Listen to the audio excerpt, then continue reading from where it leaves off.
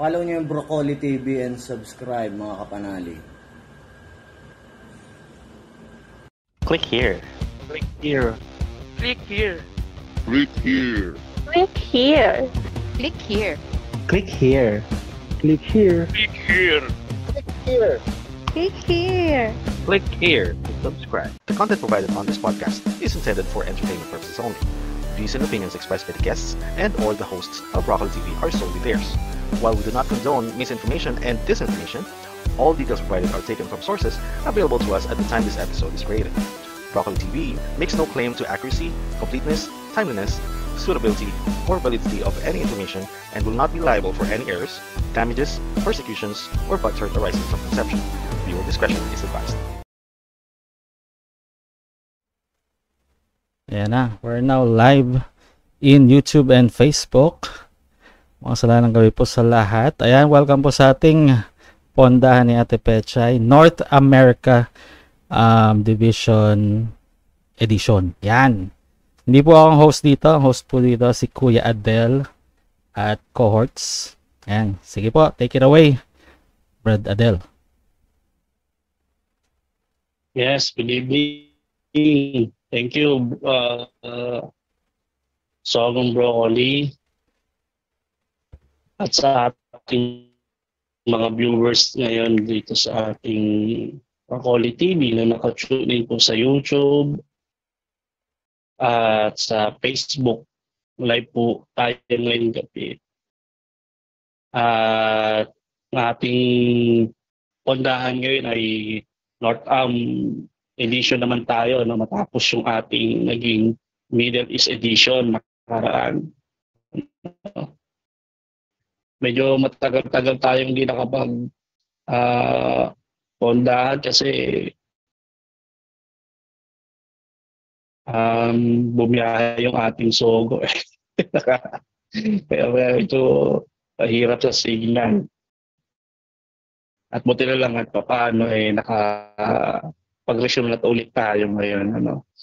Matagal na kasi tong ano, matagal na kasi tong re-request doon ano ng mga taga North Am na mga closeted at exited na na mga katupa po natin diyan. Kasi yung ating um, Middle uh, Middle East edition nakatatlong ano ito eh, tatlong edition no sunod-sunod. Ewan ko bakit siguro talagang marami lang masyadong kwento rin ano sa uh, diyan sa ano sa sa Middle East. At ang daming kasing kwentong ano diyan eh talagang pigaan at mga tulungan diyan sa sa Middle East. Kaya yung iba hindi pa naikwento lahat eh. Kaya medyo nabigyan lang talaga ng ano ng ng highlights at ano uh, focus sa ating mga nakaraang pondahan ano. And right now I we're going to to tackle and give a chance ano to to our brethren dyan sa North America na nakaranas din ng yun nga ay exploitation ano in terms of financial, emotional, and uh, psychological exploitation ano ng ating pinanggalingang ano uh, MCGI. At marami din tayong ano, uh, taka muna, pabatiin ko na muna yung ating mga kasama nitong co-host. Ano? Sina Soro, Onesiphorus, Toby, at Satisfied. Pati muna, uh, Soro. Parang talaga na namin ginaririnig eh. Kapagsalita ka ba? Hello? Sige, isa na muna. Uh, ano si Poros, baka ano ka ba?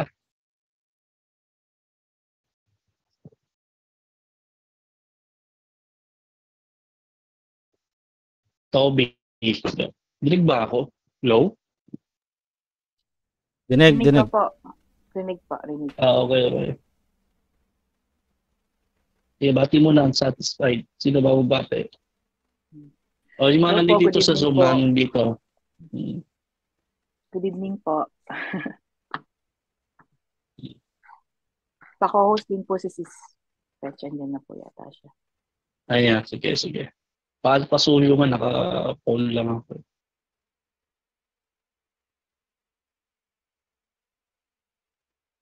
Sino pa gustong bumate? Right now, sa Zoom natin, meron tayong ah, 21, ano? Ah, joiners and sa YouTube ay we have 31, ano ba yung ano natin? Ah. Facebook 31. 16. Mm. Sige, ba, pabatiin na natin yung mga kasama habang naghihintay tayo ng mga ano.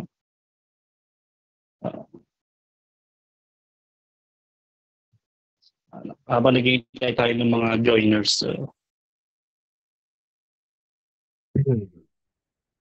yan. Kaya Soro, bati ka naman. Dahil ka na narinig ng mga fans mo eh.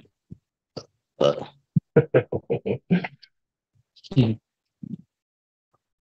Ayun, recovered na. Recovered na sa operasyon. Ang binabati ko pala yung mga ano natin dyan, yung mga matagal nang hindi nakaka ano dito sa ating pundahan, nakaka-join. Join naman kayo dito. Lalo na yung mga taga North Am at yung ah, assistant ng ah, ano, may assistant KNP na pala, no? Oo nga, nagulat din ako eh.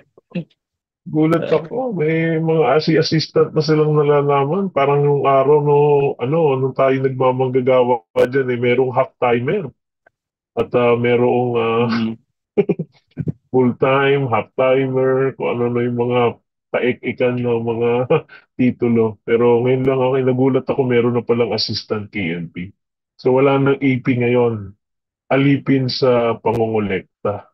Tapos yung KNP, kolektor Ay, ng nalista, pera. nalista ba yung AP? Ay, yung, T, yung TP nalista? Meron pa, di ba, Oo, TP? parang inalis na yata. Inalis Nalista ba? Ah. Sino makapag-update sa atin dyan? Hindi, alam ko meron pa si, ano eh, nakalagay TP, si Rod Noel Abolense. Nakita ko eh. TP nakalagay sa kanya eh. TP. Oo, oo nga eh.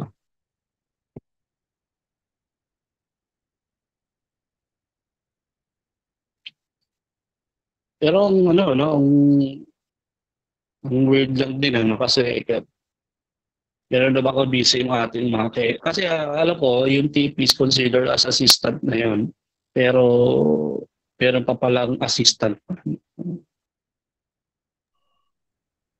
ganun Nakakatawa naka-busy nga yung nun Yun eh. ang alalay. Kuya Del. Kuya Del.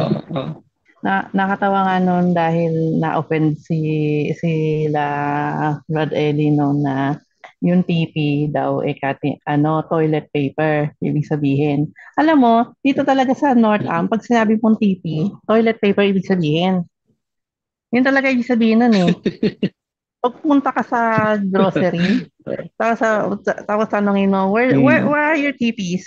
Oh, tuturo ka sa aisle ng toilet paper. Yun talaga Mm. yung sabihin ng toilet paper. Eh, ano, open na open yun. yung nakarinig sa sa pangangasiwa. Ang hilig kasi nila ng ano eh, ng abbreviation. yung tuloy.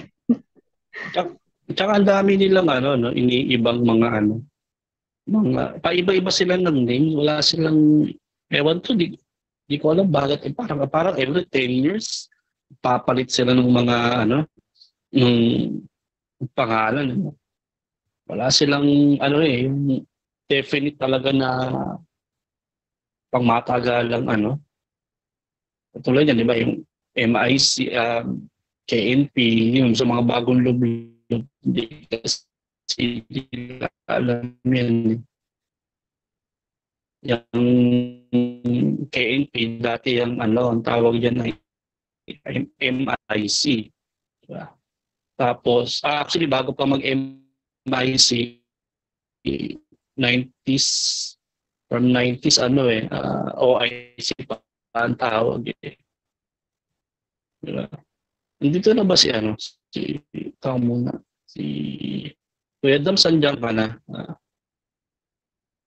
ano, paresan nga po. Paramdam mga Sino, Kuya Adel? Sino po yung hinahanap niyo, Kuya Adel? si Kuya Dams, Kuya Dam. Ah, si ano yun? Si Dark Knight yun. Dark Knight. Galawin ng baso. Dark Dark Knight. Knight. Hello, Siya ba yung good Dark evening. Yun. Magandang gabi po. Ayun. Isang magandang gabi Dark at Knight ako. gabi sa inyong lahat. Confirm, Binabati Ang rin lalim natin ng yung boses, parang Dracula. oh. mga listeners natin, Adele, sa ating live Mm-hmm. ngayon sa YouTube. Nandyan si Peculiar, si MM Channel, The Saint, Nera Cueva, Edgar Timwat, at yung shout out daw sa 8th District. Well, we have a lot in store for you guys. So keep uh, listening here sa live podcast ng Broccoli TV. At marami tayong pag-uusapan ng mga pangyayari dyan sa North Am. So keep in touch lang, guys. Back to you, Adele. Hmm. Wait, wait lang, may tatanong ako sa iyo yung ano tawag dito yung ano ano ba tawag doon dati sa yung wala pang MIC ano ba tawag daw mga 90s era 80s OIC, boss? OIC. ah see ah, oo. Hmm. Tapos pumasok ng 2000 yan ang uso yung MIC Minister in Charge naman Hmm. As assistant ng MIC, OIC. Tapos later on, naabot na ba ba pa ba sa oro yung KNP? Kung na inabutan yung KNP. MIC ang akin, tsaka OIC. Yung hinati na, kaka-transition pa lang nung naanib ako sa OIC, MIC. So, nung panahon na bago kong anib, meron pang sila Roland, sila Jamal, puro mga OIC ang mga yan bago nilagyan ng MIC na category. MIC. Yung pala, kaya ilal, oh, ba, kaya pala lalagyan ng MIC, yung OIC, yun yung magiging, ano, yung lower doon sa ah, MIC. O, dyan na dumating sila doon, si Dino, yan na, yun na yung mga naging OIC. Nagulat ako, meron pa palang assistant KNP. Mm. Ay, Eh, later, po. baka- Hello po. Si Adel Badsoro. Apa, apa. Paano na, Apa. mayroon po akong private Opo. message sa inyo sa Discord. Thank you po. Opo. Opo. Ah, May, sige, may sige. message po ako. Ah, Ako, sige, sige. Paus na, paus mo na lang, ano, Badsoro. Pasuyo. Oh, sige po. Oh, sige, sige. o, tap, ibig sabihin, Soro, nung, ano, nung umalis ka 2010 ba, 11? Eh, makaisip pa nun, ano? 2000. So, Oo. Naanib ako mga 2003, 2004. So, OIC pa tawag nila doon. Tapos nag-transition, nag-MIC sila. Tapos, yun na. May mga na-elevate na ng mga OIC. Ganyan naman yan eh. Kapag naglalagay ng bagong posisyon, ibig sabihin, may sinasab o may ina-under doon sa position current. mm, Pero maganda Pwede tawag yun. sana, no? Ah, KNP, kolektor ng pera, tapos AP, alipin sa pangongolekta. Eh ngayon, yung assistant KNP, ano kayang gagawin nun? Parang secretary, no? Datingan.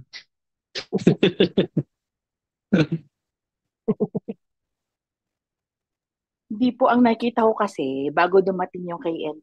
Assistant eh, ngayon nga, KNP pinalitan na naman yung ano eh. Ah, Tapos parang hinahanda yung tutuluyan ng KNP. Para rin silang ano, royal family. Ano. Parang ganun yung nakikita ko eh. Rinig po. mm, mm. Opo, So, clear po. so bago dumating po. yung KNP, sit sila muna, Oo. prepare. ipapasa Parang lang naman ganun. ng KNP yung trabaho niya sa assistant eh. Hmm. Correct. Oo.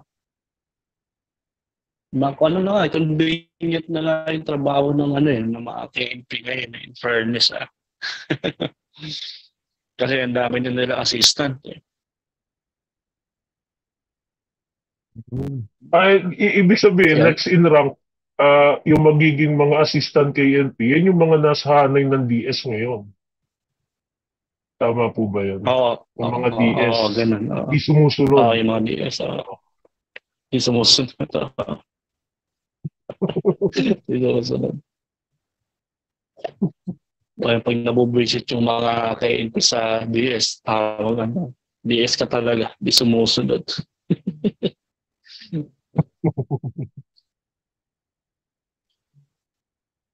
Yan ang history niyan, yung mga sa mga bagong nakikinig, yan ang history ng mga hierarchy ng positions. No? Diyan sa sa MCGI, ngayon na lang din nauso yung mga elder, elder, di ba dati, manggagawa ang tawag, di ba? Ngayon, Hmm. May hierarchy nga yan, Kuya Adel. eh. Isa ano eh. May, may hierarchy. Tawag yung... May hierarchy manggagawa noon. pa. Ang tawag.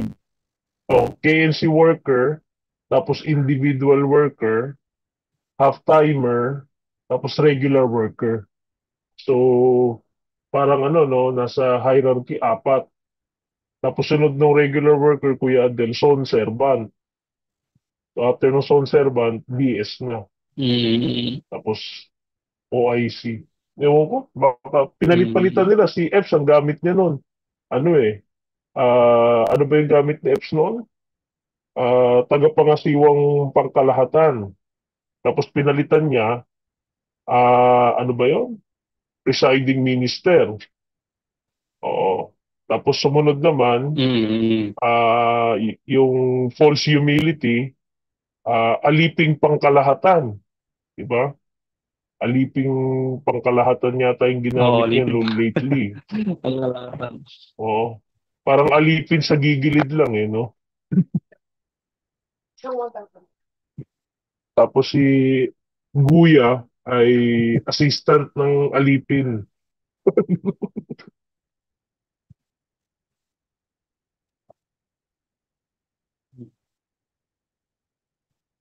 Magulo nga eh. Ma, ang dami nilang mga tawag na ano eh, na ginagamit eh.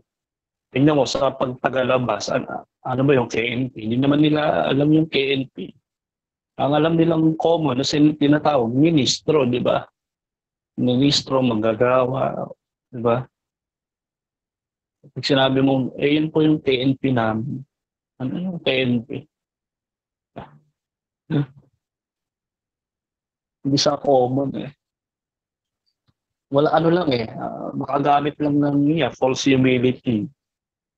Uh, gamit lang ng terms na para masabing ano, di ba?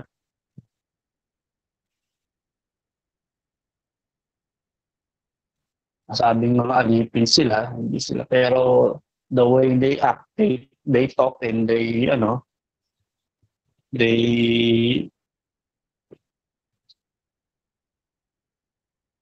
makikita mo hindi naman sila mga alipin, mga boss sila. Yeah. Kung makapag-utos eh, kala mo, makapanghi, kala mo may mga patano. Eh, diba? Kuya Adel, paano kaya yun? Ah, yung mga manggagawa, no? Ano nang tawag sa kanila? Elder. Paano yung, ano, yung KNC worker, ano nang tawag sa kanila ngayon? Matanda sa mga bata, parang gano'n. Elders sa mga bata. Naku, hindi ko na rin alam yan. Tawag sa mga KNC worker. Kung may nakakaalam dyan, pakicheck nyo nga ang tawag sa mga ano.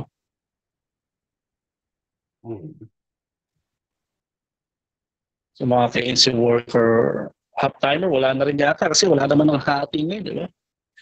ano pa ba hatian? Ah, servant po Ayo, daw ang okay. KNC servant servants. Oo. Tapos, yung regular na manggagawa, ang tawag na el- elder na elder. Elder, elder na.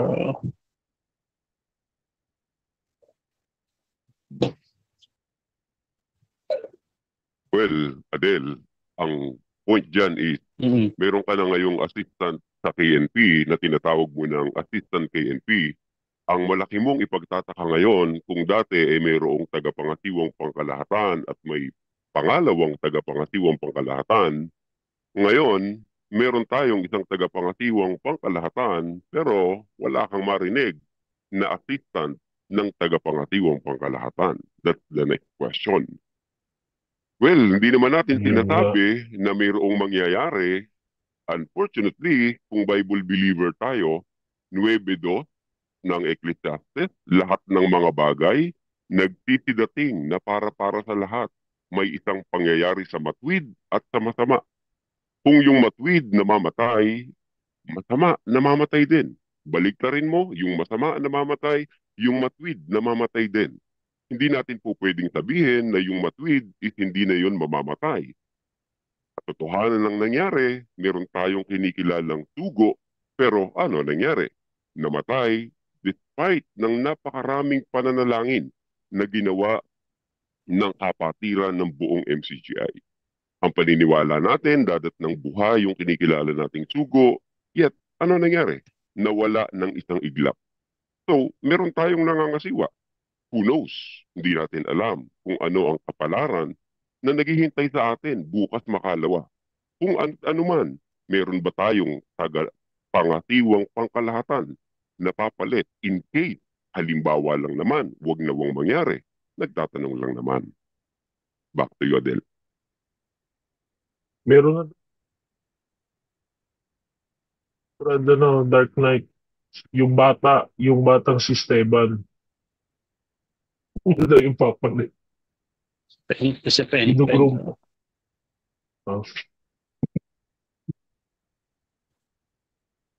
No, may, may fans ka na. Dark Knight. Gusto ko ito si Brad Dark Knight.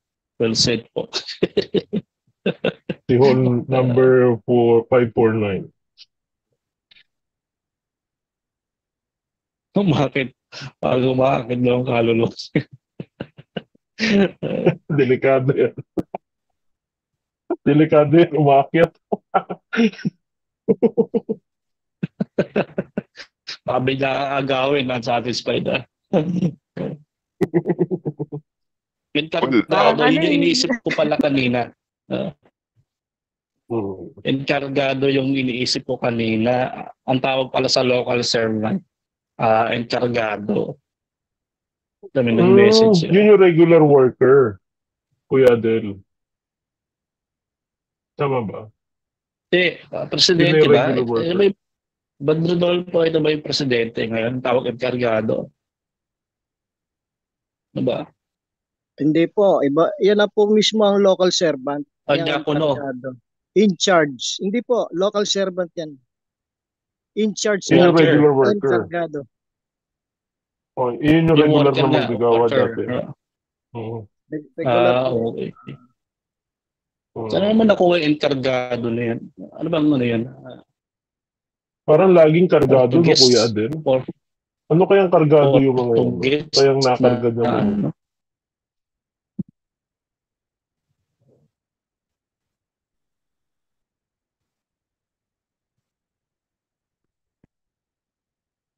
Portuguese ba yan? May tanong ako. Panyol yata po yan. Dami May, nila ta- may mga tanong ako. pausong term eh. Toro, Mm-mm. hello? Opo, Ate Ate Pech. Pa. Oh. Um, yun bang terminong matanda, yung elder sa Bible? Ah, ang ginagamitan ba nun, ano, tal- ah, like, kahit hindi mat- Church. na necessarily matanda ah physically, like, di ba, nabanggit ni Pablo noon na bata pa si ano, si si Timoteo nung tawagin siya maging ministro, di ba? Oo, oh, huwag Ah. man lang yung kabataan. Ano po? So, nagkaroon ba ng title ng elder si Timoteo? Ay, yun, yun. Ah, actually, oh, hindi siya mahanap Ate Pech na tinawag siyang matanda. Kasi si, um, si Sino lang Timoteo ang- kasi hindi naman... Sino lang ang ni-referred Oh. na na sino, sino lang ang tinawag na matanda o elder sa according sa ano sa Bible ah.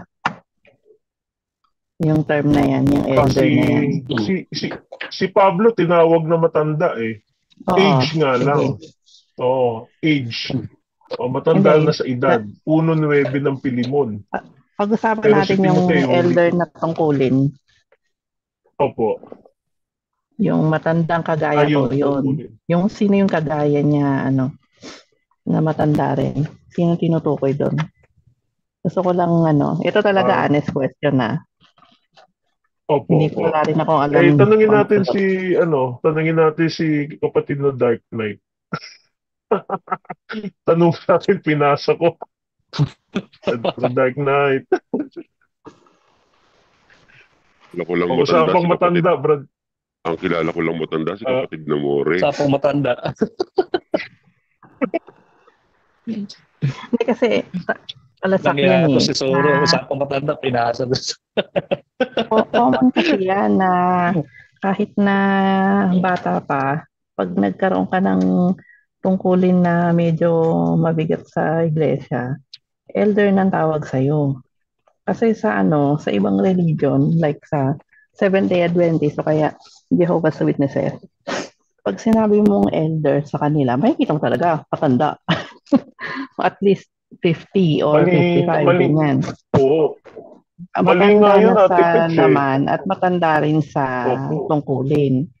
Ngayon, baka naman sa, sa Bible, meron talagang tinawag na matanda na 20s pa lang. Oh, may meron bang ganun sa Bible? Ano po, Ate Pets? Meron akong mababasa, 1.5 ng Tito. May binanggit si Pablo kay Tito na dito'y iniwang kita sa Kreta upang husayin mo ang mga bagay na nagkukulang at maghalal ng mga matanda sa bawat bayan na gaya ng ipinagbilin ko sa iyo.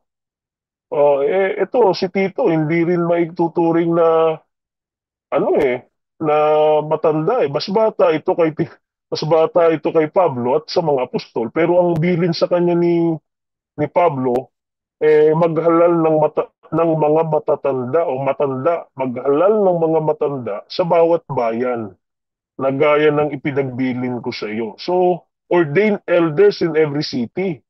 So, ino-ordain yung ah, titulo na elder eh.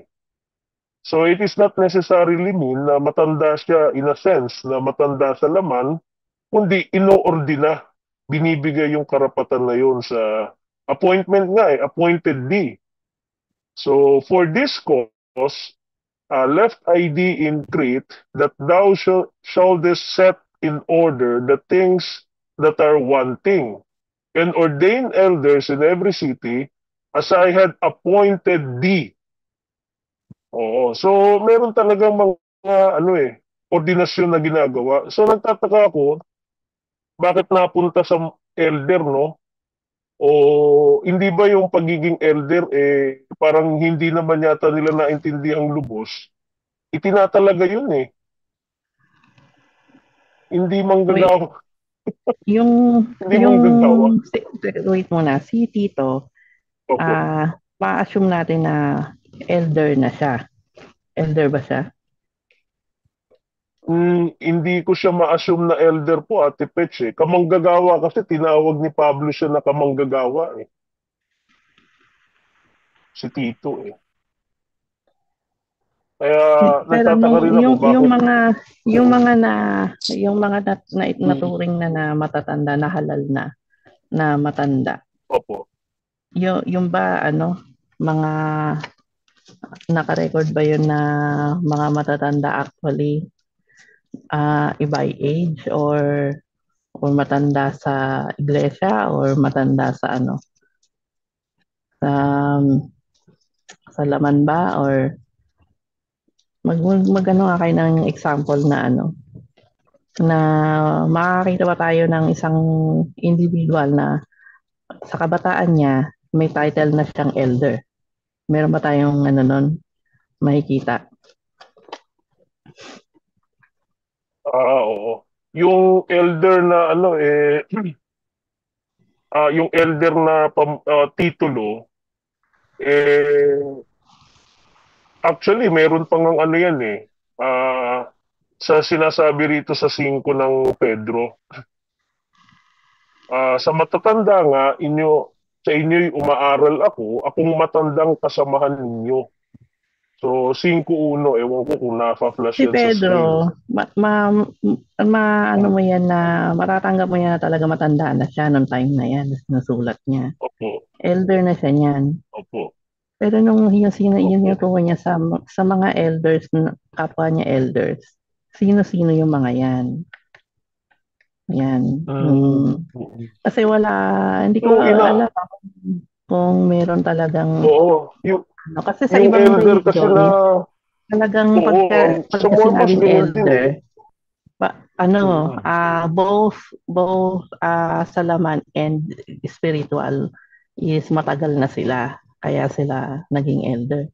But never kang makikita ka sa kanila na ng in their 20s, even their 30s or 40s na nagkaroon sila ng title na elder. Wala nun sa iba. Ngayon sa MCGI, KNC worker, minsan ano na eh, ah tinuturing na na elder, na matanda eh. Nung nung ano, nung active pa ako, may yung yung mga KNC worker sa amin, elder na eh, ang turing eh. Ah, pagka nga nagka-meeting ng elders sa meeting, elders convention, parang umaga naging sinonimo na yung worker sa elder. So doesn't matter kung 14 years old ka pa lang, 15 pag nagkaroon ka ng title na ano na elder, eh elder ka. Ganon. So I just isang description, Ate Petch. to mm, Oh, isang description sa matanda, sa elder, dito sa Timoteo po. Ang mga matanda na nagsisipamahalang mabuti ay ariing may karapatan sa ibayong kapurihan. Lalong-lalo na ang mga nagpapagal sa salita at sa pagtuturo. So, yung, may, yung mga elder na tinutukoy dito ni San Pablo kay Timoteo, may kapamahalaan. May nagsisipamahala. Tapos, yung pagsisipamahala na ginagawa nila, nagpapagal sa salita, nagtuturo. So, nangangaral din yung mga elder na sinasabi. Eh, yun ang wonder ko din, kung paano mag- mangangaral yung bata, no? At ah, yung bang batang sinasabi ni Ate Pechay sa mga KNC worker, ah, as KNC worker, eh considered ba yun na elder? At saka yung tawag nito, si Esteban, yung batang papalit yata kay Guya. eh, nagtuturo yung elder eh, ayon dito kay Timoteo eh. Dahil nga kasi ang ah, tinuro sa atin ni Brother Eli is yung mga matatanda ay yan yung kumakatawan sa mga manggagawa. Kaya di ba sinasabi na laban sa mga matatanda, huwag kang tatanggap ng sumbong liban sa dalawa o tatlong taktik. Now, pag-usapan natin yung isa sa mga matatanda, lalo na dyan sa North Am. So kung naka-ready na yung ating mga kasama dyan sa North Am, pwede kayong mag-share, pwede kayong mag-rate ng inyong mga kamay kung gusto ninyong magsalita. At napakarami kasi ng mga issues na dapat nating pag-usapan, lalo na dyan sa North Am. At pagkakatanda ko, Brad Adel, di ba, dumating dyan yung ating kinikilalang tugo ngayon at nanggaling doon sa isang bahagi ng Canada. At may mga comment, may mga narinig tayo at may mga nagpadala ng information sa'yo tungkol dyan. Ah, back to you, Adel, in case baka nandyan ka, baka gusto mong mag-sustain kung ano yung dapat mapag-usapan, lalo na particularly dyan sa North America. Nandyan pa ba si Kuya Adel, ah, Zoro?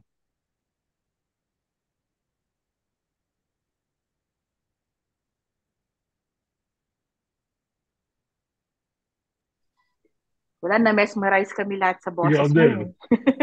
O, di ba? Wala si Kuya Adel. Well, while waiting to Kuya Adel, ano, siguro napag-usapan rin lang ni Ate Pechay yung mga matatanda. At isa sa mga matatanda na nakikilala natin is si Brother Josel. Ah, I don't know, pero pasukin mo ang mundo ng Reddit. Ah, go ahead, Kuya Adel. Wala, na, na, na, no, no. Mag, nag-down ako yung internet. Ano na, okay na kayo dun sa ano, Elder? Oo. ah puntahan natin yung isa sa elder. Siguro, Adel, mas maganda pag-usapan. Total, ang um, topic mo ngayon is North America Edition. Siguro, um, total, binuktan rin lang ni Hmm. Ate Pechay, ni Doro, yung mga matatanda. Eh, isa sa mga matatanda na nakadistino dyan, yung kinikilala natin, di ba? Si J. Mal. Mm, correct. oo. Ano pa pagkakilala mo kay? Wa- Wala naman tayong masamang tinapay. Kay, Kilala mo ba si J-Man? well, sa nakikita ko, sa napapanood ko, sa mga naririnig ko, at sa mga na-obserbahan ko, sa mga nagpo-post dyan sa Reddit. Personally, wala naman tayong masamang tinapay sa kanya. Kaya lang, lumalala kasi yung inis ng maraming dita pa. Real talk, kakornihan niya, ang daming naaasiwa kapag nakikita mo siyang umingiti, lalo na kapag tinatanong ni KDR sa pagkakatipon. Imagine, mauuna yung tawa na hindi mo alam kung saan ang gagaling. Sabay pasada ng ramdam mo talaga, bola lang. Huwag na tayong maglukuhan. It's pure pambobola. Gusto mo lang i-please kuya, kahit Mm. alam mo ang sagot sa tanong niya, you pretend that you don't know the answer to his question. Just to give way para mag-flourish yung statement ni kuya. Kahit alam mo na napakababaw lang naman ng point ni kuya, you would show as if it's amazing. Kaya nga ang bukang bibig, di ba? Ang galing po nito, kuya. Ang napaka-amazing po nito, kuya. Ngayon ko lang po ito nakita, kuya. Ask yourself, Mm. ask yourself, are you really true to yourself? Yan ba talaga ang nararamdaman mo? O kailangan mo lang gawin yan to build up your kuya? I'm just asking. Kung mali ako, well, sorry naman. Kasi it, it statistics Correct. will show. Of course, eto, Adel. Statistically, it will show. Of course, not inside sa mga MCGA fanatic. Punta ka sa Reddit, magbasa ka ng post, read the comment, numbers will tell you kung gaano buwisit at asar the way he reacted sa bawat pagkakatipon. Hindi pa natin pinag-uusapan dito ha, yung pagkahaba-habang recap. Hypothetically, Adel, in case na mangyayari lang, ask and do a survey. Let's ask this question, for example. Masama ba ang, oh, let's say, let's compose it this way. Gusto nyo bang may recap sa pagkakatipon? That's the question. Gusto nyo bang may recap sa pagkakatipon? Answerable by yes or no. Walang name. Voting. Do the counting. Yung walang halong pakunwari. Honest lang ang sasagot. Mostly ang sasagot dyan, alisin na yung recap-recap na yan. Bakit? Kasi ang daming nagre-reklamo yan eh. Pampahaba lang yan eh. Dati naman wala yan. Ti- Tingin ko hindi yung masama ang recap. Kahit sa school may ganyan eh. Kaso wag naman Well, yung parang inulit mo na yung point, Ate Pets. yung buong ano, Recap, yung yung buong recap, recap, one hour. Are you ay okay? oo, hindi na recap yun. Replay na yun. Pa-replay na yun. Correct, correct. Mm. Pa-replay. Yung klase ng recap mo, meron dramatization. Ba't Hindi ka ba nakukornihan Pati yung reaction. Recap, pati yung reaction, puro kuha. Well, tanungin mo, do the survey. Pa pabor ka ba? Alisin ang recap. Honest to goodness, majority sasagot sa'yo dyan, tanggalin na yan. Bakit? Eh, pampahaba lang naman yan eh. Dati naman wala yan, di ba? Di ba dati nga pinaiikli ni Brad Ely yung awitan to give way sa teksto? Ngayon, ano ang nangyayari? Dati mag start ng 5 p.m., 10 p.m., tapos na teksto. Ngayon, mag start ng 4 p.m., alas 10 na, dun pa lang mag start ng teksto. Bakit? Pagkatapos ng pagkahaba-habang recap, uumpisahan ng teksto sa recap na naman. Kapatid na Rodel, ano nakita mo?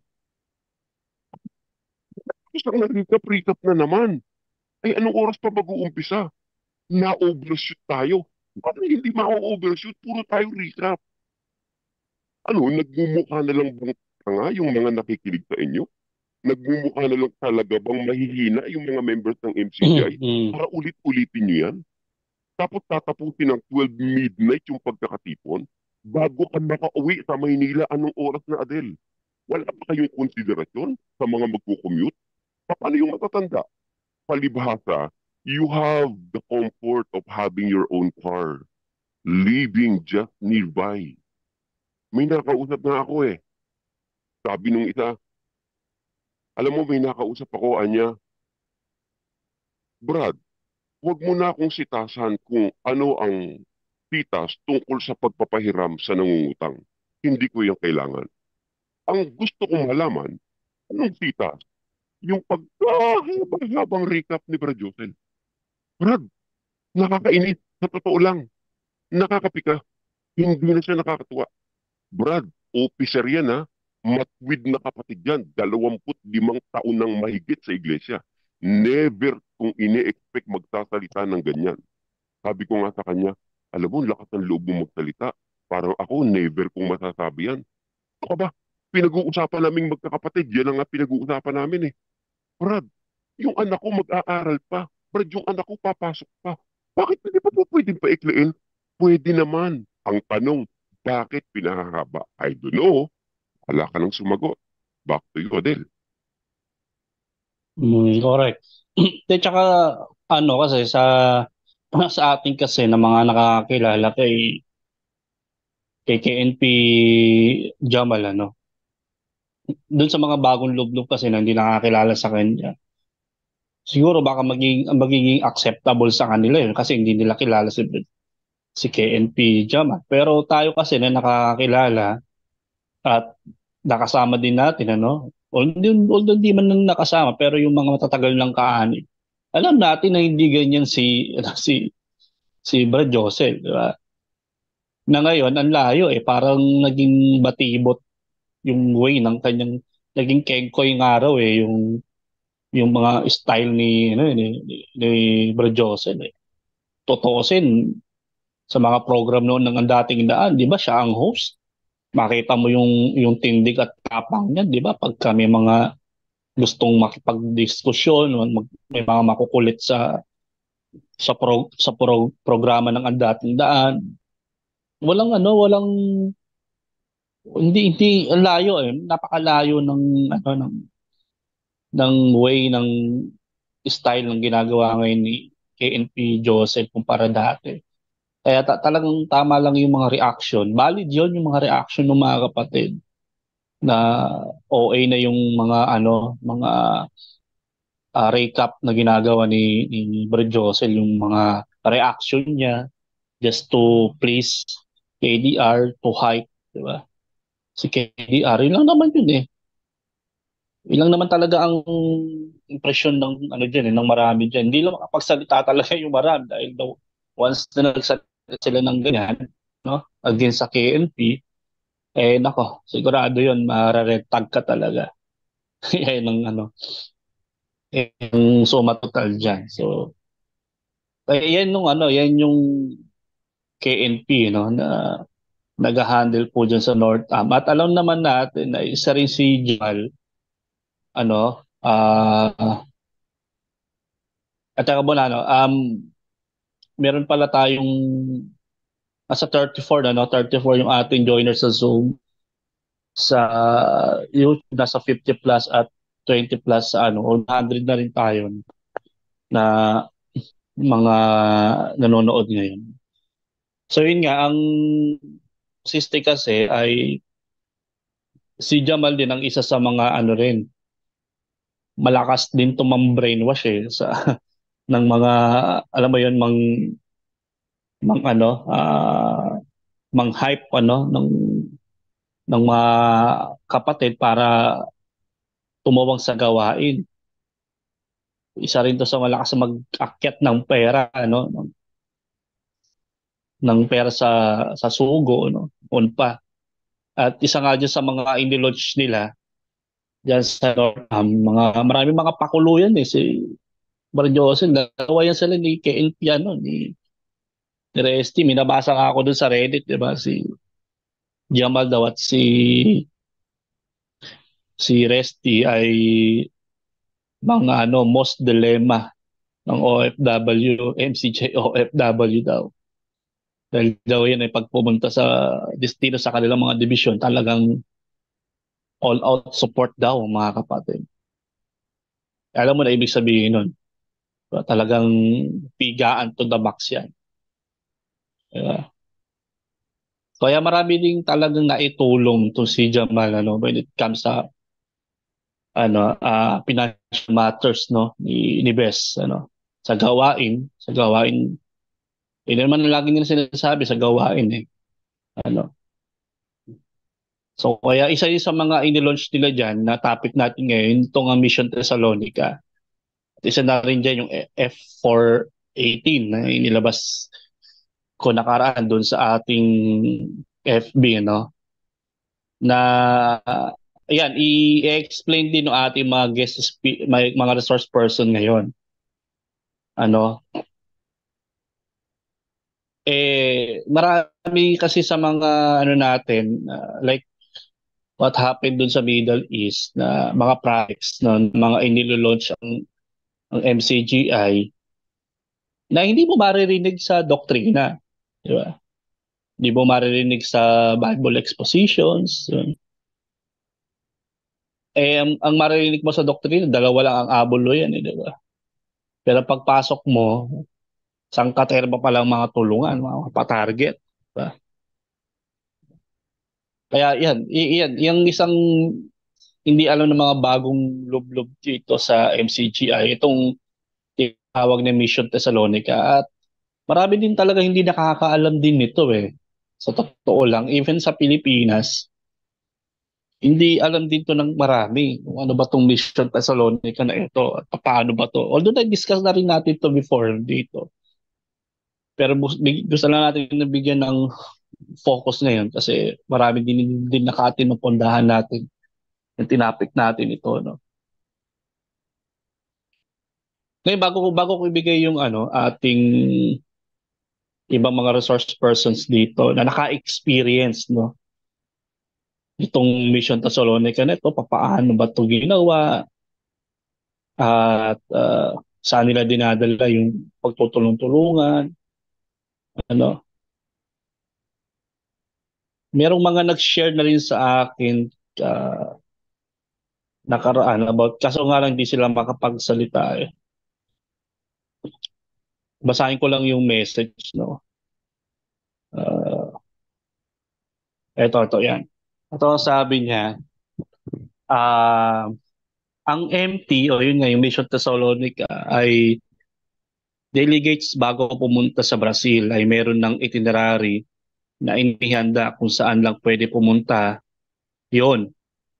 Uh, sa Area 52 ay hindi yan kasama at yung Clovis Salute Restaurant at Mansion Libes. Pero ako noon, pero ako noon pa naririnig ko na yung about sa Area 52.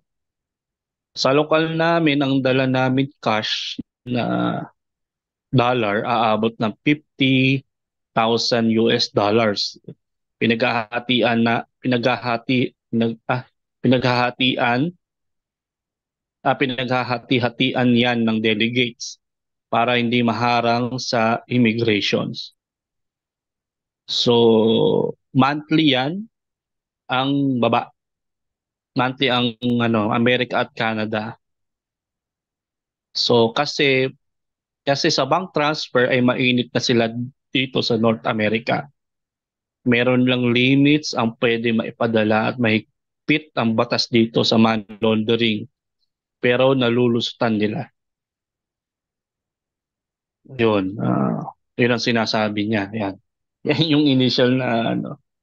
Hindi siya pwede magsalita kasi nasa loob pa daw siya. So, maybe some other time daw. So, yan yung ano, so yan yung um, initial na experience naman nung kapatid ano regarding do sa MT na meron talaga silang mga dala-dala mga mga pera pag umaba sa Brazil. Sabi nga, monthly daw yung ginagawa. I don't know no, kung hindi ko lang sure kung kailan ba ito nag-start on the launch o mas nauna ba ito sa F418. Siguro yung ating ibang resource person na, na naririto. Ah, sino ba muna mauna? Ir, ah, si Irmaus, pwede ka na po ba? Ano? Bati ka po muna. Eh, Uh, Apo, Babati Brad. ko kayo dyan. Ako po si Irmaus. Ako po ay dito sa medyo pabago-bago yung kagagising ko lang pero anyway. Bago ako magpunta ba- rito sa North America, ako ay Hmm. galing sa Middle East. So, lokal ako ng show sa Pilipinas. 20, 2006, 2007 punta ako ng Abu Dhabi. Middle East. So, nabiktima din ako nung lead scammer dyan na si ano, si Restis Cariote. 2012, pumunta ako dito sa Canada. Hindi ko na sabihin muna yung lokal. Pero nabobosesan ako ng marami dyan eh. So, ayan. Ano ba yung tanong mo, Kuya Del? Ah, ay, yung F418, oh, pagpunta ko dyan. Kasi itong si, galing ako Middle East, di ba? So, nakukumpara ko yung si Iscariote, si Resty, at saka itong si Jamal. Talagang parang, alam mo, may, ano yan eh, mga leads camera ng Middle East at North America at parang merong ano, parang eh, nagpapaligsahan ng pasikatan, di ba? Yung mga ABP kung naalala niyo mga kapatid, pagandahan ng ABP yan, yung yung si Resty tsaka si ano, nakalaunan din, sinita rin niya ni Bonjing na o ni Rason na wag nang ganyan, i-centralize na lang natin yung mga ABP na yan. Kaya ngayon, ang ABP ang nag-ano eh, parang isa na lang yung nag-host diyan eh. Anyway, So, pagdating ko ng ah, Canada, ayan nga may F418 kasi parang ano yan eh, yan yung version ng copy ng ng North ng North Am nung panahon na yon. F418. We don't support our leader. We support uh, we don't just follow our leader. We support them all the way. May mga battle cry pa yan. Ginagawan pa namin yan ng mga jingle. May mga pa-concert pa yan meron pang mga food pack para lahat nakaano. Kumbaga yun ang gawain eh. Lahat yun naka-direkta doon sa F418. Lahat ng gagawin namin naka F418 kumbaga.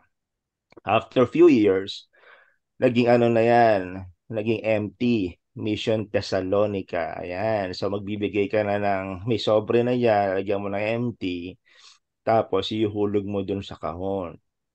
Ah, alam ko yung empty na yon may pangalan yun mga kapatid kasi parang, ewan ko lang kung tawag kakaalala ko, pero yung uh, may pangalan yun sa amin, sa lokal namin, at ako nga ay nasita noon kasi yung sobre ko, hindi ko nilalagyan ng pangalan. Kasi uh, sa akin nga, gusto ko yung kabanalan ko, makip. Nasita ako ng worker noon. Kasi parang na, na, na lumalabas yata sa Excel sheet nila. Wala yung pangalan ko lagi, eh. assistant group servant ako. Ayan. So, parang hindi daw ako nag nagse-serve ng good role model sa sa buong lokal o sa mga kakamiyembro ko hindi makita yung pangalan ko. Kaya pinatawag ako nung ng ano nung nung scammer ng lokal namin yung worker. Itago na lang natin siya sa pangalang Roderick Paulate kasi yun ang tukso sa kanya kamukha ni Roderick Paulate, tukso sa kanya ng mga officer. Anyway, sabi ko, di ko lalagyan ng pangalan yan. Eh, di ba turo sa atin ni ano, yung babae nga na nagbigay ng mamera doon sa ano, yung, yung mas may kabanalan. Sabi ko, masususpindi ba ako kung hindi ko lagyan ng pangalan yan? Eh, kaharap yung bautisador at saka yung worker ng, ng hinarap ako doon eh. Sabi niya, hindi ka nang masususpindi eh. Sabi ko, hindi naman pala eh. Eh di, tas ako nilayasan. Talaga inis na inis ako sa dalawang worker, yung mga gago. Anyway, yung empty na yan, talagang money laundering scheme yan. Talagang kailangan, pag maraming pera yung lokal na nalikom sa Mission Thessalonica, ano yan, idadalhin yan sa Brazil. Ang tawag sa iyo, delegate. Pag delegate ka, magma-money laundering scheme ka. Meron kang hawak na hindi hihigit sa 10,000. Kasi nga, yung tulad ng sabi kanina ni Kuya Adel Bayon na pag nag-more than ka ng 10,000, kulong ka nga, Manilo. Alam naman natin na isang worker dyan sa Middle East na nakulong dyan sa Brazil, yung namatay na ngayon, tago na lang natin siya sa pangalang dyan. Ayan, namatay yan doon dahil kaka-money laundering. Hindi naman namatay dahil kaka-money laundering, pero nakulong yan doon dahil nasa perang dala-dala. So siguro na, na they learned their lesson, gumawa sila ng scheme na yan. Ang daming kapatid na nagpupunta ron ngayon para mag-money laundering. So, doon muna, doon muna siguro ikukwento ko, kapatid na kuya din. Hmm. Pero naka ano ka rin ba? Nakapagdala ka rin po. Hindi ako nakapagdala nun, hindi ako ka-eager na, mag, na sumali sa Mission Thessalonica. No? Ah, nag- nag- Nagbibigay ako, malaki bisibigay ko sa sobre. Pero yung pagpunta doon, hindi ako nagkaroon ng chance mapunta ron. Sayang nga, kung nagpunta ako doon, marami akong Mm. vi- videoan ko silang lahat noon. Dahil may din ako mag-video, nagbablog ako eh. Nagbablog ako. Siguro marami akong ipon na video, pero hindi ako nakapunta. Ah. pero bilang avid follower ng Mission Thessalonica, kahit ngayon ay siguro I can share videos kasi nagagawa ko ng mga jingle, mga theme song, yung mga adaptation ng mga Disney, yung mga ka- Mm. mga sikat na kanta noon, Ed Sheeran, tinatranslate namin into Mission Thessalonica, F418, nag-host ako ng mga concert pertaining to Mission Thessalonica, F418. Ayan, so avid follower talaga ako, nakulto talaga ako guys, nakulto ako guys. An- anong mas nauna, yung F F418 or yung Mission Thessalonica? F418 po yung uh, na, nauna, hindi ko lang alam kung ano yung date. Parang I think 2014 kasi yung ano eh, no? F418 eh. Mm, Yung video na inilabas ko. nauna yun. I'm, I'm so sure na nauna yun. May mga t-shirt kasi yan. Isa pa yung mga merchandise na yan. Siguro ito isa nga yan sa mga rebranding strategy nila. Kasi when you rebrand the product, syempre you have to rebrand the t-shirt, mga tarpaulin. Eh, sa bawat Mm. bilhin nila yan, ihingi nila sa kapatid yan. May mga may mga patong-patong yun kung ano anong kickback yan. I don't know. Hindi naman sila binubulsa nila pero they want to, you know, nagpapasikat sila eh. They want to may maintrega sila kay sa mga pang kay, kay Bes sa kay KDR na malaki. Kung sinong malaki, siyang sikat na KNP. Di ba ganun naman yun? Ay, nako po. Purgang-purga kami Mm. sa mga meeting. So, paano yung ano, yung Oh. Ano yun? yung ano, yung tulungan, ibig sabihin sab sabay 'yon, ah ibinibigay niyo yung para sa F418 tapos empty or meron lang May ah certain, meron lang may mga certain naka period lang yun. Correct niyo ako mga kapatid na ano ah. Pero may certain period lang yung Mm. F418 kasi nga nirebrand na eh. Nung pumasok na yung MT, wala Ah, na okay. F418.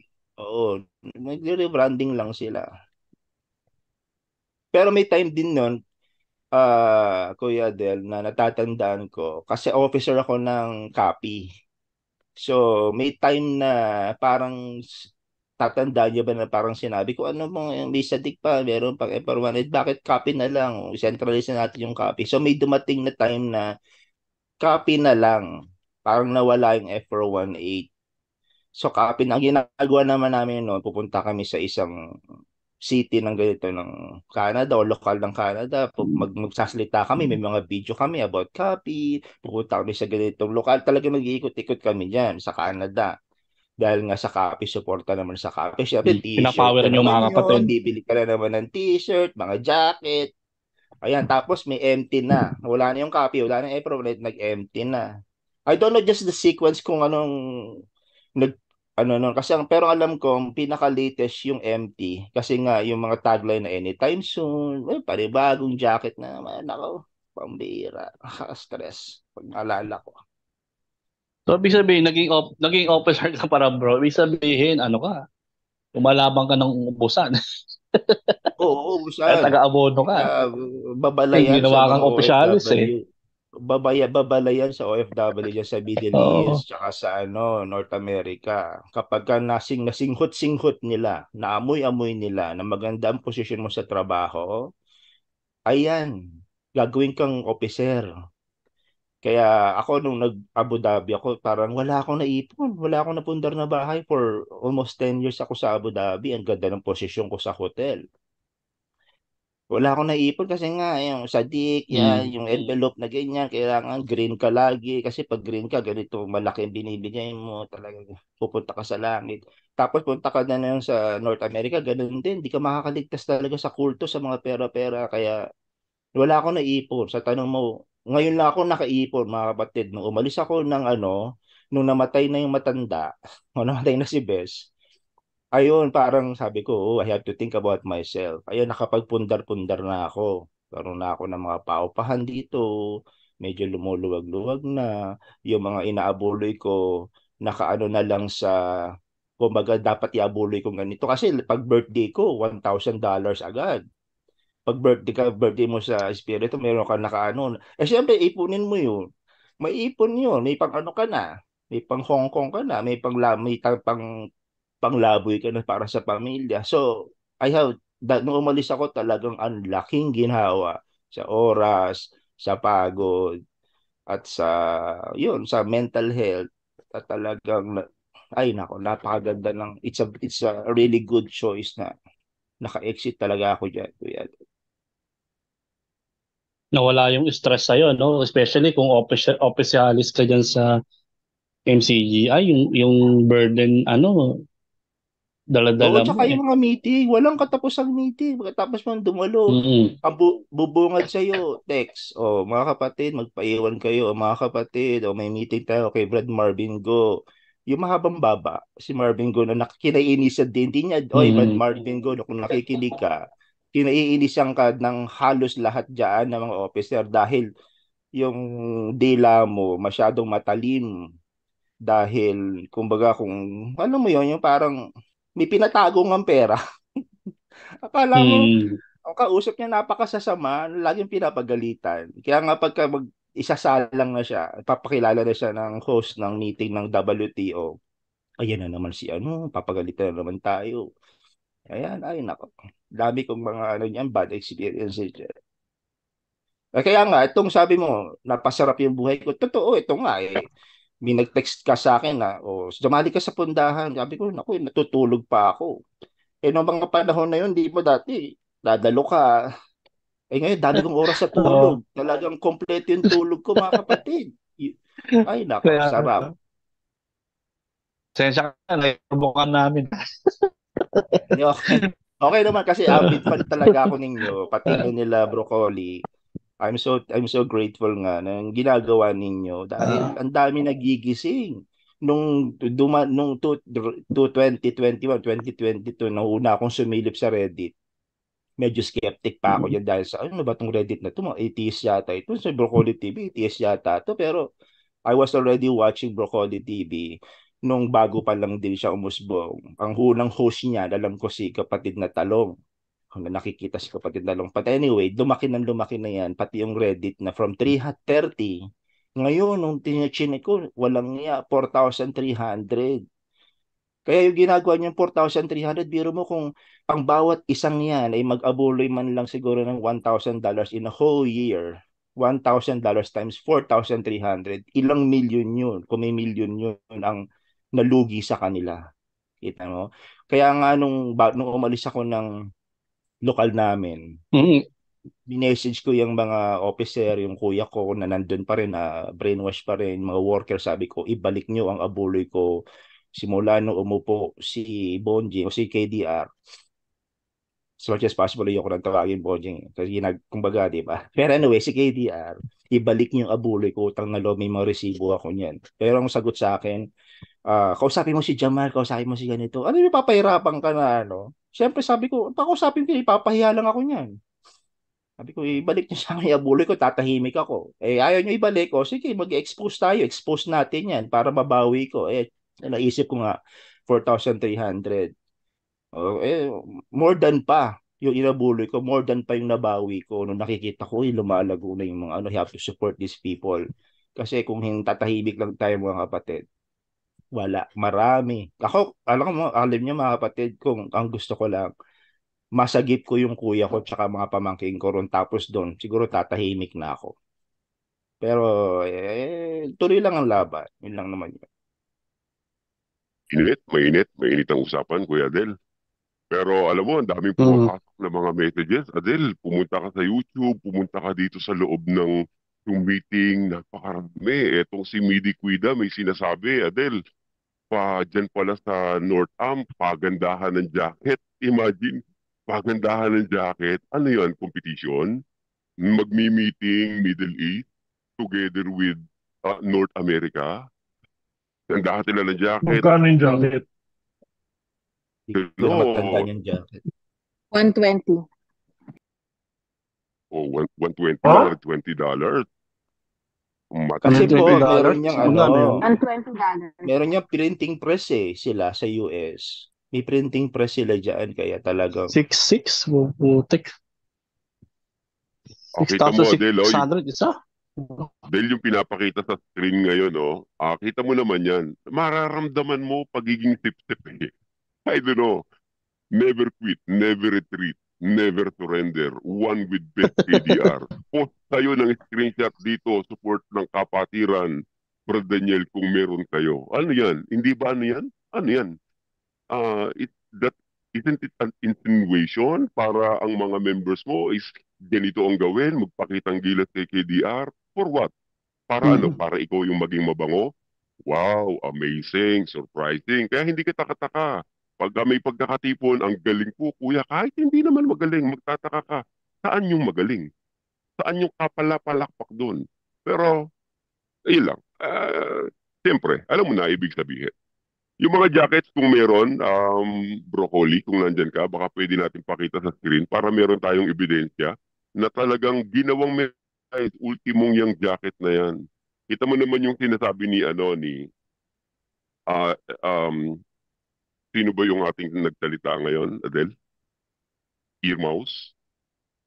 Eh, may tanong dito, pumasok. Earmouse. Eh, brother, baka naman yung iyong iniabuloy na gusto mong bawiin, eh, hindi man lang daw nakapagpatayo ng isang poste sa palit. Ay, nako, hindi. Walang kawalan yan sa yung... nila. Oo, eh syempre dolyar dito kapatid. Sino ba nagtatanong na yan? Baka naman peso lang naman inaabuloy mo, tatanungin mo pa ako. Eh kaya nga Teka kami lang, ah, teka lang. nagkakastress. Ah, sino may tanong? Ah, Josel Mal... Uh, Jamal, Jamal.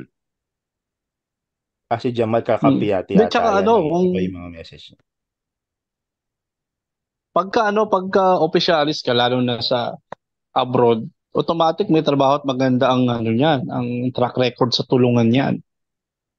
Eh, Oo, wala silang hindi kiluha biro dito ang ano niyan. officer na walang trabaho. Mekaniko. Kaya Oo. nga yung bagong kapatid na na bagong lublob, siguro ilang buwan lang, Oo. eh karpintero, eh laki ng sahod ng karpintero dito. Ginawang officer, kaya nga sabi ko, hmm, bakit ganun naging officer so, kaya sabi ko, ay nako, ewan. Oo, ganyan ang style lang. Meron nga rin isang kapatid eh, yung kaka-exit lang din, may nag-message sa akin last ano, may singat ko lang.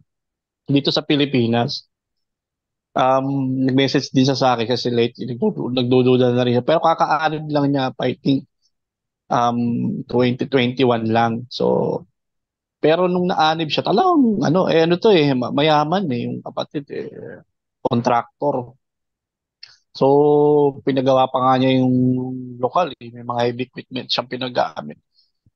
Ah, ano, wala pa siyang isang taon, ginawa ng officer. Group servant siya.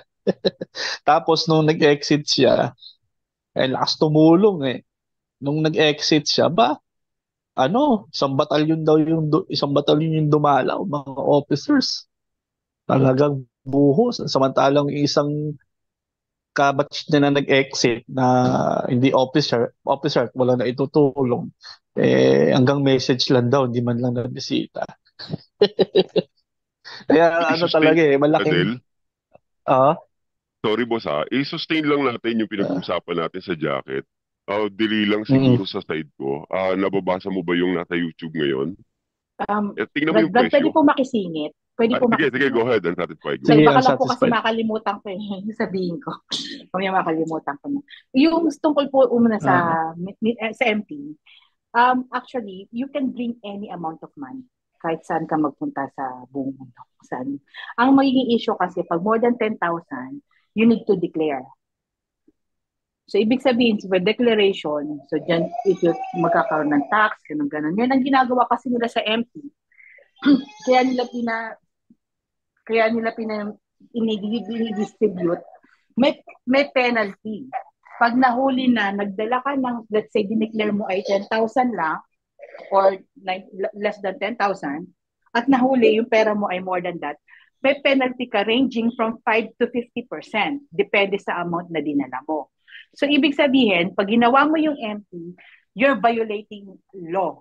Kasi nga, hindi mo talaga dinideclare kung magkano talaga yung idadadali mo para sa ano, kasi gawa na din distribute nga nila. Yun ang, parang ginawang money mule, ganon. Parang, kasi di ba sa drugs, ganon. Ang ginawa nila sa tao, mule. Sorry for the word ah. Ngayon, in regards naman sa mga merch, mahal, sobrang mahal. Um, halimbawa sa amin dito, yung t-shirt lang, um, ang halaga niya 35 to 45 USD ah, hindi Canadian dollars. Kasi iba yung value ng USD sa Canadian dollars. With a jacket, 120 USD. So, ibig sabihin, pag bumili ako, let's say, oh, magkano yung conversion ngayon, hindi ko siya ibibigay ng, ano, ng, ng amount na 120 lang. Talagang biyar. Biruin mo, pag bumili ka ng um, signature na jacket, magkano? maganda yung quality, maganda lahat, tapos bibili ka ng ganun.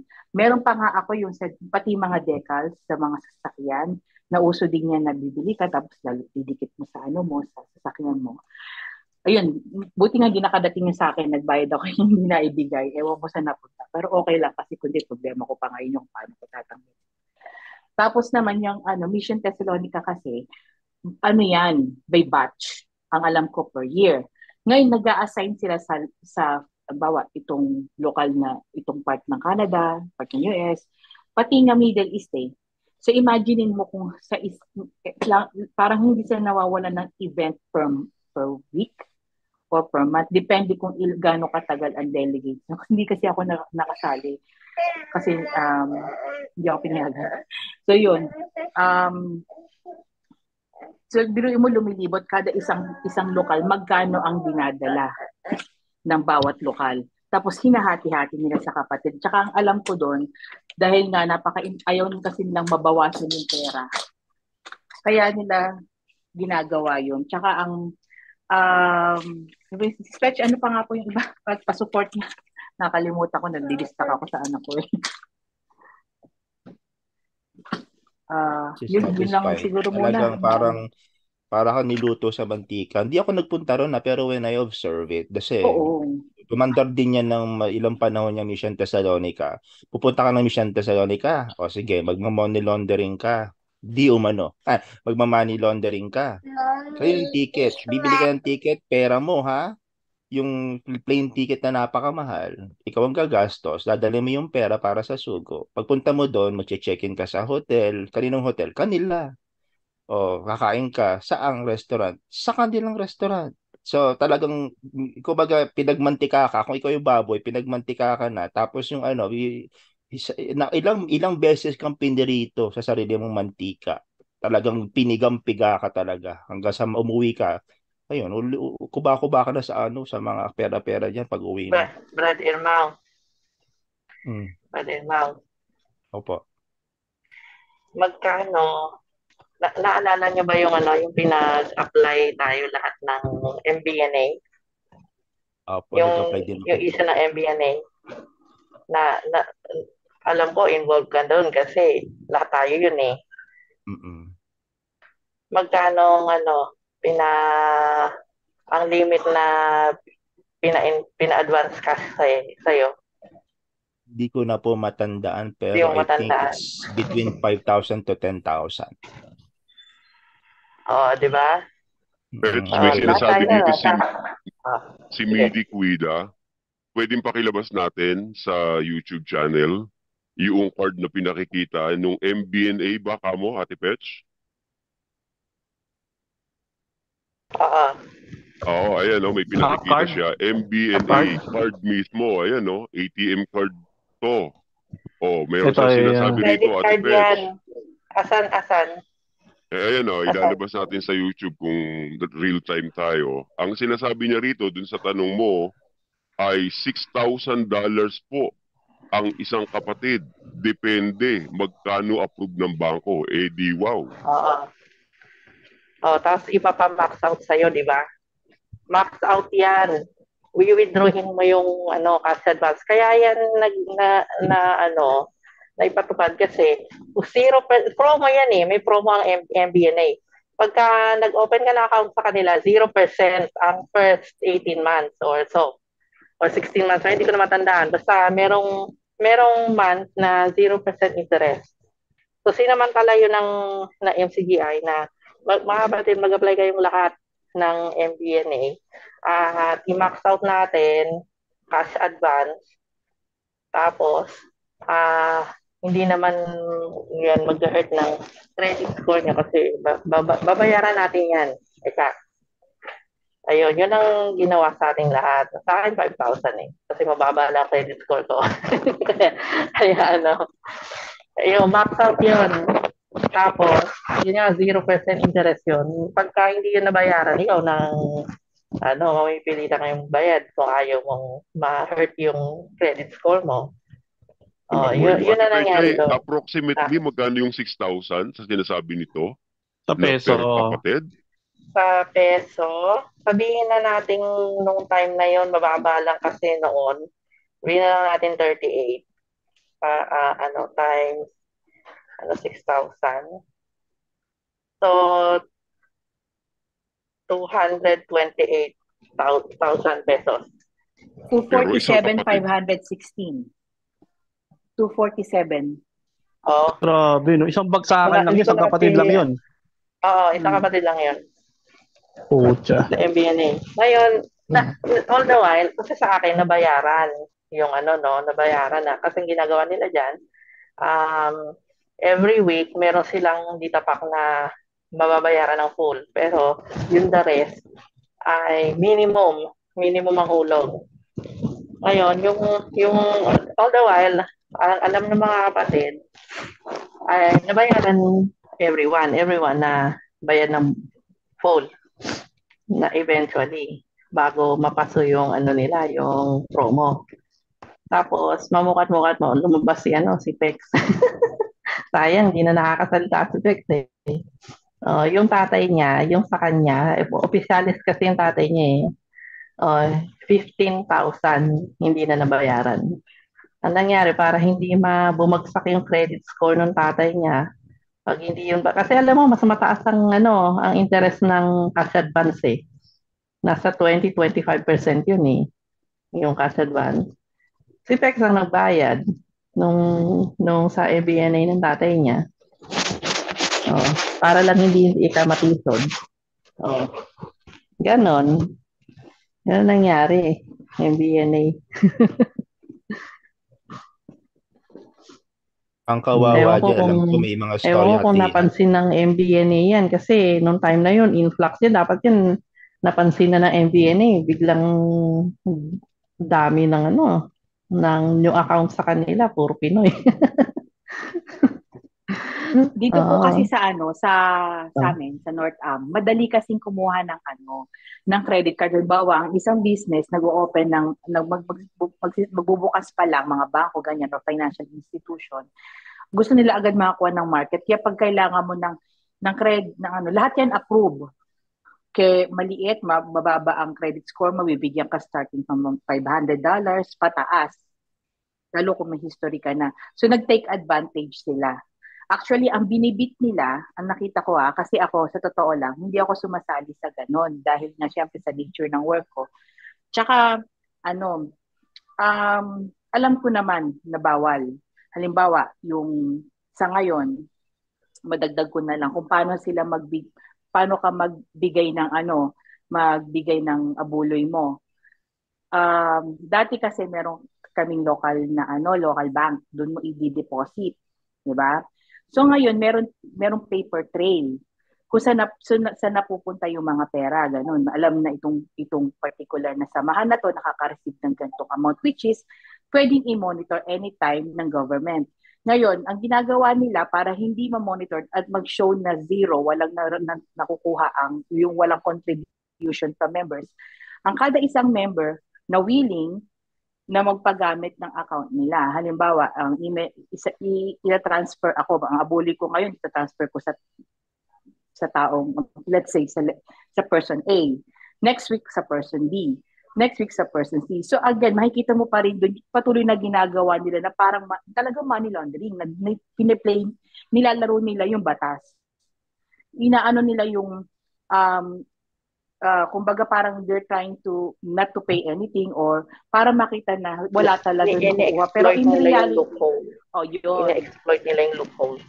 Which is hindi nila hindi nakikita ng mga members pwedeng maka-apekto sa kanila. Bakit? Like what I said, ang government makikita lahat ang pera mo kayang i-hold, property mo pwede kayang i-hold.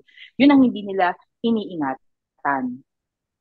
Yun. Hindi na ako magbibigay ng ilan. Sa kanya na satisfied ano, Mm. yung pera-pera na yung abuloy, talagang, it, syempre, office, ay, AGS ako eh. So, it- itatap ka, o Brad Marlon, o Brad ano, ah, pupunt, meron tayong ipapadalang ano, meron tayong ipapadalang abuloy dyan sa Honduras, ikaw po ang magpapadala ha, eh papadala mo sa kay ganito, ito yung pangalan, sa ganitong petsa mo ipapadala ha. Talagang ano nila yan dito, talagang scheme nila. Siguro may experience ako niyan mga 3 or 5 times na ano, ranging yung mga ganyan na in- instances. At marami pang ano, sino magpapadala sa, sa meeting ng WTO? Sino magpapadala next ano? Sige na to, sige nitong kapatid na ganito magpapadala. Talagang is, tama sinasabi niya nila unsatisfied that ano, na talagang i-ano ka, i-schedule nila yan at uh, gagawan nila ng paraan to go around the law. Yan, para labagin nila yan at talagang parang ang money laundering. Na-exploit ako dyan mga kapatid. Sa testigo yun ako is dyan. isa, idadagdag ko pa no, para sa kaalaman ng mga nandito. Pag na-audit kayo, kasi every year, we, ano, nag, di ba nagta-tax ano tayo, kamukha ngayon, tax season, no? Pag na-audit kayo, merong kakayahan na i-check yung bank, yung, yung mga nangyayari sa bank account, yung, yung mga activities. Pag may nakitang may pumapasok at lumalabas, which is actually, uh, paano ko ba, uh, sab- basta makikita ng, ng government yon pwede kang ma-question, bakit ito hindi mo dineclare? Bakit ito hindi mo dineclare? May mga taong ganon ang trabaho sa gobyerno. Kaya ingat din po, oo, para sa gawain, pero at the end of the day, pag nahuli ka, ikaw ang mapafine. Dito pa naman walang kawala. Alam nyo yan, lahat makikita. So, ingat din. Tsaka dapat, di ba nga, nag, nagbibibliya tayo, ganyan-ganyan. Yung kay Cesar ay kay Cesar. Bakit kailangan mo i, i ano, ba't hindi mo ibigay yung dapat? Bakit hindi ka magbayad ng tax? Ba't hindi mo sabihin yung totoo? Correct. Mm. Bakit walang transparency, di ba? Yun lang naman. Siguro lang kulto ako ng heads up sa mga yung heads up lang po very quickly no sa mga nandyan pa sa loob at ginagawa kayong parang money mule o kung yun, parang galamay ng money laundering na yan. Ay nako, kung may plano kayong mag-exit, i-screenshot niyo yung mga money transfer niyo diyan kung saan man yan, kung sa Brazil o sa Pilipinas na ngayon kasi noon ako sa Honduras, syempre andun yung matandang kolektor ng yung lead scammer si Best, di ba? So doon sa Honduras pinapadala o sa Brazil or whatever. So kayo, para hindi kayo matag, na tik-tik kayo o kung anong pinagsasabi niya, may ebidensya kayo, i-screenshot yung mga ebidensya natin. Yung mga nag-money, nag-money laundering kayo, kolektahin nyo na yan dahil kapag umexit kayo, kukuyugin kayo, manda kayo, kada dami kayo ebidensya. Yun lang po. Eh, no? Kaya yung mga comments, Adele, na pumapasok sa YouTube, sabi nung isa, magaling talaga yung mga yan pagdating sa pera, walang tatalo. Kita mo naman, ano? Ito pa nga yung isang post nung isa, oh. Sabi niya, oh, ewan ko kung gaano katotoo to, sino pwede magpatunay. Yung mga suot po na damit ng sambahayan ni Jamal. Nakita mo ba yung comment na yun, Adele? Baka magulat ka Saan? kung Sa ano YouTube? Dito, oh, nakapost, oh. Yung mga suot po na damit ng sambahayan ni Jamal, binebenta din po utang na loob. Sa bayan kong sawi, ano nang nangyari? Kina kinalakal niyo ng masyadong kapatiran. Ginawa niyo ng merchandise. Ang dami niyong jacket, ang dami niyong pakulo. Para saan? Para saan? Ano, suporta? O, sino ang naging sikat? Kayo? Sino ang napindakanan? Mga miyembro nyo. Ayun. Ayun, Adel. Tapos meron pang isa rito, oh, Adela. Pasensya na, Mhm. binibigyan lang daan lang natin yung mga ah, nagpo-post. Meron dito sige. nakatawag ng Oh, pansin ko lang, Adel. Oh. Tingnan mo to, sabi niya, pwede po bang paki, pakipakita ito? Eh, sabi ko, ano ba to? Mapapakita nga ba to? Well, tingnan mo naman yon. Ilalagay mo yung full name mo. Manggagawa ka. Trainee ka. Isusulat mo pangalan mo. Bautismo mo. Lokal mo. distrito mo, division mo. Ano ang content nun? Pahayag, statement of faith. Example, kung sang-ayon ka ba sa pangangasiwa, maging taga-akay si kapatid na Daniel, kahalili ni kapatid na Eli. It doesn't make sense. Palagay mo ba may magsusulat dyan ng worker at trainee na maglalagay ng salita niyang statement of faith, hindi sa sang-ayon sa pangangasiwa ni kapatid na Daniel? Tiraulo ka pagka nilagay mo yan. It doesn't make sense. Matindi. Hindi. Kaya su- suicide yun. Suicidal attempt. Ang Kung gusto nila ng Iha. honest ano, kung, kung gusto nila ng honest comment at review, ah ang ilagay nila pseudonym, not not yung real name, di ba? Kasi kung magpapalagay sila ng real name tapos magpapa kukuha sila ng survey, eh wala silang makukuha honest ano, survey kasi sino ba magsasalita ng negative dyan, hindi na red tag yung mga yan, di ba?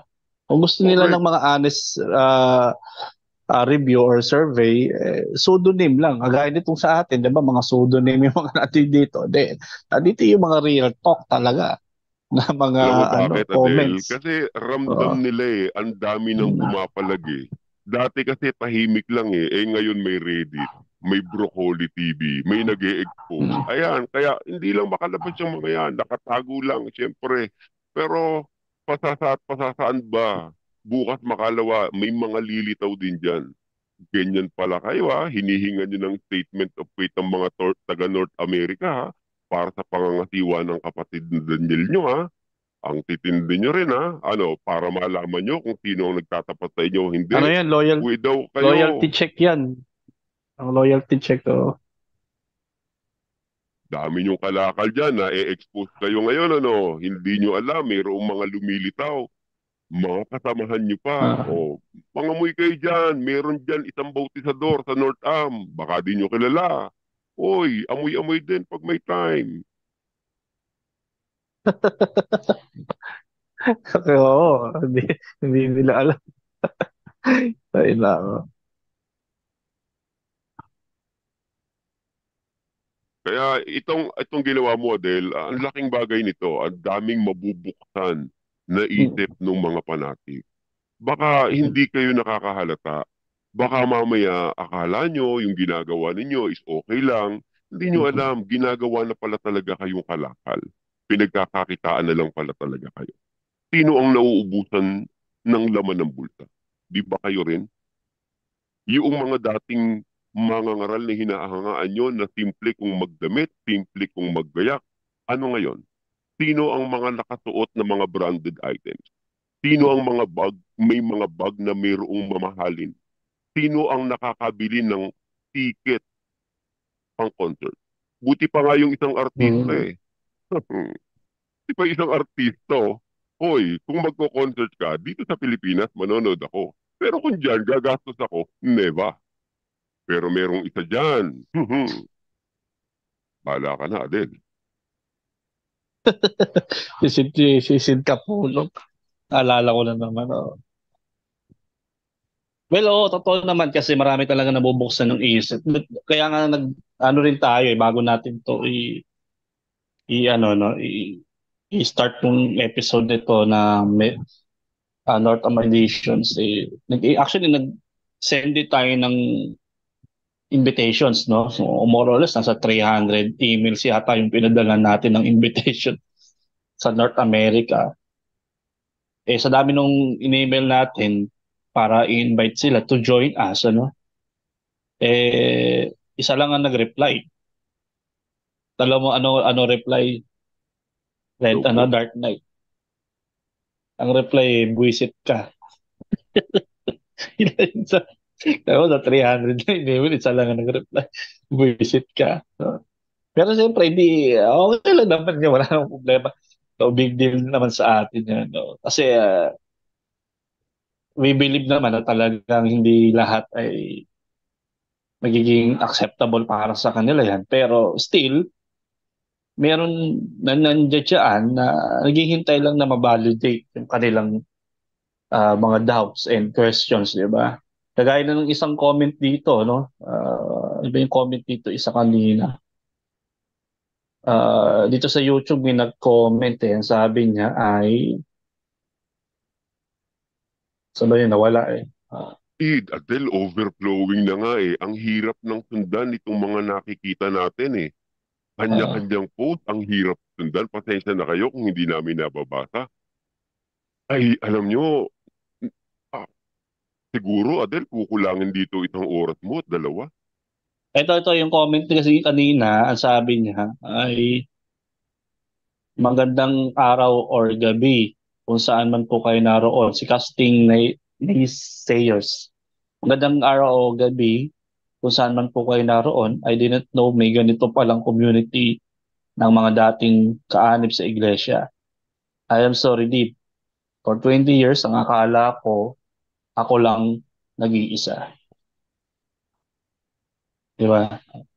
Same ano, same thoughts, di ba? Nung tayo ay, ano, mag ano mabump dito sa sa community na to. Mostly tayo ganun na nagiging ano natin conclusions, di ba? Yung ano natin, yung doubts and questions eh hindi pala tayo nag-iisa. Kaya for sure, marami din dyan na nasa loob na nasa North America. Noon pa man eh, ano na yan, nag-question na rin talaga sa kanila yan. Like for example, si si Brad Ear Earmouse, nung, nung bang time na panatik ka, bro, uh, may, may mga ano na rin, may mga nagsasalit na rin sa isip na, teka muna, parang mali na yata to ha, ah, or parang meron ng ano, parang hindi na yata tama. May mga ganun ba or doubts? Meron, meron. Pumapasok na. Tulad niya nung, kahit nung panahon ni lately na, nung bago mamatay na rin yung si Bess, Uh, Di ba, yung mga consultation na parang kung paano niya ipahiya yung isang kapatid doon, kung paano siya mag-rant, kung paano siya mainitin mm. ng ulo, kung yung mga, tsaka yung mga pag-focus-focus ng mga talata, dati ganito, ngayon na iba diwap o nasa unawa, yung mga ganun-ganun mga ano, strategy ba? Sabi ko, hmm, syempre kung wala kang critical thinking, talagang makukulong ka sa kulto. Kaya guys, you have to have critical hmm. thinking kasi kung hindi ka magko-question sa isip mo na bakit niya sinabi yun? Di ba nakasulat sa ganun doon? Di ba, da- di ba dati ganun ang aral? Bakit ngayon ganito? Bakit pag hindi ka magtatanong, ay makukulto ka habang buhay? So, so yun, tapos nung lalo na nung umupo si KDR talagang, oh, nako, para akong ginagong retarded nito. Sorry for my word ah. Kasi yung, yung recap nga, balikan ko konti yung recap, napakahaba ng recap, walang kakwenta-kwenta. And ang trabaho ko is learning and development. I mean, in learning and development industry. Ang sa akin, sa recap, I think 10 minutes is too much for me. When when I'm designing a uh, curriculum, kailangan 5 minutes nga lang eh bakit aabot na isang oras ang eh, actually uh, you are a professional you are listening you're in front of the monitor and kita mo ginagago ko nito. Sabi ko hindi naman ako retarded but pa ulit-ulit? Kahit nga retarded hindi mo dapat o sinto-sinto or special child hindi mo dapat ulit-ulitin na parang ginagago mo. Hindi naman ako gago. Sabi ko ganoon so ay nako sabi ko I have to exit na. So nagkaroon ako ng doubt kasi mga kabubuhan ni KDR din napakawalang napa unthinking yung mga paksa, walang paksa, walang structure. Eh for someone like me na lumaki ako sa mga training program, sabi ko, ba't ganito yung teacher na ganito? Buti pa si Best kasi may paksa, so I can appreciate yung paglalatag ng paksa. Pero itong si Bonjing, parang, parang mga lasing. Sabi ko, parang, ano to, parang kwentuhan na lang. Ano ba to? Religious ba to? Paano ba to?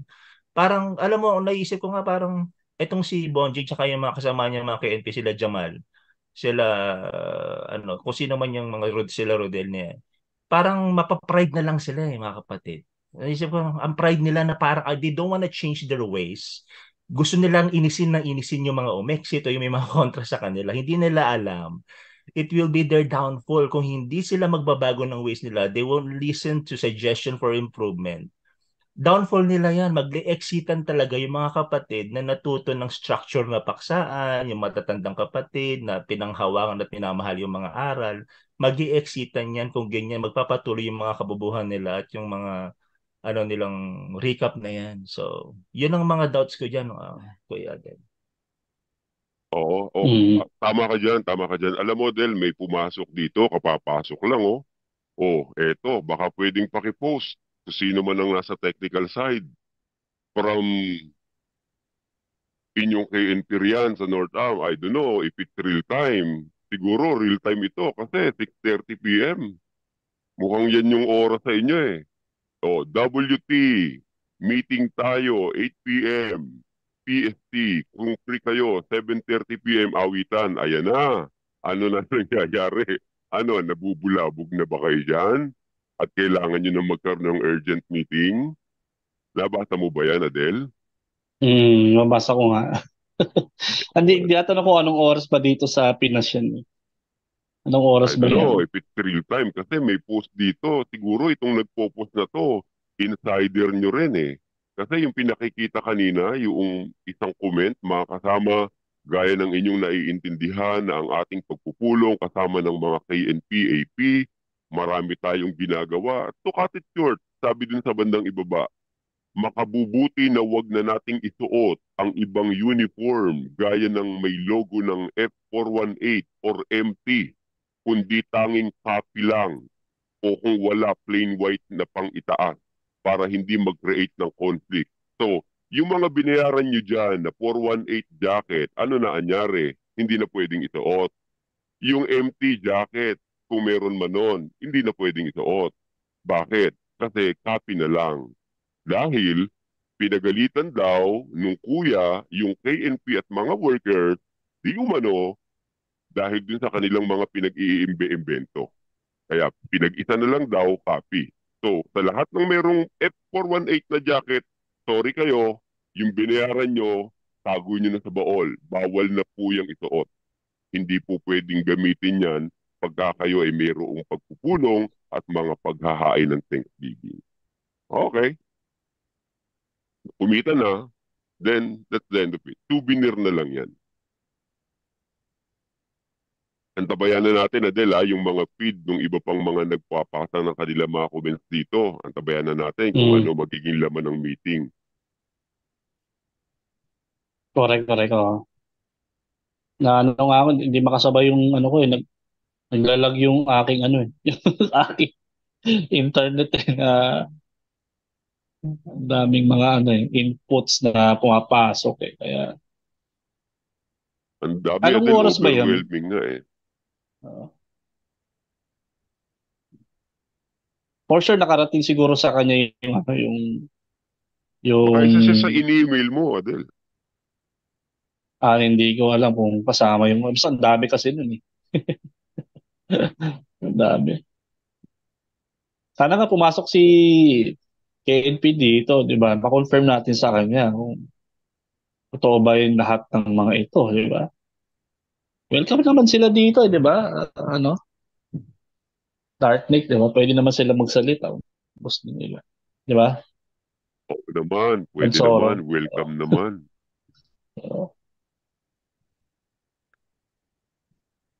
Si Brad Soro, nandyan rin lang, ano? Brad. Soro, yung bang, meron ka bang Opo. mababasang Bible verse sa Bible na ginagawang kalakal yung mga miyembro? Parang meron yatang ganun, di ba? Na naituro sa inyo. Kasi kayo yung mga matatandang mga manggagawa na inabutan namin eh. So, Uy, meron grabe yata ah. kayong talata na pinagbabatayan na ganun eh, di ba? Pwede siguro ah, bigyan na din natin daan kasi may mga Bible believers na nakikinig sa atin eh. Para siguro patunayan mo sa kanila, Soro, na meron talaga mga mangangaral, kinakalakal, mga miyembro para Oo. pagkakitaan, di ba? Oo. So, Eh, ito, may mababasa niyan. Ayan, 3.1 hanggang 3 ng ano, ah, ikalawang Pedro. Ah, nasa na ba yan? Ayan. Ngunit may nagsalitaw din naman sa bayan ng mga bulaang propeta na gaya naman sa inyo'y magkakaroon ng mga bulaang guro na mga papasok sa lihim ng mga makapapahamak ng mga hidwang pananampalataya na itatutwa pati ang Panginoon na bumili sa kanila na mga tataglay sa kanilang sarili ng madaling pagkapahamak at maraming magsisisunod sa kanilang mga gawang mahahalay na dahil sa kanila ay pagsasalitaan ng masama ang daan ng katotohanan at sa kasakiman. Sa mga pakunwaring salita ay ipangangalakal tayo na ang hatol nga sa kanila mula ng una ay hindi nagluluwat at ang kanilang kapahamakan ay hindi magugupiling.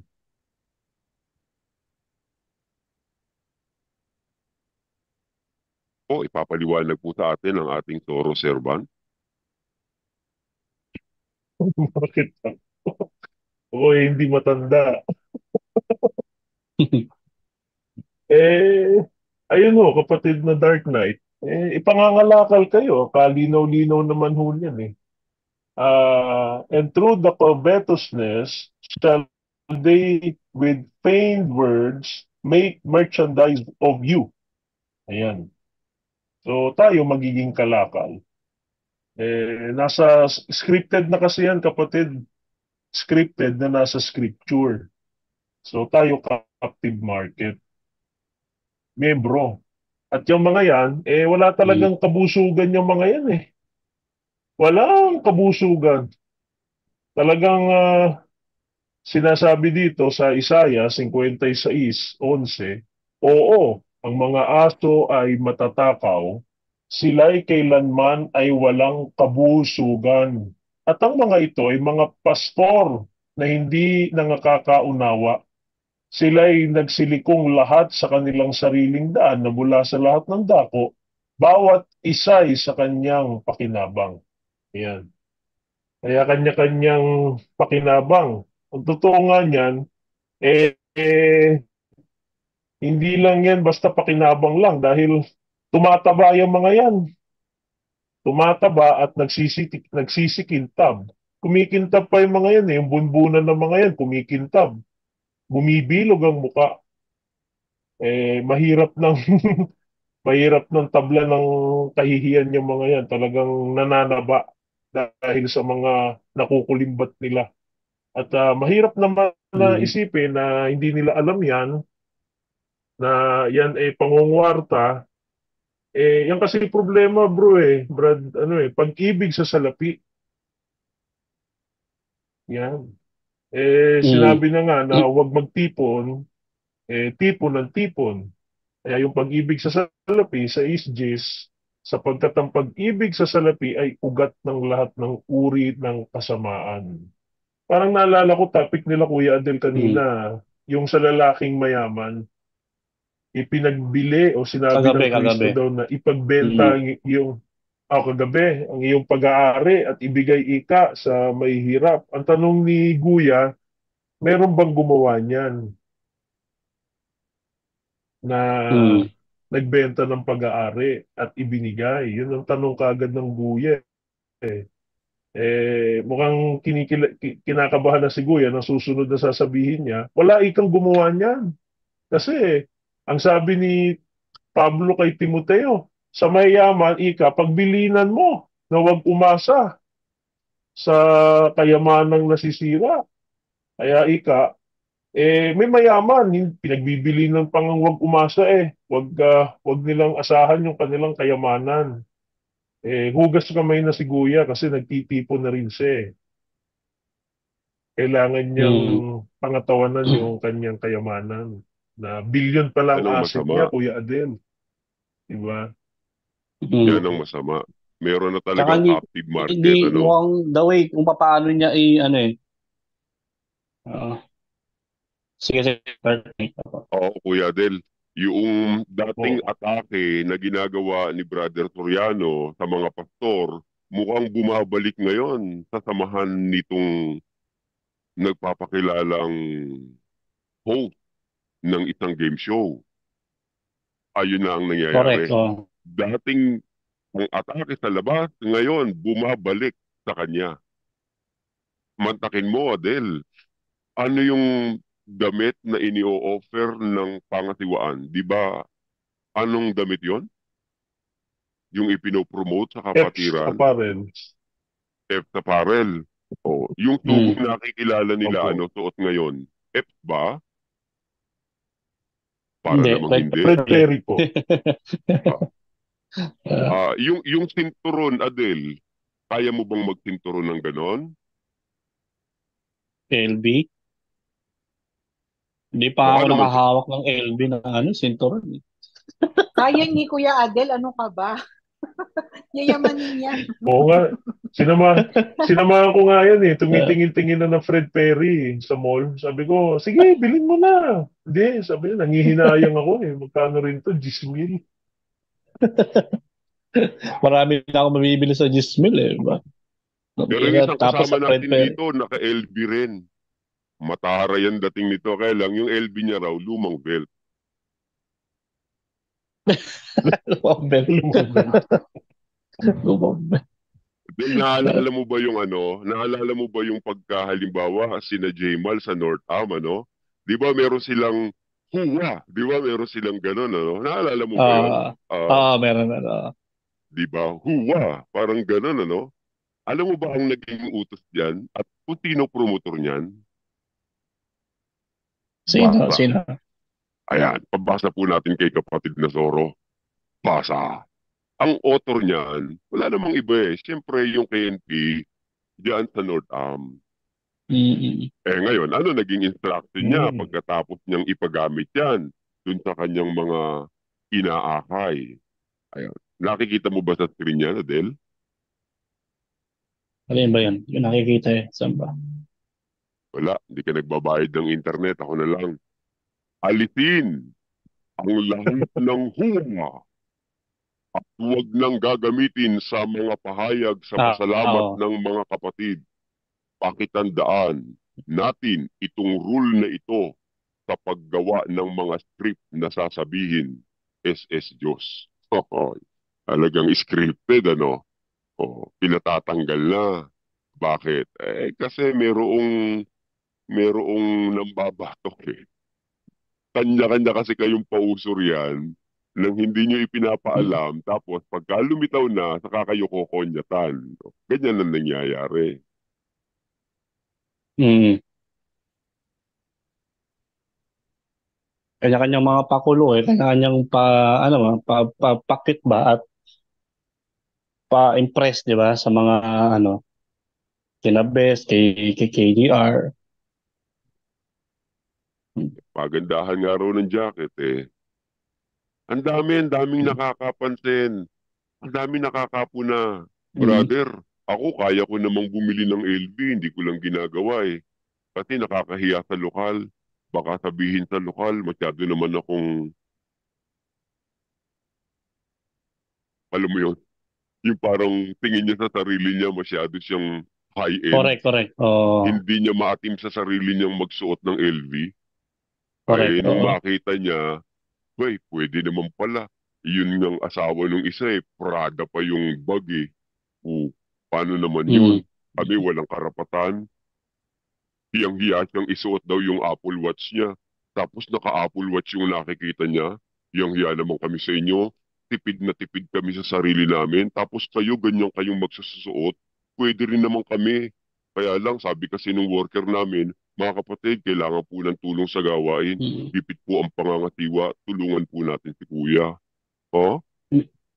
With with iyak pa, with iyak. Iiyakan pa yan. Yon. Yon ang masama. Tulong na lang daw yung ah, ibang bibili ng mga ganyang mga luxurious items. Pero nakikita mo sa kanila, yung mga luxurious items na yon. So is it fair? Is it just fair? Is it fair sa mga tao na nakikinig sa inyo na mayroon namang kakayanan at kapasidad pero hindi nila ginagawa? Ayun na Delo, nakikita mo ba yung ipinopost? Ikaw na nga kaya magbasa. Mm. 154 ano? Uh, thousand yung Prada.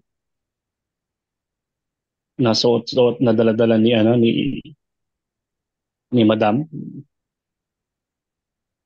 O, di ako may sabi niyan, dila ikaw ah. Oh, nakita ko lang sa screen eh. Oo. yun ang ano, yun ang Well, kasi tayo ganun eh, 'di ba? Yung way back 20 years ago, uh, mga basis na naririnig natin kay Bes, Pero nagipit ang teka, gawain. Adel, may comment dito. Saan? Oh. Ayun no, AI lang daw yan. AI lang daw yan. Huwag kang nanliligaw, Adel. Nanliligaw ka ng kapwa eh. Edited. Ganun. Ay, nako. Ano na yan, ah, tawag dito. Gas-gas na yung ganyang ano, ganyang mga reasoning ng papalusot nila. Hindi na uubra ngayon yan. Maaari noon siguro, no? Way back 20 years ago. Pero ngayon, malabo na yan. Malabo na yan. Na tayo, as much as din ako, possible. Kuya Ah, sige po, sige po. Apo. ano lang, yung ito kasing yung mag-asawa na yan, na royal family, kasi nung namatay si Bes, tsaka sila nagsususuot ng ganyan. Bakit ganun? Napaisip ako eh. Ah, parang di nyo kayang magsuot ng LB, Balenciaga na cup, Prada na bag, nung buhay pa yung matanda.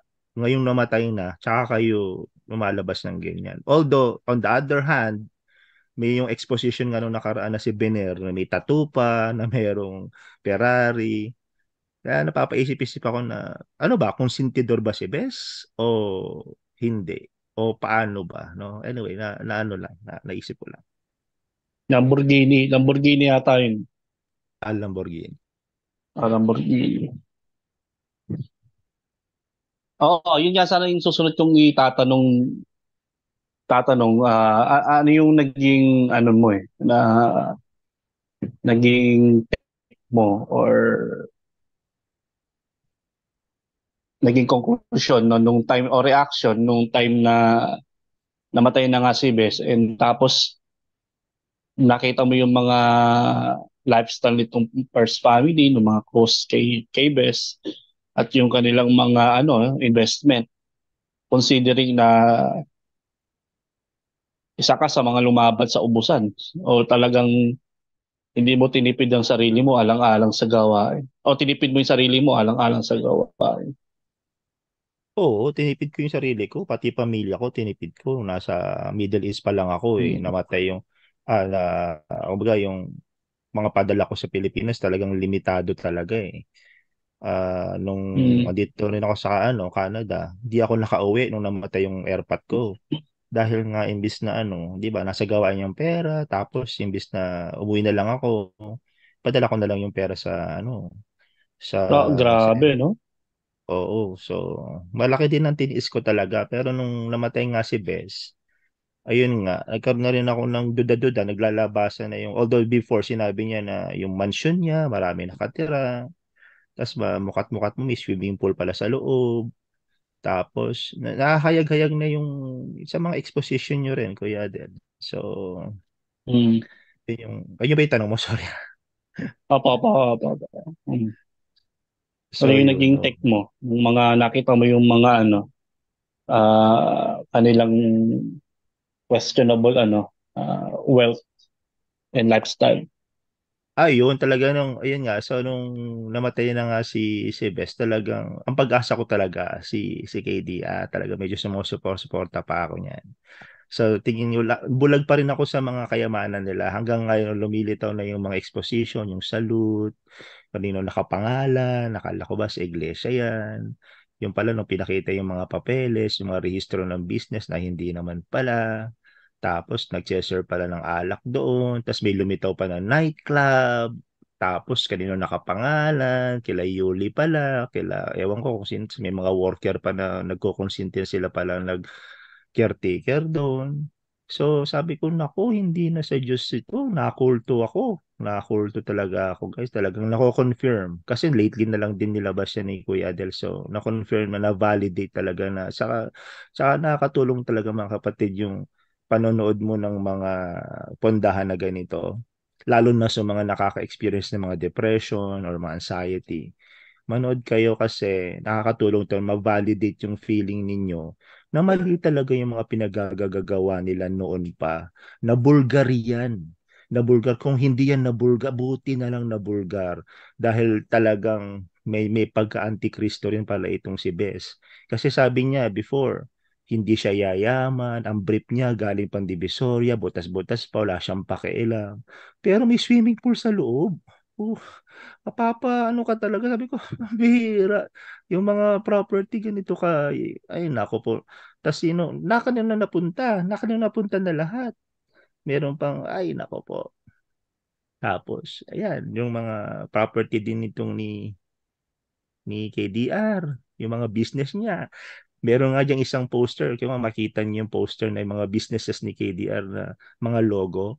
Napaka-narcissistic, di ba mga kapatid? Makita mo KDR Music House, yung Daniels. Puro pangalan niya, KDR Rock, di ba? Kaya nga pinangalanan niyo na KDR, yung KD Rock ayan oh, kay Kuya Daniel Razon Antichrist tapos bigla nilang inan yung tagline na kind ano kind of uh, recreation ek, ek ginawa ay nako po. Puro pangalan niya. Mga kapatid chicken yung ano niyan.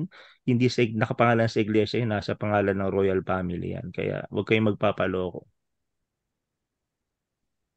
Mm, correct no? That's ano that's uh very ano no um constructive na criticism na yung yung yung, uh, yung mga ano yung mga kanilang mga kayaman or investment na palaging sinasabi is para sa gawain ano mga ininvest nila para daw ika sa gawain yun sa iglesia daw yun ngayon nung, nung mamatay si Best doon mo ngayon ma a-assess at mako-conclude na hindi talaga para sa gawain kasi hindi nga nakapangalan sa iglesia eh. Diba? Wala nga nakapangalan sa iglesia dyan eh. Yung small bill na yan, nakapasok ako dyan. Nakita ko dyan, dyan tumitira nung dumalaw ako dyan eh. Nakita ko yung mga magulang ni KDR, andyan. Parang hideout yan eh, parang secret hideout. Meron dyan parang scuba diving school tapos Talagang uh, lataat ang tataas ng ano, ang taas ng mga pader. Tapos nung sinama ako nung kapatid, ayan, sabi ko, saan ba dito? Para iskinita. Pagpasok mo, dambuhalang asyenda pala yung mala asyendang dating. Yes, ang gaganda, may tree house, may mga guest house. Andun pala na, mm. doon pala binabahay si ano, si Noli Sabali. Si Noli Sabali kasi medyo pan, pan-north din, medyo pan-north she. Ayan, eh, dito yan, eh, dating DS or parang assistant KNP dito yan ni Jamal eh. So doon pala siya tumiter pati yung asawa niya noon. Panahon na yun na dumalaw ako. Yun din yung, tapos pinakain kami ng ostrich na egg na malaki. Kaya yung small bill na yan, ay no, kaya yung KDR small bill, ay walang yan. Ako, puro KDR, oh, kita niyo mga kapatid, oh. Nako, wag kayo magpapauto. Tapos yung mga brainwash pa dyan, kung sino pa yung brainwash, mga panatikos, kayo pang may karapatang kumuyog sa amin. Tingnan nyo, oh, pinaglololoko kayo. Kaya gumising kayo, diyan na kayo mabubulok pag di kayo nag-practice ng critical thinking. Mm. Actually kasama 'yan sa ano natin eh sa sa open letter naman na nilabas last year pa. Yung mga yung yung KDR group of companies walang ano yun eh, walang malinaw na official statement diyan ng pangasiwa kung yan ba ay uh, para sa gawain or sa iglesia ba yan? Or it's an it's a family business or religious ano uh, company business. Kasi ang laging ibinababa sa mga lokal is para sa gawain, di ba? Yung pagpunta sa sa salute, sa KDRAC, di ba? Yung pagsuporta sa mga AFS products, etc para daw ika sa gawain. And tanong, naka-register ba yan sa sa ano sa MCGI or it's a family business? So dapat iklaro 'yan eh.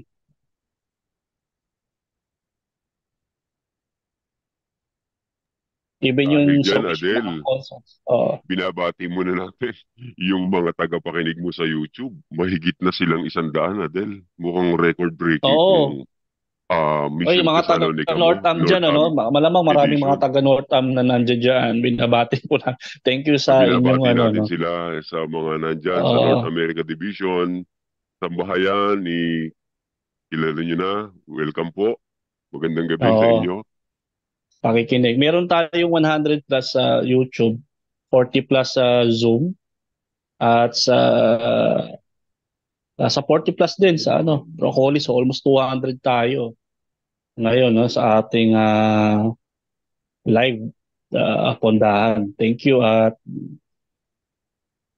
kung meron man diyan gustong mag-react uh, no sa mga taga North Town, uh, kahit mga ano, mga violent reaction, okay lang. Pasok po kayo sa Zoom kung gusto po ninyo, open naman to. Baka meron diyang mga spy, si, si Jamal, ano? I'm sure meron yan. Eh, pwede naman pumasok at magbigay ng kanilang mga solicited comment, ano? Welcome po kayo. Yun, kaya nga ito, ipinag-uusapan din namin itong sa North Up North Up ano uh, issues, no, yung mga financial exploitation na nangyayari po diyan sa sa North America na unknowing unknowingly na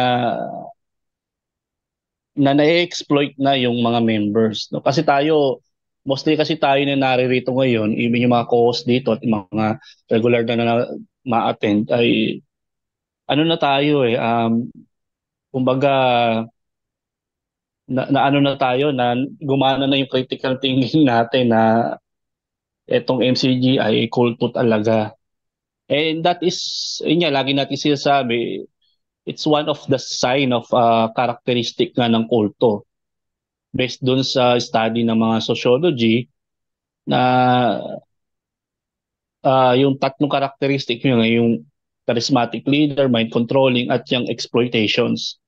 Lahat ng mga kulto no sa sa na na, na lumitaw the past 50 years no based sa kanilang study ay merong ganyang mga exploitation na nangyayari whether financial, uh, labor, uh, psychological ano pero mostly talagang yung financial exploitation hindi nawawalaan at ang isang same same pattern na nangyayari sa financial exploitation sa mga kulto ay no uh, accountability and no transparency. Yan, isa, yan talaga ang very common sa mga kulto. Walang transparency. Kaya tignan mo sa MCGI, may transparency ba sa mga patarget tulungan dyan kung saan napupunta. O puro bunganga lang ng mga leader at KNP na ano, na napunta raw ika sa broadcast, napunta sa ganito, napunta. Wala naman sila pinakikitang resibo. Eh. Even now, yung mga kinita sa Wish uh, concerts at uh, mga kinikita sa salon, laki sinasabi para sa gawain. Pero tanong, eh, may pinakita bang resibo or cash flow? Na ba talaga yung napunta sa sa gawain? Di ba? Eh, yun ang masaklap eh sa ano natin, sa sa mga kulto na wala walang ano, walang walang accountability and transparency na nangyayari when it comes sa mga financial ano nila uh, statement. No? Correct, I agree to that, um, Adele. Well, welcome natin yung mga kapapasok lang. Tapos kung gusto nyo mag-share, kanina nakita ko si.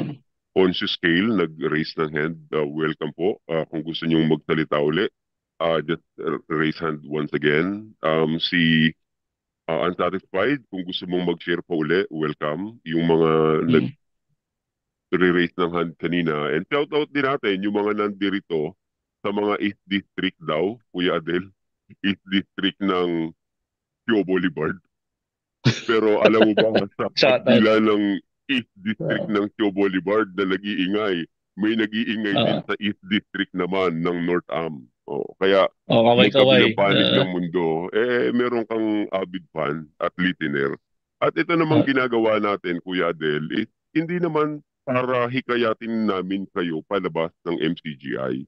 Hindi. Wala naman kasi kaming pagdadalhan sa inyo eh. Saan ba namin kayo dadalhin? Wala naman eh saan namin kayo papupuntahin? Wala rin naman eh.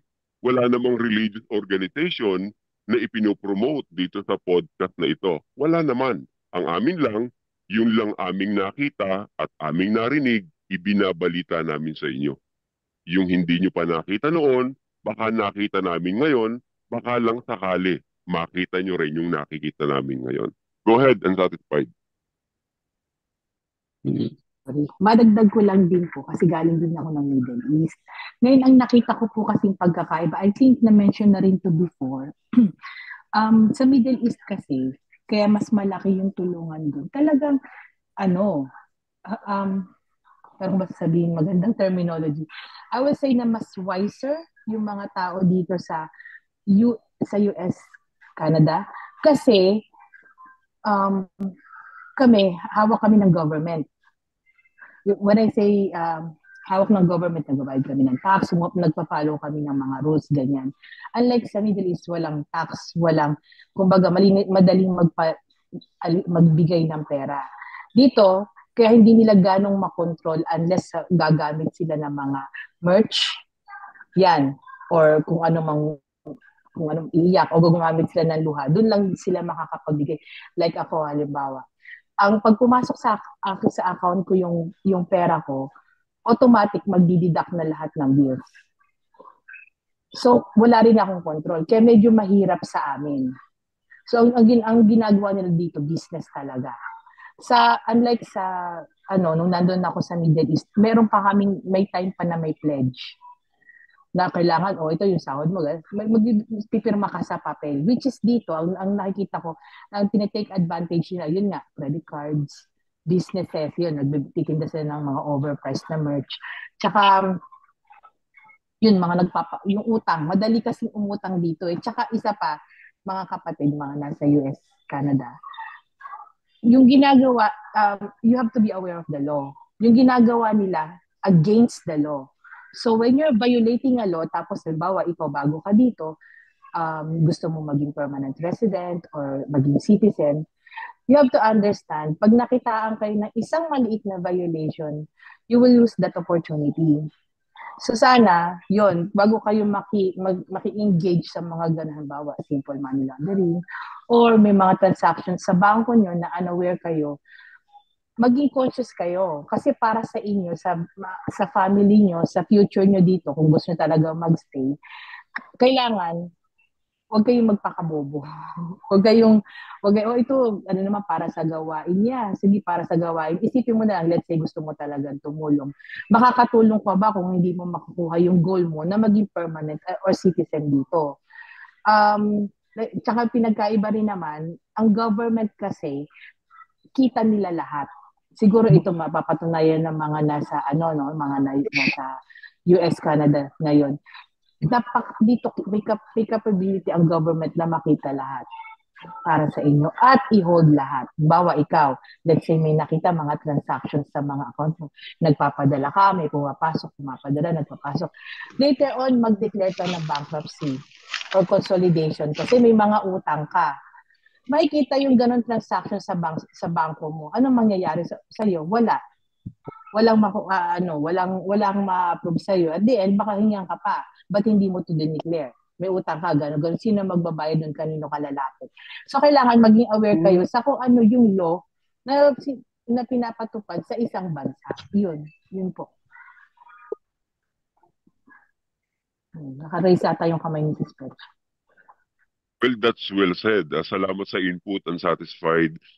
Coming from legit na isang member ng MCGI dyan sa may banda ng North Am. Hindi yan invento, saksi yan. Isa yan sa mga tumulong, isa yan sa mga matagal na rin na miyembro ng inyong samahan at nagsasalita not because, not for anything else, hindi para manira, kundi binabahagi niya lang yung experience niya na nasaksihan niya dyan sa loob ng MCGI. Go ahead po, Conscious Scale. Ay, nabanggit mo kasi yung sa bankruptcy eh. Kasi gaya, na, nabanggit ko na rin to kaya I'm satisfied na meron kasing mga kapatid na nag-file na ng bankruptcy. Ngayon, uh, dahil opisyalis din sila, tumatanggap sila nung nung ter, uh, turn nila na mag mag-receive ng mga abuloy. Kasi yung mga abuloy dito, magtataka ka, hindi pinai ini-transfer sa account ng MCGI. May account ng MCGI eh. May bank account ng MCGI na opisyal. Pero hindi doon pumupunta ang mga abuloy. Bumabagsak yon sa mga private account ng mga opisyales or sino mga active na nagdapak. Ngayon, pagka e- every ano yun, every week, iba. Ay, kagaya sinabi ni Marlon na ngayong week si si ano si kapatid A ne- next week kapatid B ganon so merong merong digital trail sa mga kung may nakakarinig man nito no na active pa sa Northam hindi makakaila may digital trail ng mga e-transfer na pumapasok sa account ninyo. Di ba? Ngayon, kung nag-file ka ng bankruptcy, baka hindi nyo alam or nakakalimutan ninyo, pag nag-file ka ng bankruptcy, yung mga e-transfer na pumupunta sa account ninyo, considered yon na income ninyo.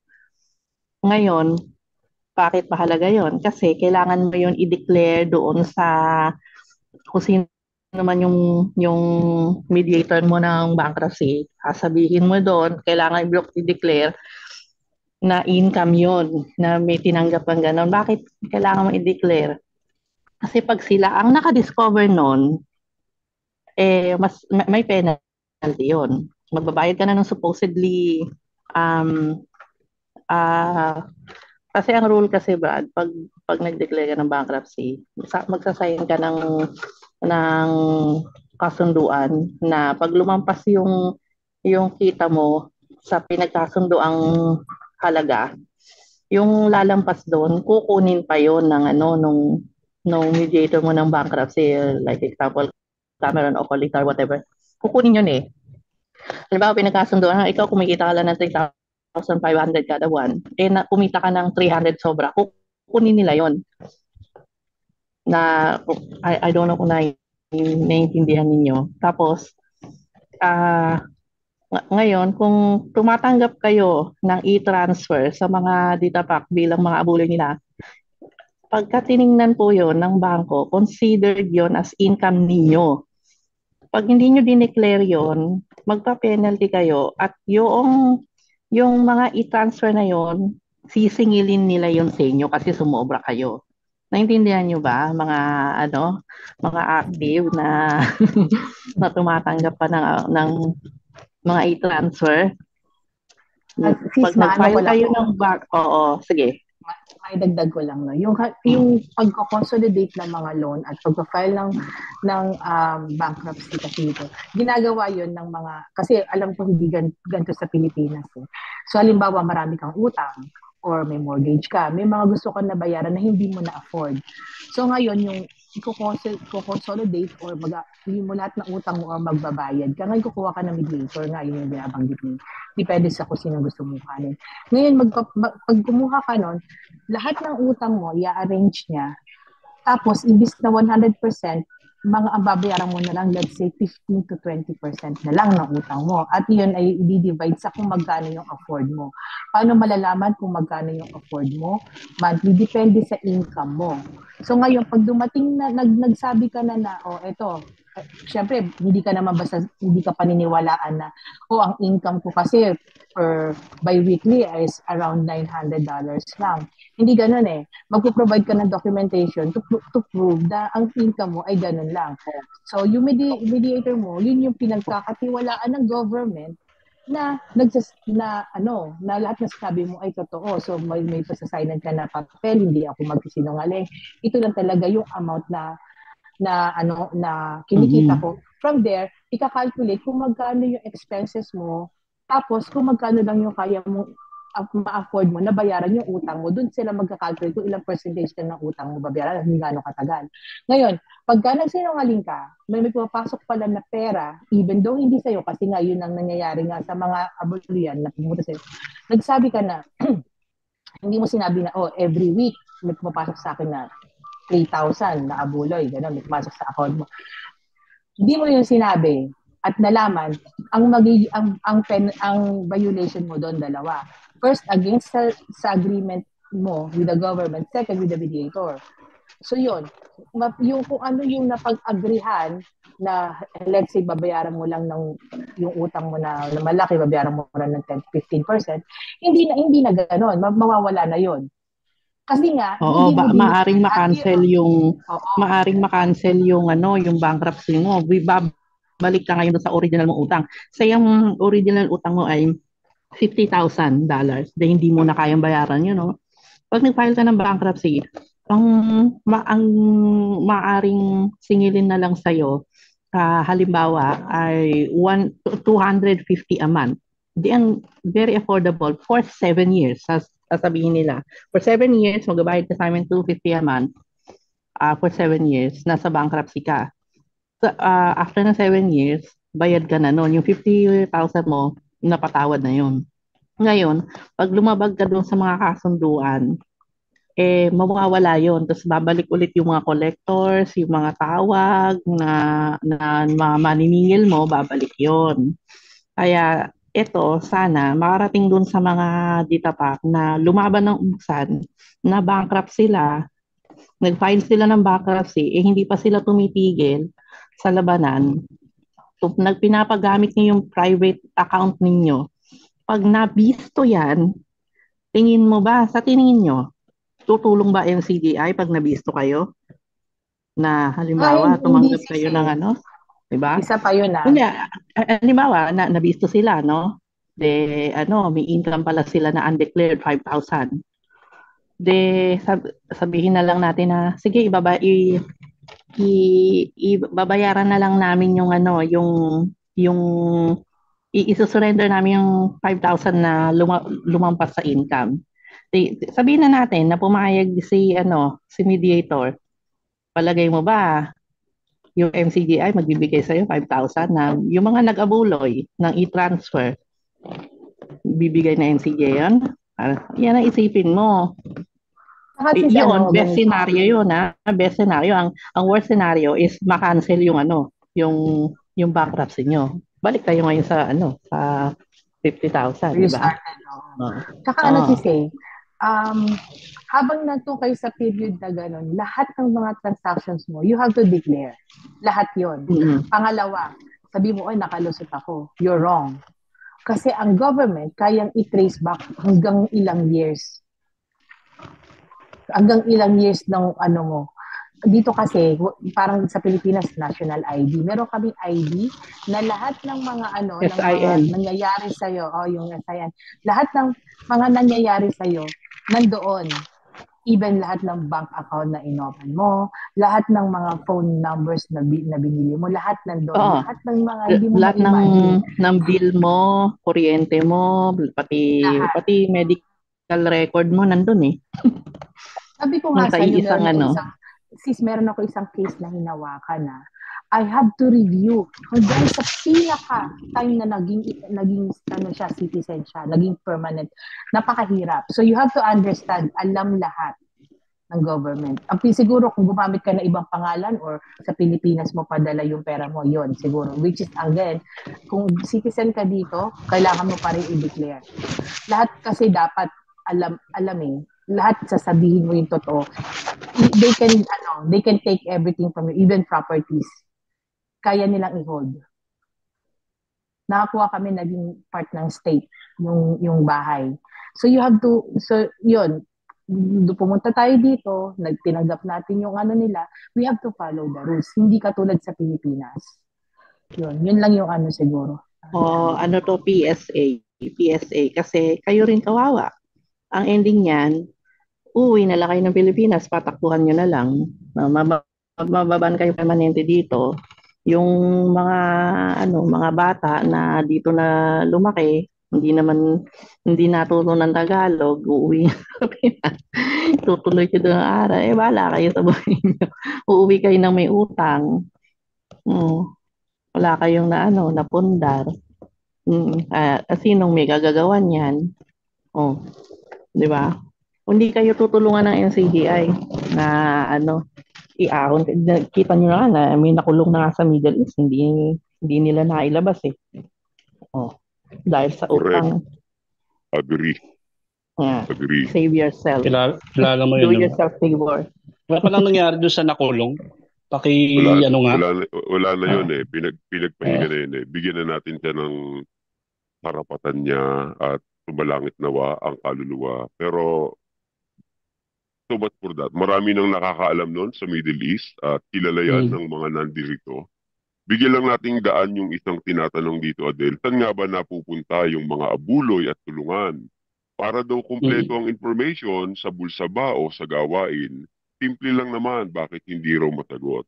Well, isang bagay lang naman. Saan nga ba napupunta yung abuloy at tulungan para daw kumpleto yung information? Eh, ang sagot naman namin dyan, eh bakit mo sa amin yung tinatanong? Bakit? Bakit hindi mo kaya yan itanong dun sa religion mo? Yung nagsasalita dito, yan din ang tanong. Anong aasahan mong isasagot ng mga resource person dito? Yung mga taong nagsasalita dito, yun yung mga taong nagbigay, yun yung mga Ang- taong ang- tumulong. ang- ang lang, mga Ate alam Pet, namin- patul- patul- paanuhin mo lang po ako, Ate Pet. Medyo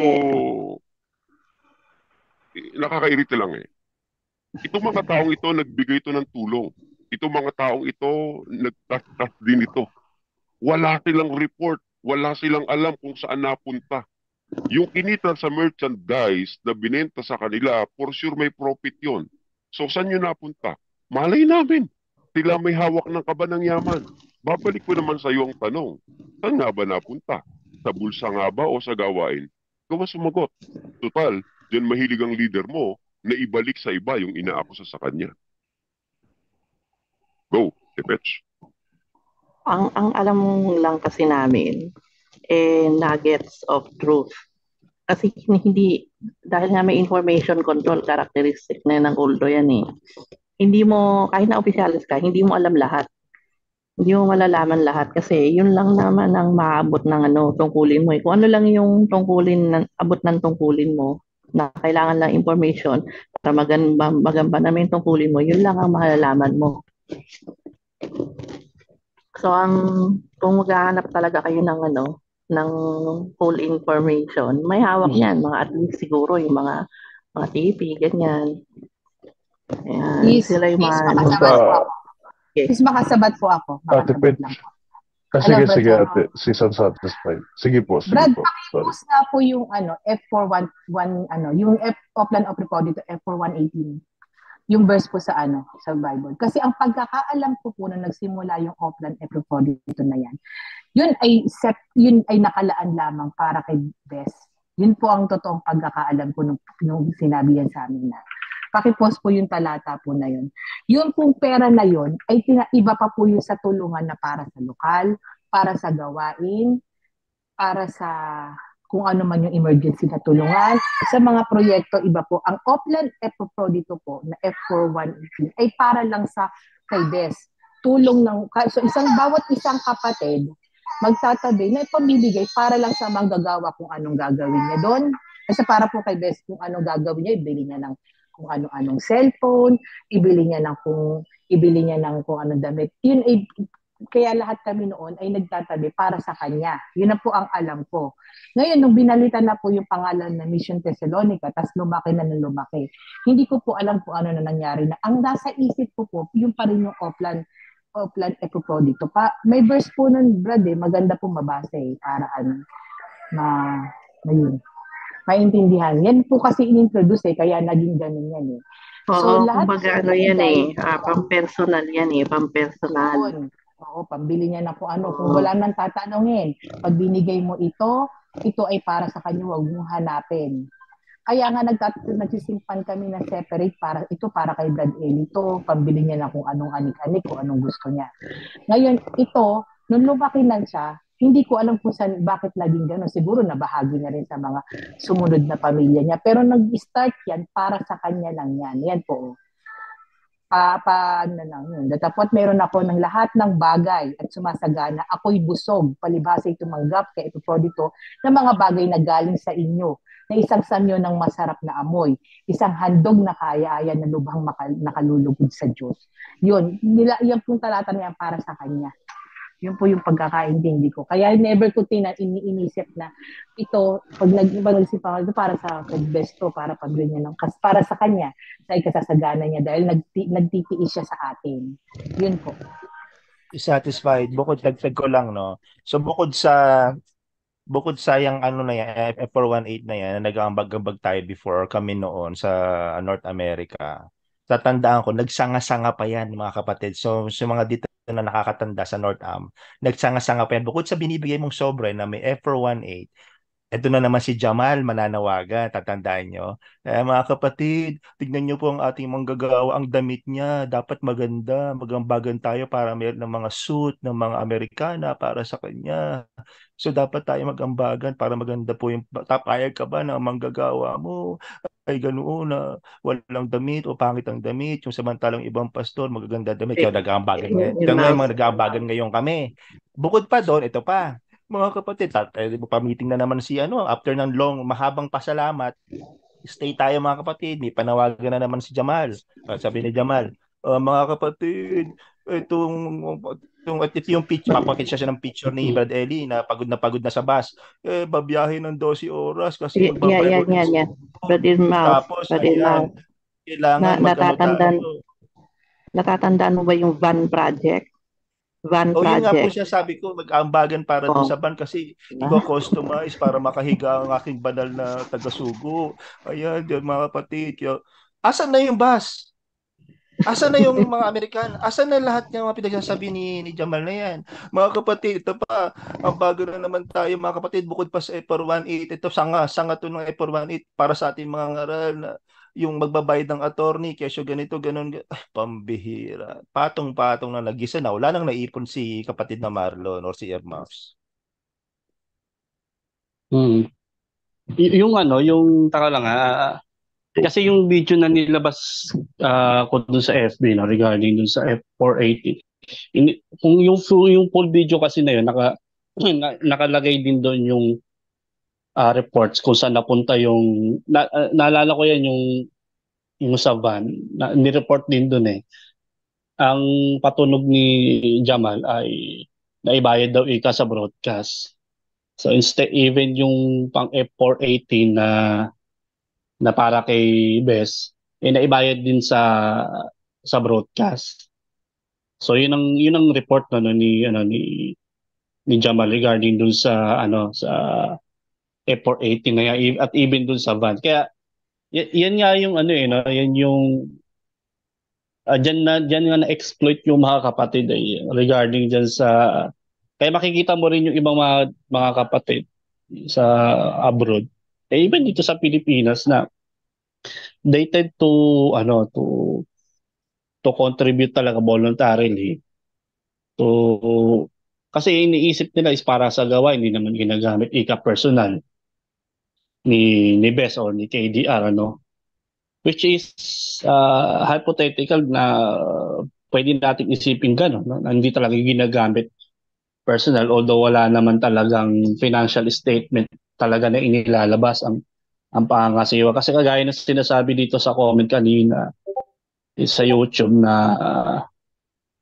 ah, kung hindi nyo rin ikaalam kung saan napupunta ang abuloy, wag naman mag-speculate na, na binubulsa, di ba? Well, ah, totoo naman ano, eh pero yung speculation kasi hindi mo maiaalis once na may ano, may ah me- medyo blinded doon sa sa ginagawa no? Like for example yung kanilang mga tulungan eh kung walang financial statement natural magtatanong ka.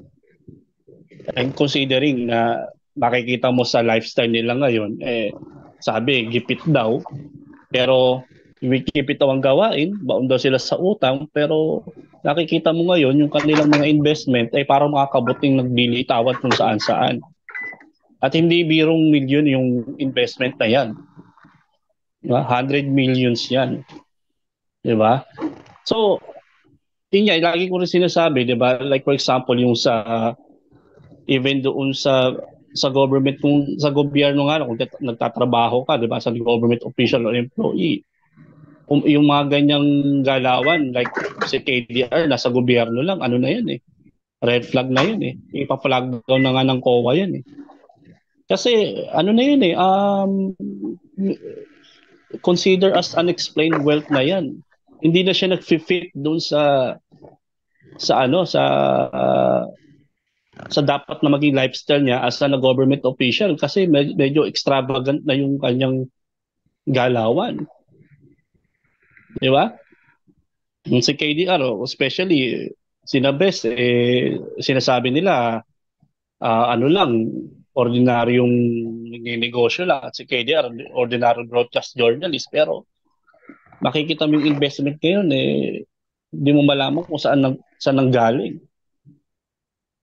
Eh kung sa government officials lang, government employee lang, ano na yun eh, lab- labag na sa code of ethics ng mga government official at consider nga yan as a unexplained. Well, kasi nga, kaya nga kung sa gobyerno pa lang nagtatrabaho si KDR, eh, baka na-suspend na yan or na-demanda na yan dahil eh, Ombudsman. may- labag ako, ombudsman na yan dahil labag na yan sa ano sa sa code of ethics ng isang government uh, official. sa- Especially kung lalo na kung ikaw religious leader ka at ang pamarali nyo ay ang iglesia ay majority mahihirap tapos ang lagi nyo pang bukang bibig ay lumalaban kayo ng ubusan pero bakit ang ending eh mga members lang ang naubos at kayo ay nakapag-ipon di ba? Ayun ang malinaw dyan. Kaya kung mag-speculate man ng mga nandito ngayon, mag-speculate na maaaring binubulsa, well, that is a valid ano, speculations. And ano, kasi even the COA sa government, yan ang kanilang trabaho, trabaho mag-speculate eh. Dahil based doon sa nakikita, nakikita nila. Di ba? Eh, valid yun. Oo. Kuya Del, tama, y- ta- tama yung sinabi mo na valid yung speculation. Kaya nga, naghahanap, nag, nagdidemand tayo ng report. Kasi nga, speculation lang yan eh. Gusto nyo mawala yung speculation, Correct, eh, oo. eh, mag, ano, mag-report kayo ng, maglabas kayo ng I-declare nyo. O, o, o kagaya nito Well, sinabi ni wala. ano, sa, nagsumagot siya ulit. O, Adele said, government naman yan. Eh, nagde-declare ng asset bago manungkulan. Well, kung yung, tama ka ron, kung yung government ay nagde-declare bago sila manungkulan ng kanilang salin, well, dapat nga yung isang leader ng religious organizations, lalo na kayo yung nagpo-promote kamo ng mabuti at kayo maging modelo ng kabutihan, dapat sa inyo mas makita yung yung ano yung accountability and transparency. Di ba? Oh, you Eh, have wala a eh. skewed uh, sense of accountability dyan sa loob. Ibang pananaw nyo tungkol sa accountability eh. Ang accountability para sa inyo, eh, hindi, hindi, wala karapatang magsiyasat yung mga pinanggalingan ng Agulo eh. Yun, oo. members. Oo. Ang, ah, ang, ang karapatan ng pagsisiyasat, tinanggal niyo sana eh. So, you, you have a skewed sense of accountability. Po Ate Petch, wala naman tayong sinabi na mayroong sino man na nagbulsa eh. Never naman eh. Since the beginning, beginning of this broadcast, broadcast, wala. Walang nagsabi na ganun. Ah, bigyan natin ng daan si Dita Pakti, Adel, kung okay lang tayo, bago si Unsatisfied. Dita Pakti, go. Ah, sige, meron ba? Sige, sige, sige. oo. Hello? Yan, narinig na ako. Hello? sige po, sige po. oo. Yan. Oh, po. Bali pala po. related dun sa North Am kasi n- nag-search din ako ng some ran- random especially sa Dick. Meron din palang sa Dick sa New Zealand. Pati yung Top Gap. Ano yung ibig sabihin nun? GEP. Top GEP. G- Parang May, may General iba-iba kasi ng ano yan eh, ng pangalan pero iisa lang din ng ano, yung magkakaparehong program yan. I, magkakaiba lang ng tawag nila yan, ah, depende sa lugar. Kaya yan yung sa yan sa dik, kaya naging sa dik yan kasi may Arabic word yan, di ba? Kaya sa Middle East yan eh. Adik Oo. means friend. Oo. Kaya ano, sa dik ang tawag nila. Ngayon, pag lumipat ka sa Northam, tawag nila Oplon Epafrodito, ganyan, E418. Sa Pinas, meron din dyan eh. Alam ko eh. Yung top GAP, ay dito Pakchi yung top GP, alam ko yun, the old path. GEP Ah. stands for uh, Global Evangelization Project, if I'm not mistaken. Oo, yan. Kasi magka-partner yan, eh, parang lead niyan sa ano, sa Oceana is ano eh si Ka Efren. Yan si Efren Baking at saka si Restes Cariote magka-partner. I- ika nga magka-partner yan. So sa Sadik, No. sa Middle East sa Sadik, ang scam project. Sa Top GEP naman sa Asia Oceana, ang yung scam project nila is Top GEP. Yan po yan. Pero nagtataka pa rin ako, bakit may sadik sa New Zealand? Kasi yung sadik, ang alam ko is intended for Middle East. Bakit nakarating yung sadik sa New Zealand? Ibig sabihin, yung destino sa kanila galing ng Middle East. Kaya, ano, Sure po, ano, doon. kasi nung nasa Middle East ako, never kong na, na, narinig na ang New Zealand is part ng SADC. Parang you, oh. eh, eh, ewan ko lang, part sa New Zealand is Europe po ba yan? Hindi ko po alam. Pero never kong na ano yan, associate yan sa SADC eh. Pero maraming kapatid sa Abu Dhabi or sa Middle East na lumipat or na migrate sa New Zealand. So probably si Spectre is correct na dahil nga may mga kapatid doon or worker. So siguro they adopted it. Ah, okay. Yun lang natanong ko lang. Thank you. Welcome. Salamat, Dita Papi. Pagbigyan natin Mm. mm. satisfied. Go ahead, satisfied. Actually, dadagdag ko lang sinabi ni, ano, ni Brad Adel kanina. Kung sakali man na ngayon nagtatanong tayo, hindi ba kasi dahil nung panahon nung una, no, noon, meron reporting sa iglesia. Yung mga lumang kapatid, nagpapakita na itong perang ito napunta dito, itong perang ito napunta dito. Nasaan na yun?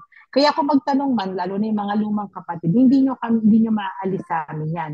Dahil doon kami dati na-expose sa ganong klaseng ano, environment na talagang pinili, yung mga reporting ng pera sa sa, sa, sa amin, sa iglesia, ay nakikita. Di ba nga noong, eh, ewan ko ba, patunayan niyo, mga lumang kapatid din naman kayo. Tin- Tinry Hmm, nila yan noon. Kasi meron naghanap noon. Na ngayon, ang challenge ni Bes, ika, may lalabas sa aming report, kayo magkwenta, yung sobra, kain nyo na. Yun ang challenge niya. So, nag, nag, naglabas ng report, in, ipin, i- pinaskill sa lobby. Pero, isang beses, dalawang beses lang nangyari yun, tapos tinanggal din nila, nawala. It fizzled, fizzled out, it died down. Hindi, ano, hindi nagpatuloy. Tsaka kaya ako rin po nabanggit din. Kasi, Kuya Adel, di ba pinadala mo sa akin yung ano, tinitignan ko yung financial Oo. statement. I think that one is wrong. 100% wrong. Kasi tinatry ko siyang itali, hindi siya magtatali. Unang-una, yung mga legend, mga numbering, eh, ano, si, si, si Dita Pachi, total naman, pareho naman ng ano. Alam, yung, kung nakita mo siya, yung mga numbers na nakalagay doon, hindi siya tama. Pwede kong i-explain sa inyo isa-isa. So yung nakalagay na money doon, kasi gina, ang ginagawa ko ngayon, nire-reconcile ko siya eh. Ako na nagagawa ng nung tamang paano nila dapat gawin yung yung pagkakalagay. Yung in-announce nila doon na contribution, hindi nila pinagsama-sama. Yung number ng asset, mali din kung paano i-contribute. So that one, ngayon may, nak- naka, may thank you po pala kay Dante. Sinabi niya, in-explain niya sa akin kasi hindi ako exposed sa, sa Pilipinas eh, kung paano gawin sa, ano, dito lang, sa Canada. Sinabi niya sa akin kung galing yan sa set, hindi yan yung, ano, just, hindi yan yung tamang, ano, financial statement. Ginawa lang niya for, ano, para sa documentation. Hindi yan yun. So, um, unsa- Kuya Adel, may tanong ako sa'yo, unsatisfied. Di ba nakita mo yung financial statement na sinend ko sa'yo ng MCGI, di ba? Tanong ko sa'yo, mayroon ba, doon ba may nakita, as an auditor, may nakita ka ba doon, ano, um, doon sa assets, may nakita ka bang isa sa mga company ni KDR ngayon na naka-register doon, na naka, nakalagay doon, like Salute, Daniels, KDR. Wala. Wala. Wala akong nakita kasi hindi nila nilagay doon. Ngayon, sasabihin ko po sa inyo, may property na nakalagay doon. Which is hinahanap ko kung ano yun. Kaya gusto ko pong makita yung tunay na financial statement. Yung pinadala niyo po sa akin, that's I don't think that's the right one. I don't think so. Na pag Hindi, minsan po mag- ah yun yung, hindi, yun na yung right, yun talaga yung right one. Kasi permado yun. Ang por- problema kasi, maybe they're, hindi nila dineclare ng, ng po, Brad. accurate or Mali tama. po siya. Sobrang mali. Hindi po siya pwedeng mag-right one. Hindi ko po alam kung paano natanggap ng gano'n. A- alam, alam mo bakit mali? Ala, alam Pero mo ba may- mali? Kasi possible yung- talagang mali yun. Oo. Ma- Hindi po kasi ganito. Pag Hmm, Sige po. Kasi ano po ganito, trabaho ko po kasi mag-audit ng gano'n, no? Pero hindi po ako auditor, ibang, iba po yung ano. Ngayon, nung nilagay yung item number 1 ay para dito, item number 2 ay para dito, item number 3 ay para dito, item number 4, and so on and so forth. May kung napansin nyo, kung binasa nyo maigi, meron dong umulit-ulit. Yun ay, ito ay trabaho ng nag-trying to cover up something. Kasi gusto ah, kasi sa, the more the numbers ang ilagay mo or the lesser number, para kang tatama rin ng hanapin eh. Pero ako kung ano, sa pagkakagawa nilang ganun, pagbawa, ito sabihin ko po sa inyo, let's say employee contribution. Oh, sorry, employee, meron kang payment, uh, bayad kami, salary ka. Wala kang SSS, di ka nagbigay ng contribution. Isa po to sa mga tanong ko ha. Dito po kasi pag meron kang pinapasweldo, kailangan mo mag sumunod na magbabayad ka ng SSS or yung mga government taxes para sa empleyado. So, ewan ko sa Pilipinas kung okay na wag. Ngayon, pangalawa pa po, yung, na, yung nakalagay doon ng mga assets nila, gaya nung let's say, mga yung mga tan yung mga halimbawa buildings, yung mga ganyan land, meron silang dineclare. Kaya lang, it's, ay, ang gusto ko po sanang patunayan, kung dineclare ba yun yung ba talaga nakapangalan sa MCGI or yung, let's say, kay Dirac na nakapangalan kay, kay Brad Daniel, pero inilagay niya doon as, ano, as a, nilagay niya doon, din- sinama niya doon sa tax na yun, para sa uh, financial statement na yun, para hindi siya makapagbayad ng tax. Kasi dalawang bagay po yun, pwede yun eh. Let's say, itong facility ko na to, binibigay ko sa iglesia, itong kay Dirac na sa iglesia to. Ngayon, may gumaga, meron dong, may mga nangyari doon, may income yun, pero hindi siya matatax. Ngayon, kung ang ito ay talaga nasa iglesia, bakit ginagamit ni KD? Kay Dirac, ni, ni Daniel Rason na private. So yun po yung mga aspect na gusto ko sanang makita. Kung may makita po kayo ng tunay na financial, I'm not saying, hindi ko po matatanggap na tunay yung binigay niyo sa akin. Ngayon pa lang po, sinasabi ko sa inyo, pag, mamaya, pag may time kayo, pakita ko sa inyo, i-itemize ko isa-isa. Sa akin, hindi tunay na report yun. Oo, well, So, ano naman yun. Um, oh, hindi, actually, ano talaga yan. Uh, given talaga yan. E- even, even, even sa akin, experience ko kasi yan. Uh, sumasali din kasi ako ng mga ano eh, mga government biddings. Yung mga FS kasi usually, pinapagawa lang yan sa mga accounting firm. Kung minsan, sila na nagde-decide kung magkano at kung ano-ano ilalagay. So, yun, as a private person yun, ano? pero kasi, siyempre, you are a religious organizations, no? Eh, ah, dapat you should promote the, ano, diba, yung integrity and honesty. So, bakit ka magde-declare ng hindi totoo doon sa FS mo? Kaya ang tinatanong mo sa sa'yo kanina, di ba? May nakita ka pa declarations ng mga assets ng KD Rock sa lot, sagot mo, di ba, wala. So, yun lang yung isang point. Yun, ah, isang point lang yun na talagang ah, may mga, itong mga companies na to, hindi talaga nila dinideclare as as para sa gawain or, or pag-aari ng ano ng ng MCGI. Kaya kung yung kanina na magtatanong sa YouTube kung, kung nag-speculate daw ba tayo or something ganon. Well, it's a, it's a valid ano uh, questions na maitanong ng mga members kung talaga bang yan ay napupunta saan ba talaga napupunta sa bulsa ba nila or or sa gawain ba? Ganon eh. Mga nagsasalita Well, for- ito mga Adel, mga legit na mga taga dyan sa Northam. Mm. Isa to si Irmao. Sa naka-raise hand si Adel, bigyan natin ng pagkakataon. Ah, sige, Go ahead. sige, sige. Hindi ko nakita. Sige. Hindi ka habang nakikinig kasi ako mga kapatid, parang gusto kong manawagan. Meron akong parang sinulat dito yung tatlong panawagan ko eh. So unang panawagan ko, alam ko recorded naman ito somehow. At ah, panawagan ko sa Senado. So soon siguro sa Senate will be hearing some of the pondahan sessions. So eh, Risa Hontiveros, kagalang-galang na Risa Hontiveros. Imbestigahan niyo po sana ito, ang kultong ito na MCGI na dating tawag ay dating daan dahil ah, marami po itong mga kab- kabalustugan, mga exploitation sa construction, money laundering, unexpl- unexplained wealth, mga deceit on declaration of businesses and tax evasion. At meron kami narinig na mga sexual harassment din sa La Verdad na di umano ay free college ay hindi naman pala. Pangalawang panawagan ko ay panawagan ko sa mga workers, trainers, or officers na nandyan pa na nagbabalak umexit. Payo ko sa inyo, wag muna kayong i-exit. Wag. Dahil kumalap muna kayo ng maraming ebidensya sa pamamagitan ng video recording, text messages, documents. Dahil ako, mga kapatid, bilang officer, nagsisi ako. Hindi ko na-record yung mga kabulustugan na pinagsasabi nila dyan sa mga meeting na yan. So mag-ipon kayo bago kayo umexit para walang pagsisisi. Pangatlo ko panawagan ko dyan sa MCGI organization, magpasakop kayo sa batas. Magpasakop kayo, magbayad kayo ng buwis. Dapat role model kayo sa mga kapatid at mga organization. Kayo mga kapatid dyan, alam niyo mga kapatid, sa North America, marami magnanakaw eh. Dito sa lokal namin, yung mga kapatid na meron kami inorganize dito na coffee shop sa lokal namin, yung mga yung mga nag-ano na, na seller is actually barista from Starbucks, from McDonald's. Alam nyo, nagnanakaw sila ng mga stub kasi dito may stub eh, na parang when you buy something from uh, Starbucks, mayroon silang sticker. Tapos, pag napuno mo yung anim na sticker, you have a free Starbucks.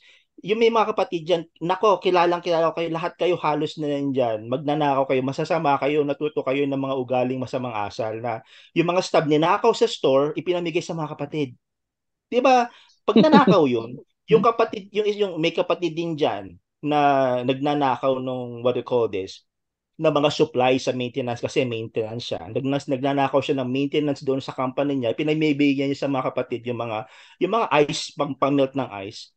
Pag nanakaw yun, di ba? Kasi nga, para sa kanila, anak sila ng Diyos, exempted sila. Parang yun inisip ng ano eh. Kaya panawagan ko si MCGI, maging role model kayo Huwag niyong i-exploit ang mga kapatid at humanda kayo dahil natatandaan niyo si sino ba yan, si Kuya na host ng Get It Straight with Daniel Razon. Binastos niya si Risa Hontiveros, pinahiya niya. Baka naman mabaliktad yan, Daniel. Ikaw ang ini-interview ngayon ni Risa. So ito, this is a recorded statement. I can be, uh, meron akong mga konting ebidensya and I can stand as a witness. So manda kayo at sa iba pa, humanda tayo dahil kung yung pipitsuging kulto na nasa probinsya dyan sa Mindanao ay pinatawag, malamang ipatawag din ito. Itong isang bobong sugo na ito at duwag na nasa aparador, mga kapatid. Yun lang naman po. That's well said. Uh, thank you sa information. Hall uh, number 549, uh, Senator Hontiveros email. Acknowledge natin yung mapagtapat sa kaunti, mapagtapat din sa marami. Galing kay Teka, teka. Speaking of Present Taveros, uh, tinawagan ko nandito sa, sa kabilang line. Uh, hello po. Joke lang. Joke lang Talking naman si KDR. Ayan. Alam mo, Adel, uh, palagay ko itong North America Division mo, Mission Thessalonica, magkakaroon to ng part 2. Lumalalim ang gabi, Adel. 11.50 na Philippine time. Hanggang anong oras ba podcast mo? Uh, maaga pa. Hindi, hindi pa nga. Nag-uumpisa pa lang tayo eh. Nag-uumpisa pa lang ba tayo? Wala pa ba tayo sa linggo? Wala pa. Nag-uumpisa pa lang. Alam mo, Adel, ang daming pwedeng magsalita ang naririnig mo si Irmao, si Conscious Scale, si Unsatisfied. Meron pang mga iba dyan, Adel, nasa North Am ang dami. Hindi lang makapagsalita. Hindi makakuha ng voice changer. Unfortunately. Sorry for them. Kaya marami pa eh. Sige, papasukan natin ulit si Conscious Scale. Ay, ano, ah, gusto ko sana sagutin yung kay si ano si Unsatisfied kung bakit ah, al- ah, ang tingin niya hindi tunay na na financial report. Kasi yung gumawa niyan si ah supposedly third party. Ano, yung nakapirma diyan sa baba. Ewan ko lang kasi ako meron din akong copy eh. Yung pangalan na yan, pag in-stock mo sa Facebook niya, makikita mo, di tapak din. so, hindi yan, tal- hindi yan talaga independent third party auditor. So, kung ano lang yung dinikta sa kanya or kung bala ka na dyan, ganyan. Eh, yun lang, kumbaga talagang sa, sa reporting pa lang, may fraud na eh. Kung sa akin Kasi nga- napupunta to, babalik ko to. Not gonna accept this. Totoo lang. Ah. Oh, eh, kasi hindi naman masyado mahigpit sa Pinas. Ewan ko ba dyan? Hmm? Well, Pero dito, dito mo gawin yan. Ako. Ate Pechay, sorry ah. Meron lang tayo Ah, napalagpas sige, sa isang message kanina. Galing kay Redfield City. F418, discrete best airplane project, fundraising. I don't know. Ano masasabi ng mga naka-experience nito? I don't know. Ita, sinabi lang, ifinid lang sa atin. F418, discrete best airplane project, fundraising. Totoo ba yan? Any idea, any input?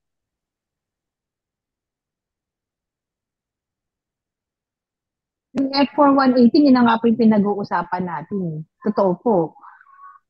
Eh, pero yung sinasabi niya na discrete best airplane project, meron bang ganon?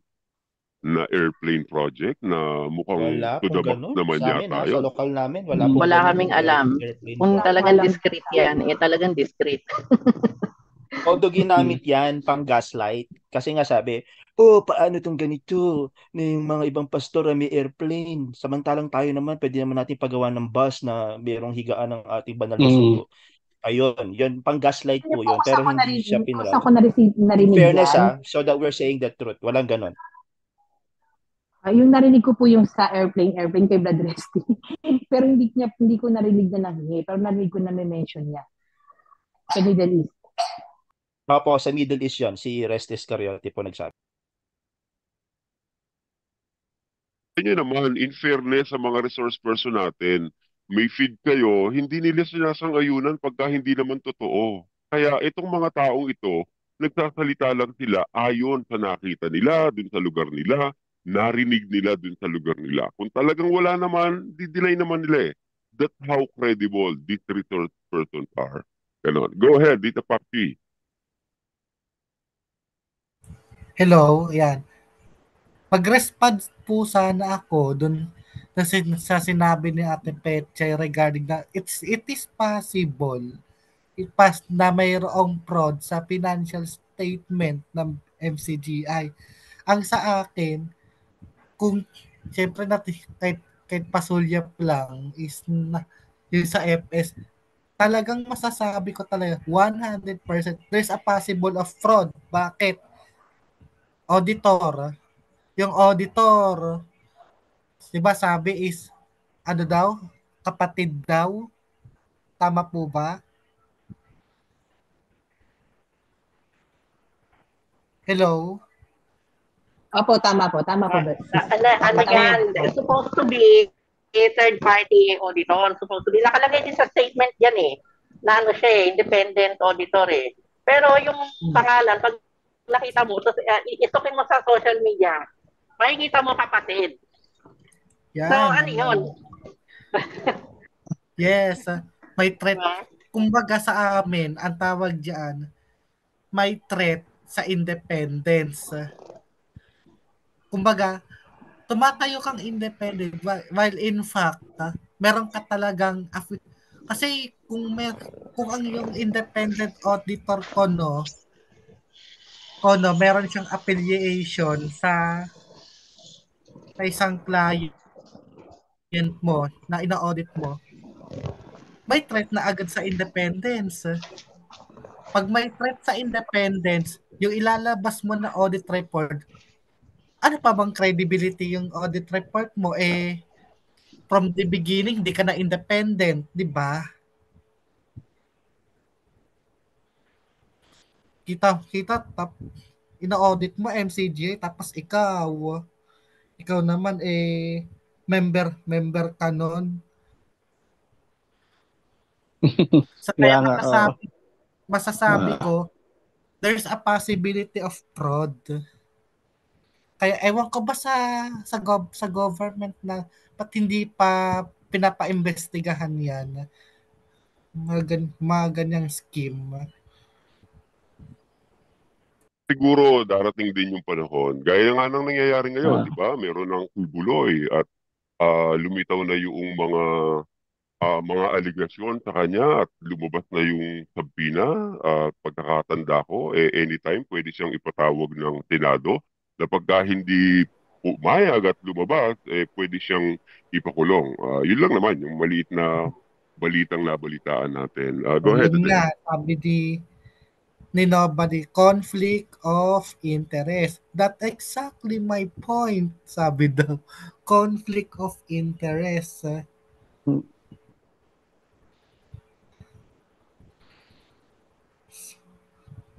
Ewan ko ba? Well, siguro hindi naman dahil sa inggit, ano. Meron kasing sabi daw, well, inggit lang kayo. Palagay ko, hindi eh. Hindi dahil sa inggit eh. Wala eh. Wala akong masense na itong eh. Nagsasalita na ano. is inggit.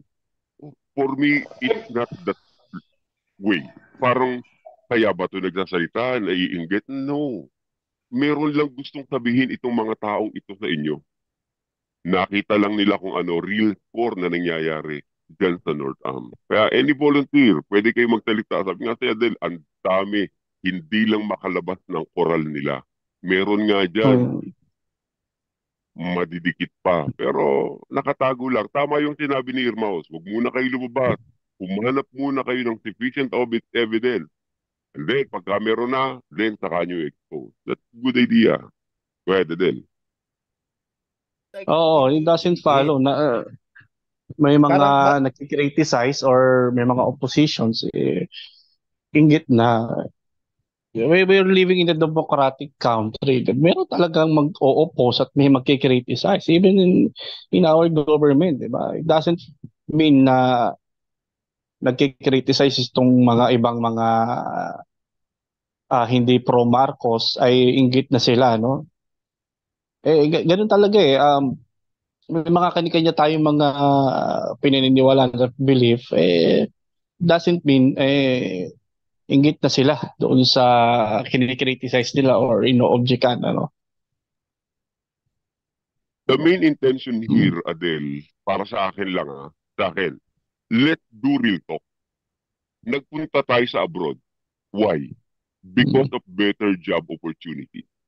Yung mga nasa North Am, sa mga sambahayan ni Jayman, sa mga nasa North Am, sa lahat ng listeners ngayon ng Broccoli TV sa podcast na ito. Bakit kayo nagpunta sa abroad? Well, because of better job opportunity. Comparison-wise, mas maganda ang benefit as well as having higher salary compared dito sa Pilipinas. Dito sa Pilipinas, ubos ang oras mo sa kakarampot na sweldo. Sama mo pa yung stress at hindi ng traffic araw-araw. Well, you might also have considered yung higher quality of education, sa- safer environment, marami pang iba. Maybe political stability. Maybe may kamag-anak ka or kakilala ka, nagpapadala ng remittances galing sa kamag-anak. Siguro nag-trigger sa iyo yon. So take chances na rin. Well, aminin man natin, let's do real talk, ika nga. Kaya ka nag-abroad for dahil sa pamilya mo. Merong iba, pero I doubt yung magsasabing kaya ako nag-abroad para tulungan si Beth at MCGI. Well, aminan lang. Kung mali man ako, sorry.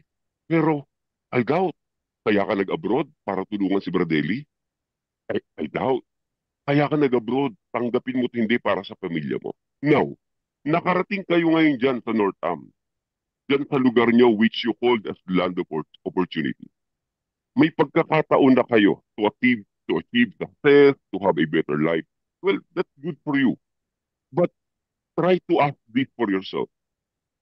Good nga ba? Try to analyze. Consider your overall situation right now. May progress ba kayo? Tingnan mo yung kapwa mo OFW. Pantinin mo. Baka mas achieve na nila yung dream nila compare sa'yo. At ko alam. Kasi ganyan yung nangyari sa amin. Tumagal kami sa abroad, pero ang naging laban, laban Hmm. ng bawi lang. And you know kung, why? Kung bakit, Adel? Dahil sa mindset. Yung mindset, your mindset was manipulated by your religious pastor to focus on religion. I understand, yung spiritual aspect is crucial sa buhay ng tao. However, nawala yung priority natin sa personal growth. We didn't value our personal development.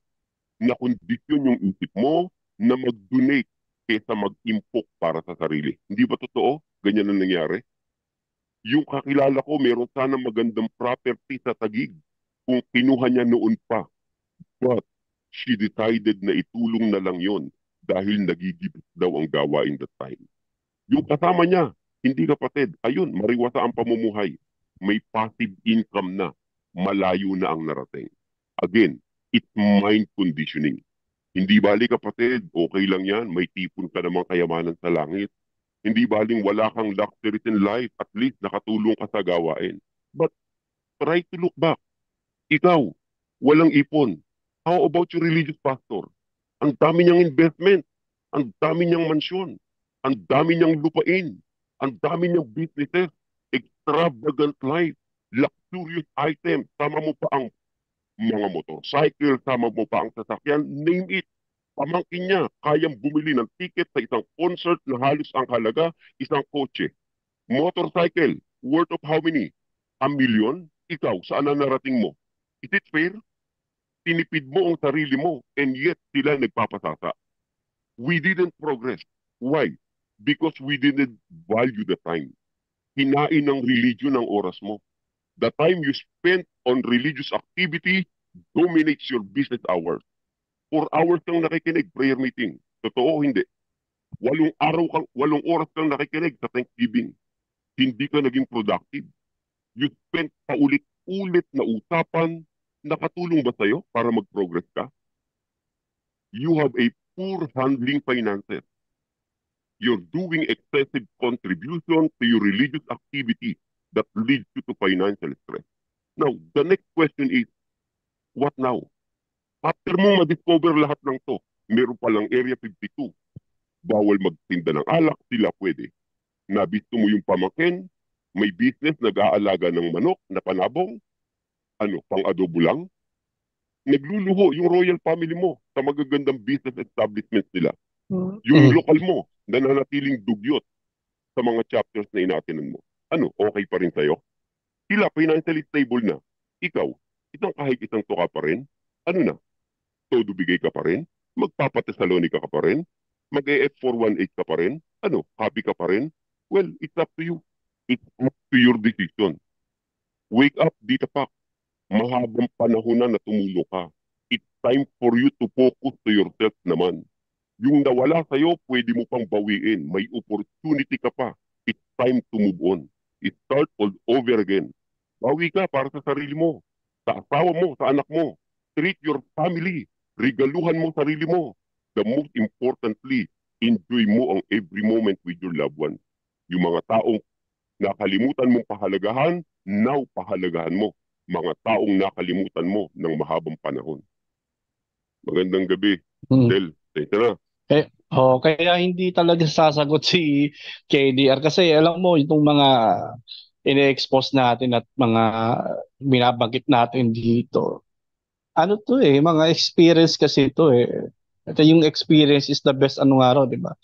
One of the best evidences yung ah, experience parang yung sinasabi nga nila anecdotal evidence nga daw yan, yung experience eh. Eh, sinong ano, sino ang tututol sa kanila? Sino ang magpapamali diyan? Eh yung experience natin dito, experience din nila sa loob. Di ba? Kaya ano eh, ah, talagang mahirapan si KDR na sagutin. Kaya as much as possible, mas gugustuhin na lang niyang hindi kumibot, manahimik at mambakod na lang sa sa mga member diyan sa loob, ano? Gaya nito sinasabi nung isang comment eh well, well this is a positive ano no comment in behalf of FC, MCGI sabi niya pera lang yan. Kung yung inabu naabuli mo napupunta sa mabuti okay lang. Nakikita naman ng Diyos ang puso ng tao. Alam ng Diyos na mabuti ang ginagawa mo. Well eh yun i- na- ano lang yan masasabi ko napaka-generalized ano napaka-motherhood nung statement na ganun dahil pwede mo rin naman sabihin nyo kung nasa iba kang iglesia, sa ibang relihiyon ka. No? But the point is, eh, totoo bang Diyos yung nasa MCGI? Totoo bang Panginoon yung kanilang sinasampa? Well, for for us, for, for me, no? Hindi totoong Diyos yan. Peking Diyos yung sinasamba ng MCGI. Ano? Sorry no, kung may mga bago rito na nakikinig. Pero, oh. And talagang based on our experiences at mga na-discover natin, ano, at eh, hindi totoong Diyos ang sinasamba nyo dyan. Considering sa, sa, sa tagal na ho natin dyan sa MCGI, napakarami na pong mga ah, declarations, predictions, uh, teachings si Best na hindi naman nagkatotoo. Hindi nangyari. As times goes by, nagbabago-bago nga eh, di ba? Para lang ilusot yung mga dati niyang mga pinagsasabi. Although we appreciate and we commend uh, si Best dun sa uh, is trying his best talaga no compare with the other preacher. Talagang nagtuturo siya ng aral ng nasa Biblia no. Yung ma, ma, mapabuti ang tao etc nakita, nakita naman natin yung kahit papaano yung sincerity. At talagang from the from nung mga una no mga early ano niya uh, years niya talagang lumalaban talaga siya ng ubusan at uh, makikita natin yung talagang sincerity kahit papaano in fairness no. Pero yun na nga ang akin ang take ko kasi diyan kay Bes is uh, biktima rin siya ng kanyang delusions no. Dahil feeling niya siya yung sugo siya yung mangaral na nakasulat sa Biblia and he exploited the the verses of the Bible yung na master niya yung art of cherry picking di ba? Na pagdudugtong-dugtongin yung mga sitas sa Biblia. Well, dahil nga kabisado niya yung mga sitas ng Biblia, and yun na, yun na, yun na yung naging ano niya, uh, weapon niya para makapambiktima no ng mga ano ng mga like like like like what happened to us na na brainwash din sa ano no sa pagbabasa ng mga Biblia na ipinangaral din ni Best noon. Pero yun nga ang nangyari sa atin as times goes by na nasa loob tayo until such time na pumasok na si KGR doon mas nag uh, nagkaroon ng justifications na eh nakulto nga tayo no? Nakulto tayo and kung titignan mo talaga yung history ng mga pangyayari at sa karakteristik ng mga kulto talaga nagfo-fall doon ng MCGI yun nga yung mga pinagsa yun nga yung mga sinasabi natin mga nakaraan pa mga topics natin sa podcast ni Broccoli mga expose sa Reddit na noon pa marami ng mga sinabi si Best like isa isa na yan pinaka um, pinagbabasihan natin noon na yung pagyaman ng isang mangaral. Eh, noon, sinasabi ni Best yan na hindi yan, mga antikristo yung mga pastor yung mga sa reliyon. Pero ngayon makikita mo, eh, kinain na nila lahat yan. Isa lang po yan. Oh. Sige, uh, may nag-raise ba? na ako. Uh, si Irmaus, Sige, Irmaus. bigyan natin. Irmaus, si opo, opo. Oo.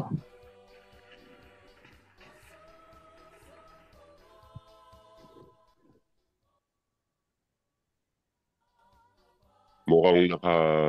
Sige po, ear mouse. opo. Sige, go ahead muna tayo kay Oh, Conscious. so I'd like to speak Oh, to ahead. dun sa ahead, feedback ni, ano, no, ni, ni Dark Knights kanina. Nata, bumabalik habang sasalita siya kanina si Dark Knight, bumabalik sa akin yung mga nakaraan na ba't ako na walang, na, ba't wala nga ako naipon? Ano ba yung mga proyekto na sa North America since our theme is North America. And then, na sinabi niya na asikasuhin niyo yung pamilya niyo, napabayaan ko pala yung pamilya ko for 18 years. Kaya nung umexit ako mga kapatid, una kong ginawa, yung inap yung supposedly na iaabuloy ko sa pesting kulto na yan, ang laki pala ng naipon. Alam nyo, dinala, first time kong nadala yung pamilya ko, anim kami sa Hong Kong for almost 10, uh, 10 9 or 9, 9 nights, 10 days kami sa Hong Kong. Nilibot namin ang Hong Kong, Disneyland, lahat ng yan, mga cable car, lahat yan. Pina-experience ko sa kanila. Talagang sabi kong sarap pala gumastos na wala kang guilt. Di ba kasi dati nung before kami naman nag Hong Kong initially ng nanay ko, ng sister ko, nung buhay pa, tinitipid ko talaga sa Airbnb, whatever, talagang kasi nga sa gawain, punyetang gawa. Anyway, so yung mga kapatid. So anyway, bumalik sa akin ngayon, yung mga, ano ba, habang nagsasalita si Darkness, sinulat yung mga proyekto ng North America. Ito yung mga, North, tulungan nyo ako mga kapatid sa North America, baka kami nalimutan ako ah. Pero sa lokal namin, kasagsagan niyan lagi yung food pack. Kung akala nyo sa Pilipinas, food pack, dito sa North America meron din. At may mga nakaassign yung magagaling magluto sila magbebenta ng food pack. Isa ako doon sa pinalad na makulto at maskam dyan. So pinag nagluluto ako ng mga long silog, ng mga favorite nila dyan, yung fish tofu, na may tausi, yung Japanese fried rice. Alam na alam niyo yan, lokal ng Edmonton. Kilala niyo na ako sa boses ko, Brad Marlon. So ayan, so yung longganisa na may munggo, talagang magpupuyat ako dyan para sa food pack na yan. Alam niyo mga kapatid, yung puhunan ko, pati yung kinita, todo lahat sa kanila yan, ibinibigay ko sa kanila yan. So alam yan ng mga officer na yan, sila yung mga Jaconesa dyan, alam nila yan. Yung number first is food pack, number two is yung garage sale. Ayan, so mananawagan yan, yung mga butihing Jacono dyan na ganyan, mga kapatid, mga lumang cabinet, from clothes to furniture, kokolektahin natin yan, yung mga malalakas na KKTK, ililipat natin sa bahay ni ganito, at tayo ay magkakaroon ng garage sale. Ang bibili din nun, mga kapatid din, o yung mga kapitbahay. Lahat ng proceeds niyan ay pupunta din sa mahiwagang gawain para sa gawain. Yung mga susunod naman dyan, number three, naalala ko, yung concert. Meron dyan, Fly Me to Brazil concert, may parapol, magbibili ka ng ticket to attend yung corny, corny na concert na yan. Pag attend mo ng ano, may raffle, pag nabunot ang pangalan mo, ililipad ka sa Brazil, libre ang ticket mo, pero money mule ka. Magma-money laundering ka rin sa makatuwid. So meron kang Fly Metro Brazil Part 1, host ako dyan, at uh, concert ng uh, Fly Me to Brazil Part 2, Masters of Ceremonies din ako niyan. Kasama ko dyan yung aking partner na si Spam Gileado. Ngayon meron din yung concert trip to Apalit naman. Yan, kasi parang meron ding may ganun pa, pa concert din. Mga parapol din yan, ang mananalo, libreng trip daan sa Apalit. Di meron yung mga team song din niya ginawa dyan at kung ano-anong mga ano pa, mga kaartihan na ginawa ni Jamal dyan at saka nilang ng mga worker dyan. Bukod pa dyan, yung sinabi ko kanina, yung coffee shop, yung mga, yung mga grupo ng mga barista sa Starbucks, yung mga nagnanakaw ng stub sa Starbucks, eh bumuo yan ng coffee shop dyan. Doon kaming maliit na overpriced din ang coffee namin, mga kapatid. Parang malapresh yung Starbucks din. Grabe, $6, large, medium, 20, whatever. Talagang nakakatawa talaga. na naperahan talaga kami uh, meron din mga mini projects, mga mga butihing mga cook, mga imbutido ni project ni Brad Romy. Yan. Homemade longganisa ni Brad Robert Calma. Relyanong bangus ni Sis Emmy Tirao. Ayan, mga ganyan. So lahat yan, syempre, ano yan, lahat ng process niyan sa gawain. Meron din yung inanuhan nila Cayetano family dyan, na pinasimulan dyan yung cleaning project. So magki-cleaning kayo diyan. O mga kapatid, yung gustong tumulong sa Mission Thessalonica na wala namang pera. Tsaka exploitation talaga mga kapatid. O yung mga walang ano, susunduin kayo o magkita-kita tayo sa ganito, maglilinis tayo ng ng sinihan. Lahat ng kikitain, syempre para sa Mission Thessalonica mga kapatid. Anytime soon, malapit na tayong kunin. Ayan, so kukun ano na yan. So yung mga home cleaning na yan, buti hindi ako napasama diyan. Meron din yung mga marathon for ako, yung magbibigay ka ng pera, sasali ka Dami, sa, sa But ada yung project, hindi mo, very creative sila sa mga project, sa mga scamming. Tapos yung copy, meron din kaming copy pala. Hindi rin pala nawala yung copy. So, uh, naalala ko. Yung copy kasi, meron ding pseudonym. Kaya may nagmagit ng pseudonym. Naalala ko yung copy. Uh, alam ko yung, yung ano ko, meron akong, meron din kami mga pseudonym. Pero kilala ka rin ng mga officer kung sino ka. Kunyari, Three Musketeers. Ah, si Brad Marlon yan. Kasi Hello Kitty, si ano yan. O, ba't tas meron kaming poster doon, may mga happy face yon Hindi nawala yon ang uh, iba-iba lang sila ng strategy. Tapos meron ding ambagan project for, ng Fathers Club. Pagka kinabilangan mong committee, may sarili niyang project. Ambagan project mga chismosa, yung Mothers Club, meron din niyang ambagan project. Ambagan project ng KKTK, project din ng mga officer, bukod pa yan. Kaya kung susumahin mo yung listahan na yan, pambihira, wala kang maiipon pipigain ka, pati lakas mo, kung marunong ka magluto, magluto ka. Kung marunong ka maglinis ng bahay, maglinis ka at ang kikitain hindi sa'yo. Ganyan yan, North America.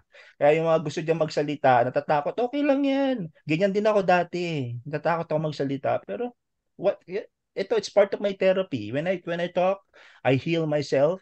Nasabi ko, kasi ayoko na tumanda ako, sasabihin ko, what if nagsalita ako? What if baka may naliwanagang iba? Ayoko magkaroon ng regret na hindi ako nagsasalita. Hindi naman ako namimilit, no? Sa mga ayaw magsalita, to protect your privacy and security or whatever. Pero isipin nyo rin, kung marami magbe-benefit sa sasabihin nyo, lalo naman na may kakayahan na magsalita, magsalita kayo. Dahil marami kayong maililigtas na mga pitaka at bank account. Yan lang po, mga Thank you. Sa viewer Teka, natin, Adele, teka 111 viewers YouTube. Congratulations, Adele, sa pakana mo. Ang taga Northam da.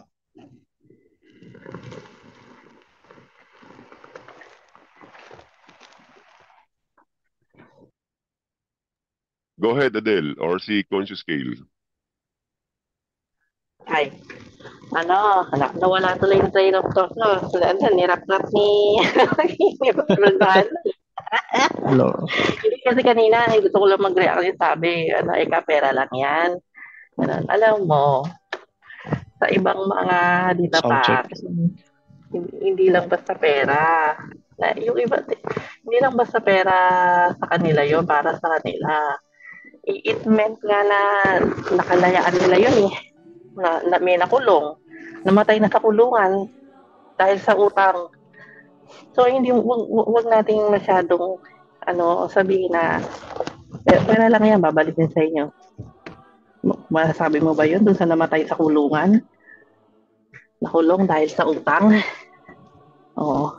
Yung mga ano, mga hindi na nag-aral, hindi na graduate, mga, ano eh, it's their whole life. Mga hindi na nagpagamot, kaya mo na, wag na magpagamot. Ano, tanggapin na lang ang ano, ang accept your fate, makatulong lang sa paggawain, mga ganon. Ah, it doesn't sit right with me na ano, ah, minosin mo yung yung pera lang pera pera lang yon sa tumanggap nung nung pera na yon pero doon sa nagbigay it could have mean their uh, future their career their, their freedom their health ganon kaya ah, maganda yung PSA na to eh na ah, for the sake of your of your well-being eh, unahin niyo muna yung sarili niyo. Unahin yung pamilya niyo, unahin yung career niyo, education, mga mga real life uh, necessities. Yun.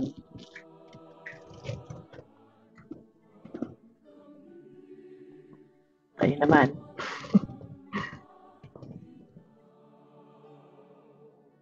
Sa akin lang din Ate yung pera lang din yun. Sa, sa, Hello, hello. Dinig ka hello. Hello po, hello. Ah, hello. Yeah. Tinig ka namin.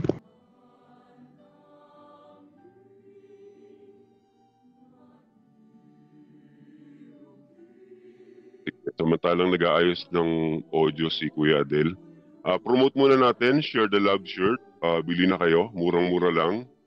Ah, share the Love shirt in Canada and let our love flow. Ah, available po yung sizes niyan, ah, small, medium, large. May pula, may puti. Ah, $10 lang, murang-mura. Magkano ba $10? Ah, magkano ba $10 yan sa inyo? $10 na 550 isa. Oo, 550. Ah. Ah, yung t-shirt na mayroong share the love. Ah, baka gusto mo pakita. Ah, Ah. pakita mo naman oh, sa screen para makita nila.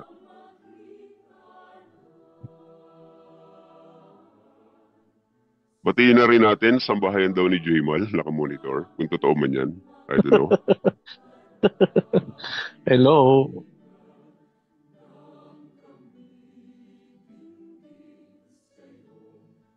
Itatanong ko sana nung kay Irma kanina, kasi may sabi niya malaki daw ginastos niya sa Hong Kong. Eh, tatanong ko sana pa kung ah, may naramdaman ka bang regrets? No, zero, none. And will you ever do it again?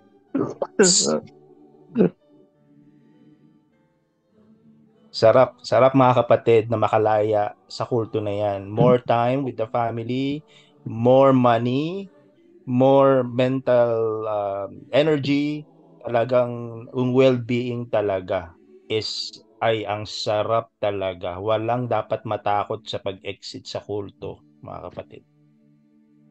Ah, salamat din sa lahat ng mga nag-contribute, nagbayad ng entrance fee sa Area 52, $100 USD. Ang mura naman yan. $135 ay ah, Canadian dollar. Ah, saan napunta? Well, we don't know. Bala na kayong mag-attest. Basta Area 52, ano yata yun eh.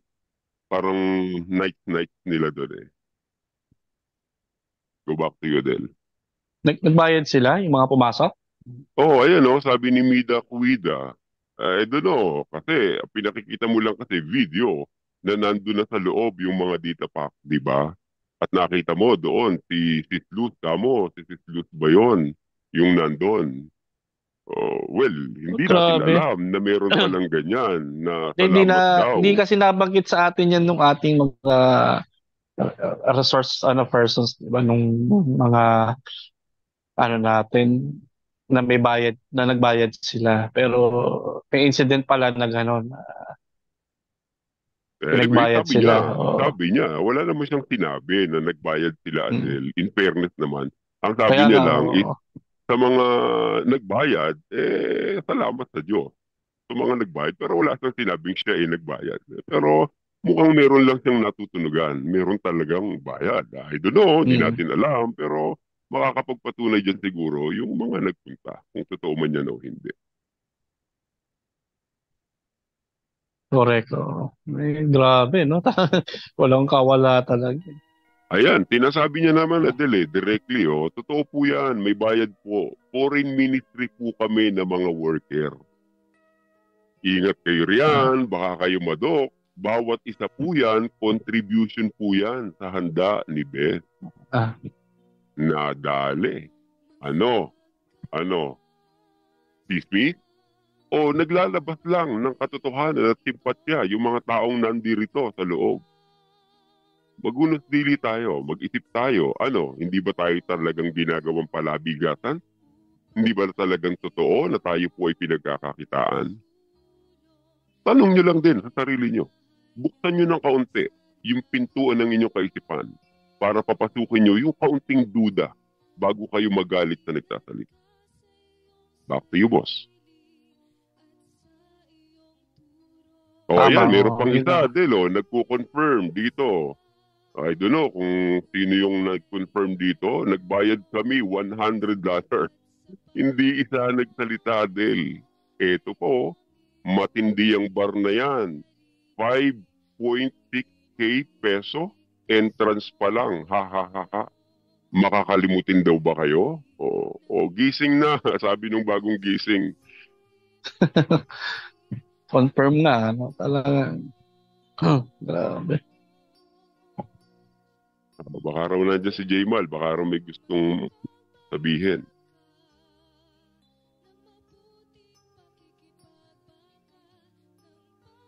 Ayan na din. Kaya sabi ko sa'yo, Del, siguro lumalalim ang gabi, di natin alam. Dumadami viewer mo kasi nasa North America yung mga listener mo eh. Ang dami daw Mm. nakatutok doon. Isa raw doon, maari. Ewan ko, pwede ba banggitin ang pangalan, Adel? Robert eh. Robert daw eh. Tapos letter N yung inumpisa ng apelyido eh. Mabait daw to sa ABP eh. Mabait daw pagka nasa ABP pero sabi niya raw nakakasuka eh. I don't know kung ano experience.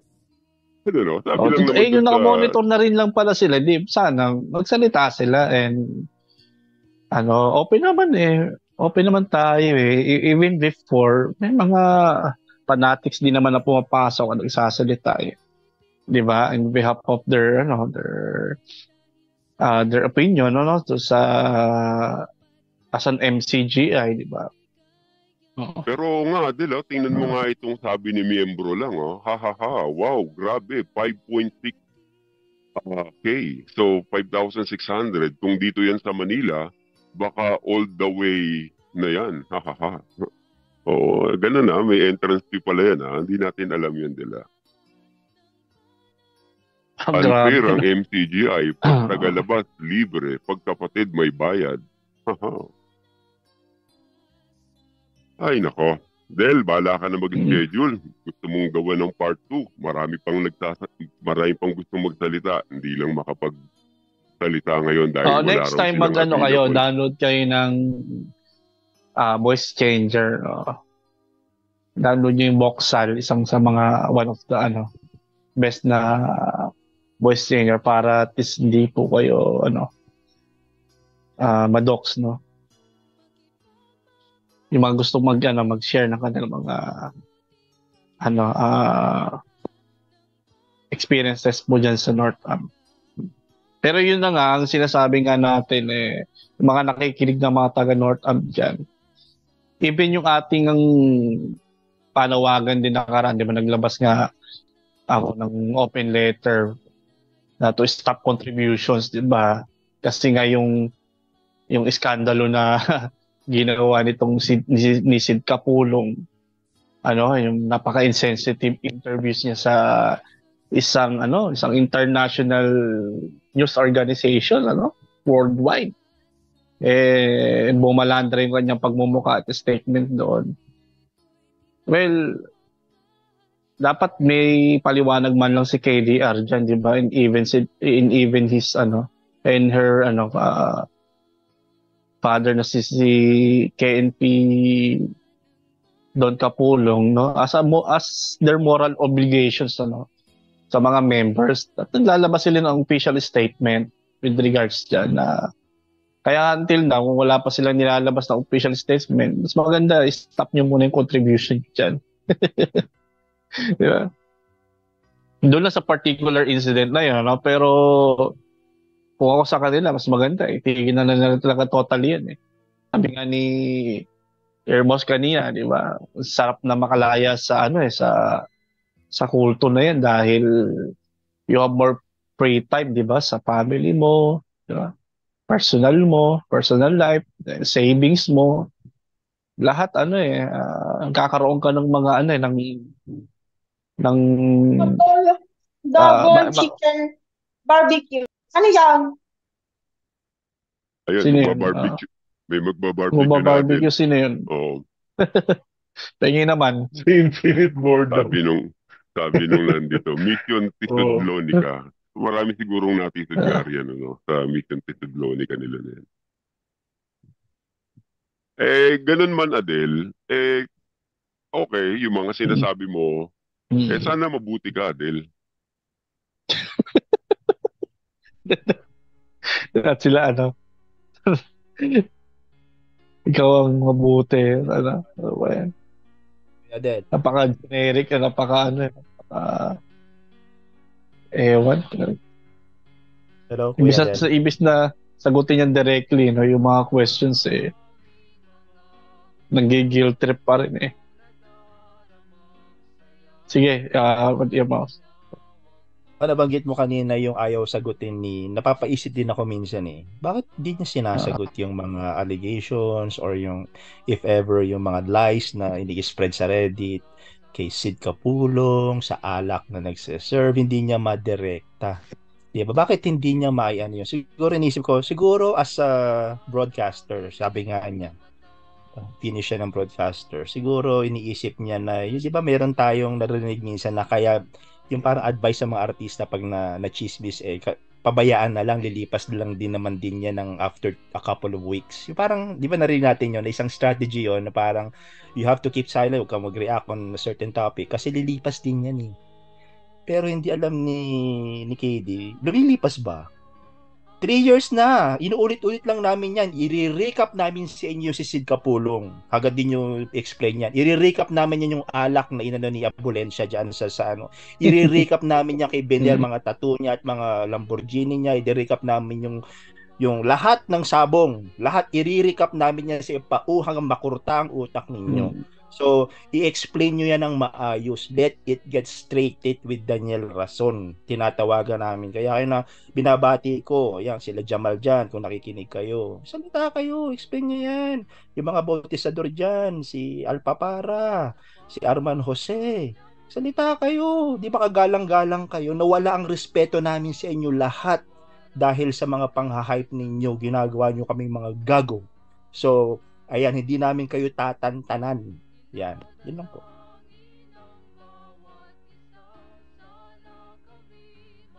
Si ano ah, si Mike Enriquez yun ah. Hindi namin kayo tatantanan.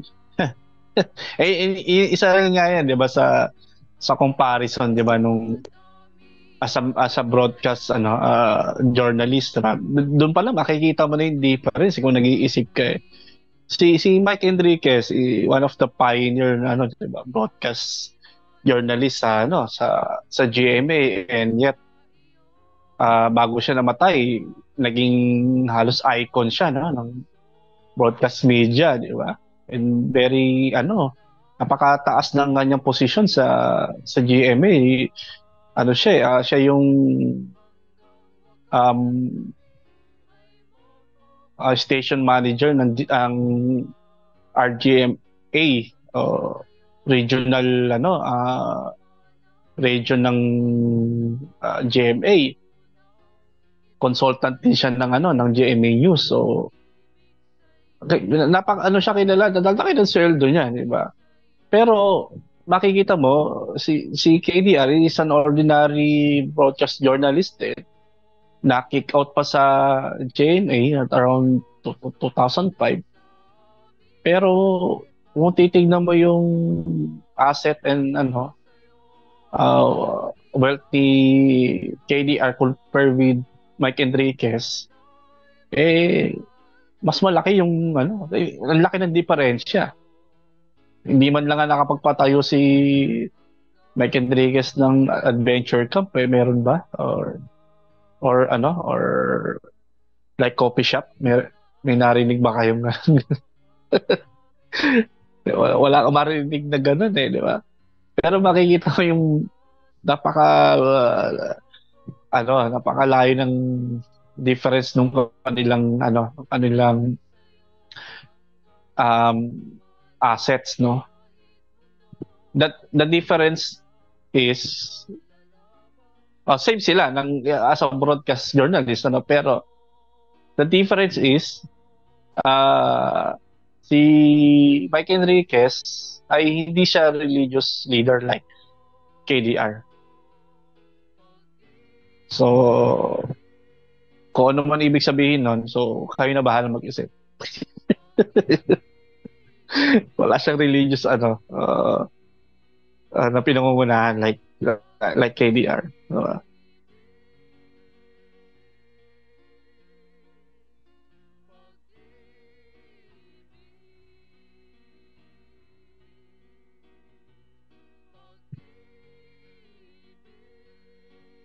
sa ating YouTube ang nakikinig uh, still 110 uh, nakakapit.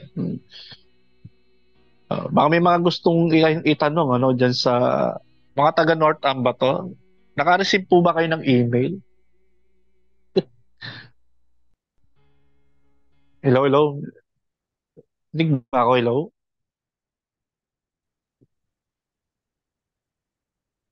Rinig, Brad, rinig po.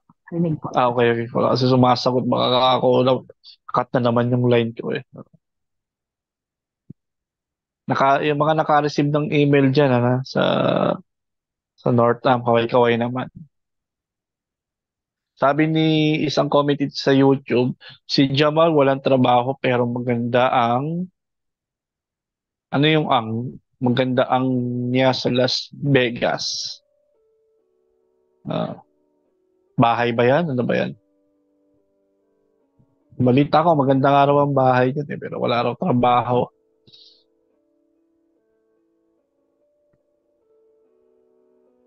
May isa pa ditong nagsasabi na may plano daw ipatayo na convention sa North Am at pinanghihingi na raw ng tulungan.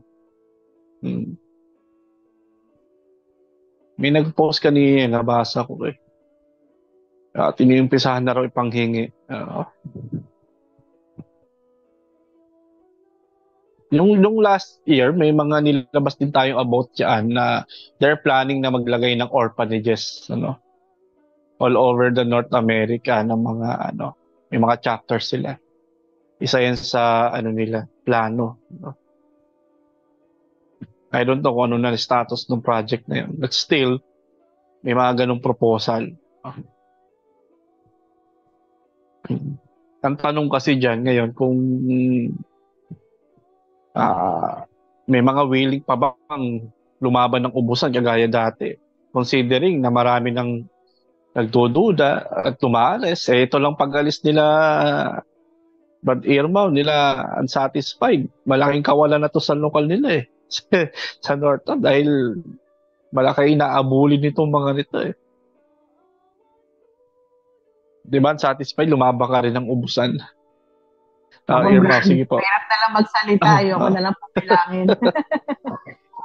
Del, okay lang naman mag-abuloy ng ano. Okay naman mag-abuloy eh. Masarap mag-abuloy. Noong uh, panahon na yun. Kasi talaga nakita mo yung matanda, kumakayod. talagang halos naka ano nakandusay na minsan doon daw sa ano na ewan ko kung moro-moro lang niya yun ha, pero nakandusay na. Tsaka alam mo matanda na siya. Tsaka ang galing mga talagang alam mo nag-aaral ng lesson plan. Eh mag-aabuloy ka ng $1,000 sa isang buwan tapos yung bobo yung preacher. Ay nako nang para ka namang ano noon, gago noon kung nag-abuloy ka pa. Siya gising-gising din tayo. Oo, at saka kung Hmm. nung nakaraang panahon, marami na kayong iniabuloy. It's time for yourself naman. So, give yourself a break. Sabi nga dito, oh, oh yun daw bahay ng isang KNP dyan, walo kwarto. Dami naman. Punta lang kami, isa lang kwarto. Dami naman. So, may pampagawa ka naman ng kwarto. Nagtatrabaho ka sa North Am. Ba't mo titipirin? Sukat na yung nakaraang panahon. Ang dami nyo nang iniabuloy. Kayo naman ang magpagawa ng bahay sa Pilipinas. Huwag niyong tipirin ang sarili niyo. Well, Adele, at the end of the day, kung siya ay masama, sana mabuti ka, Adele. Pusa na. Napanood mo ba yung video na ipinost mo, Adele? Meron kang Alin video doon? eh, na Ah. ipinost eh. At si ganito, may hawak na ganon.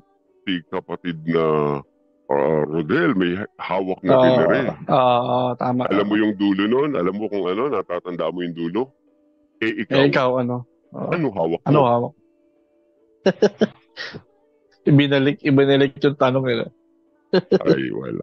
Talagang mangingiti ka na lang. At mapapanood mo sa mga members, alam mo mapapanood na sa mga members, kung kami masama sa MCGI, sana kayo mabuti. Di ba yun yung sinasabi nila sa video, di ba? So yung sinabi nung kuya, sinabi na rin nung mga miyembro. Nakikita mo ba, Del, yung malaking influensya ni PDR doon sa mga panatikong member ng MCGI? Nakita mo ba yung influensya doon sa salita na yon? Tatanungin kita, honestly, anong sagot mo? May influensya o wala? Meron, no, of course. Oh. Yung mga Laki, post nga lang nila, mga post nga lang ng mga fanatics, ano, napaka-cringe na nga eh. Exactly. They don't even Ah. think kung tama ba yung ginagamit nila. Oo. Basta narinig nila kay KD, alam nila, okay yun. Pero, try to dig deeper, Adel. Tingnan mo. Pansinin mo. Kung ako masama, sana ikaw mabuti. Ano napapansin mo dun sa salita? Kung matalino ka lang na nakikinig, may mapapansin ka eh. Bakit? Kung ako masama, Aminado siya. edi ibig mong, sina- ibig mong sabihin, may ibinabato sa'yo. May ipinapapansin sa'yo. May ibinabalik sa'yo ang tao. Pero, huwag mong kalilimutan, ang usapan, ikaw. Yung aligasyon, nasa'yo. May feedback sa'yo. May gustong sabihin sa'yo ang tao. Ang pinag-uusapan dito, ikaw. Hindi yung nagsasabi. Ikaw ang concern. Ikaw ang subject. Now, kung ikaw yung subject at ikaw yung concern, ikaw yung nasa hot seat. Diyan pumapasok yung style ni KD. Para ma-divert niya ang issue, para hindi siya ang mapag-usapan, para mabaling sa ibang atensyon, meron siyang diversionary tactic. Ibabalik niya yung issue sa'yo na nagsasalita. Bakit? Para makaiwas siya. Kaya ang sasabihin niya, kung ako masama, sana ikaw mabuti. Pero teka, bakit sa akin napunta yung usapan? Bakit yung burden ng pagpapatunay kung mabuti ba ako tao o hindi? Yun ang pag-uusapan natin. Di ba ang burden ng pag-uusap eh, ikaw ang dapat magpatunay na yung mga aligasyon nga sa'yo ay mali. Hindi ba ikaw ang may burden? Hindi ba dapat mong patunayan na hindi ka nga masama dahil sa mga akusasyon ng tao sa'yo? Di ba? O ano yun? Iwas pusoy? Parang ganito, Del. Bibigyan ko example. Basketball enthusiast ka. Nanonood ka naman siguro ng basketball. Ginebra versus San Miguel, palagay mo na. Ngayon, spectator ka. You have all the rights to say. You're entitled to your own opinion. Ay, itong player na to, hindi ito marunong mag-basketball. Hindi ito magaling na player. Bakit? Kasi alam mo kung sino yung good player. Na kung halimbawa, napanood kita at naglalaro ka ng basketball, panay 3 seconds mo sa loob. Pumasok ka man sa loob, puro offensive foul pa. Tapos nakakailang beses kang tawagan ng traveling. Pwede ko bang sabihin, ay itong tao na to hindi marunong mag-basketball. Ngayon, balik tayo sa punto kay Kuya. Ano sasabihin ni Kuya pagka ganon? Kung ako hindi marunong mag-basketball, sana ikaw, professional player. Abay, teka. Nagit mo ba point ko? Wala akong sinasabing professional player ako in the first place. Pangalawa, I'm just giving you a feedback according sa observation ko na hindi ka talaga marunong mag-basketball. Bakit sa halip na ang sagutin mo is yung assessment ko sa'yo? Iniiwasan mo, ibinabalik mo sa akin. The ball is in your court. It's your responsibility to respond. Gets mo ba? O iwas pusoy ka. Pero alam mo, Del, may isang mas malalim doon. Alam mo kung ano? Ito yun. Ano? Baka kaya mo iniiwasan at ibinabalik mo sa akin na ayaw mong pag-usapan natin ang pagiging unprofessional mo sa basketball. Baka kasi kaya ganun. Ayaw mong sagutin yung masasamang ibinabato sa'yo kasi may sugat ka. Iniiwasan mong makanti yung sugat mo. Isang bagay ang alam ko, pag ang sugat nakakanti, it hurts. Nagtatanong lang naman ako. Kung wala ka naman talagang itinatago, why not face the allegations? Why not answer those charges against MCGI? Totoo ba talagang may Area 52? Bakit kailangan mong daanin sa area, area? Ba't hindi mo sagutin directly? Tingkong hindi ganon. Totoo ba talagang nagseserve kayo ng alak dyan? Nag-aalaga ba talaga si EJ Hirson ng panabong na manok? O titinulahin lang? Sagutin mo yon. Yun yung burden na dapat mong sagutin. Totoo ba talagang may ticket yung pamakin mong binili na ganun kamahal? Paniptas-tas ba talaga ng credit card at taga Middle East? O, yung mga taga North Am ngayon, totoo ba yung mga sinasabi ng mga taong ito? Ang dami mong dapat sagutin. Pero may sinagot ka ba? Wala. Hindi mo ba sinasabi mo? Ikaw, mabuti? Ba't ganun? Ba't ibinabalik mo sa akin? Uulitin ko ang tanong, ba't mo iniiwasan? Ayaw mong kantiin. Isa lang ang kahulugan niyan. Maliwanag sa akin. Kung masakit, ayaw nakakanti ang sugat. I risk my case, boss. Bahala ka nang mag-isip. May ano ba dito? May may psychologist ba tayo dito? Ano, kasi alam ko may ano yun, eh, may something ano yun eh. Terms sa, sa, sa psychology yung hindi ano, hindi sumasagot ng directly sa sa questions. eh, nakalimutan ko lang yung ano yung O Adel, mag, Yung, mag ano uh, tayo? Let's uh, play mental gymnastics. O, halimbawa, um, kung ako negro, halimbawa, sabihin mo Adel, sabihin mo sa akin, anong idudugtong mo? para para kung Halimbawa, sundan mo yung line of thought ni KDR. Halimbawa, kung ako bobo, ano isasagot mo? Ano sabihin mo kasunod? sana ikaw matalino ganun. Oo, di ba? Ganon, nakuha mo, di ba? Talino mo, di ba? O, kung ako bobo, sana ikaw matalino. Ngayon, kung ikaw naman ang sasagot doon at matalino ka namang sumagot, sasagutin kita. Alam mo, ang sagot ko. Ah, ano? Well, hindi man ako matalino, hindi naman ako kasing bobo mo. Huwag nating pag-usapan dito yung hindi ko pagiging matalino. Ang pag-usapan natin dito, yung pagiging bobo mo. Balik tayo sa'yo.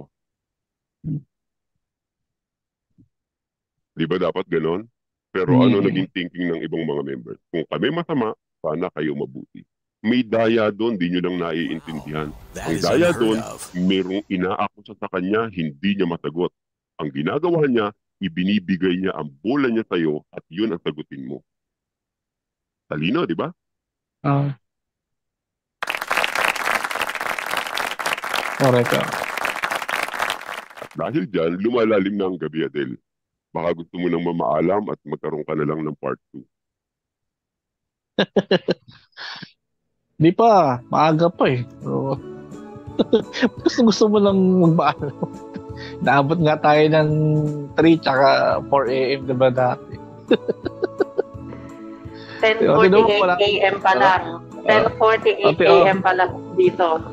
Oo, oh, yun nasa YouTube natin, 106. Hindi bumibitaw. Ma- Mga taga North Am to eh. Ah, mga taga North Am. Ngayon pa lang gumigising ang North Am. 10 o'clock pa lang sa amin dito Oo, sa kaya gising pa lang nila. Oo. Baka gusto niyo po naman bumitaw. Puyat na po kami rito. Hindi, nag enjoy sila kasi marami dyan. Nababalidate yung kanilang mga experiences. Ah, gusto mag-voice out, eh, hindi makakapag-voice out, and yet, maririnig nila itong mga pinag-uusapan na ganito dito. Then, eh, sabi nga nung isa kanina, eh, hindi nga niya raw alam na meron ganito palang ah, support group, di ba? After 20 years, eh, na-relieve siya. Oh. Kaya na, naghihintay lang na marami dyan ng validations eh. Yeah. Walang masasabi lang natin sa lahat ng mga nandito pa sa loob. Siguro hinga natin si ano si Soro, yung ating dakilang uh, servant, kung ano yung biblical perspective na maipapayo niya sa mga nasa loob ng MCGI na nakaranas ng ganito. Kasi hindi natin maikakaila. Reality yan eh. Nakulto ka eh. Sad to say, naniwala tayong totoo pero hindi naman pala. Ano masasabi mo doon, Soro Servant, samantala naghihintay tayo ng mga magbo-volunteer pang magsalita? Oh, mahirap, mahirap kasing ano, ah, mahirap pa ilumin ng sugat. Pero ng kanta niyan, kapatid eh, ah, Brad, ano, Dark Knight, How to Mend the Broken Heart. Mahirap ibalik muli yung pagtitiwala, una-una, dahil lahat tayo na denggoy eh. Umasa tayo na yung dukhang pantas ang may tangan-tangan ng karunungan. Eh, nadenggoy tayong pare-pareho. Kaya ang bili na lamang ni San Pablo sa atin, sa isang talata po ng Biblia, ang pagkabanggit niya ho, eh, tignan na lang natin yung ano, yung limutin natin yung yung bagay na nakaraan at uh, anuhin natin yung hinaharap. Yun na lang ang ating tunghayan. Sambantalata yun. yung mga bagay sa likuran. Eh, mahirap kasing anuhin yan eh. Mahirap pa uh, ayusin dahil paano mo nga naman aayusin eh buhay at uh, lakas ang ginugol mo. Tapos uh, yung pala ang ending eh lokohan din. Ayan ho, sa isang talata ng Pilipos, Kapitulo 3, versikulo 13, uh, ganito po yung uh, sinasabi. Mga kapatid, hindi ko inaaring inabot na tapat isang bagay ang ginagawa ko na nililimot ang mga bagay na nasa likuran at tinutungo ang mga bagay na hinaharap. Yun na lamang po sa tingin ko magagawa natin sa ngayon, harapin na lang natin yung bagay na hinaharap. Kaya yung paniniwala, unang-una, hindi ko, hindi ko rin masisi yung iba na nagkaroon ng duda dahil mga garapal tong mga taong ito eh. Isipin mo, kinalakal ang salita ng Diyos. Hindi kami gaya ng karamihan, sabi niya. Kinakalakal salita ng Diyos. Eh, dun din pala na uwi ang uh, ating kinilalang mga ngaral. Ayan. Sapagkat hindi kami gaya ng karamihan, kinakalakal ang salita ng Diyos, kundi sa pagtatapat. At gaya ng mula sa Diyos, sa harapan ng Diyos, ay nagsasalita kami para kay Kristo. Eh nauwi rin sa pangangalakal. Hindi man yung salita ng Diyos dahil sinasabi niya na hindi marapat kalakalin ang salita ng Diyos, eh nauwi pa rin sa pangangalakal. Na yun na nga yung ano, mga bagay na ginagawa nila sa loob. May ultimo damit ay ipagbibili. Kaya yung bili niya noon na bumili ka ng karunungan at huwag mong ipagbili, eh hindi nangyari. Talagang yung karunungan, eh ginamit niya. Yan ang nangyari sa atin. Na bihag tayo sa filosofiya na pakunwaring salita ni Epps. Hindi natin namamalayan yung pinupunan niya sa mga Bulaan daw, kuno, quote and quote, na mga ngaral noon, eh, yun din pala ang kanyang gagawin bandang huli. Eh, mahirap na. Mahirap magtiwala, lalo na ngayon mga kapatid. Ah, pare-pareho tayong nadaya, lalo na itong buya na ito. Wala nang alam sa Biblia, eh nakakapangdaya pa rin even up to now. Doon ka mamamangha sa taong yun eh. Meron pa rin nagogoyo. At yung nagogoyo, bagong lublob, sabi nga ni Kuya Aden, pinagtatanggol na siya ang dapat magtanggol eh. Hindi naman dapat ang miyembro magtatanggol para sa kanya. Siya dapat ang humarap at sagutin niya mga yan. Yung nagchat-chat dito na nagsasabi na kung hindi ninyo nalalaman ika kung nasaan napunta, eh huwag kayong magkonklusyon na binulsa, ninakaw. Eh yun ang hirap eh. Hindi nga namin alam kung saan napunta eh. Ang alam namin, tumutulong kami sa gawain. Eh ang tanong, saan nyo dinala? Yung pinambili nyo ng Farm 1, Farm 2, Farm 3, Farm 4, Farm, Farm 5, at saka yung Hotel Versesi na yan, saan ba galing yung pera niyan? Di ba galing yan sa mga itinulong ng mga kapatid? Huwag nyo naman sabihin galing sa bulsa nyo yan. Eh malamang, wala na kayong mapagdalhan, dinala nyo na sa investment. Ayun. Kaya hindi ko rin masisisi, maraming mga kapatid na nasira ang paniniwala dahil sa bagay na yan. Yan ang malaking ipagsusulit ng matandang yan pagdating ng araw. At saka ano, um, Kaya ano mga...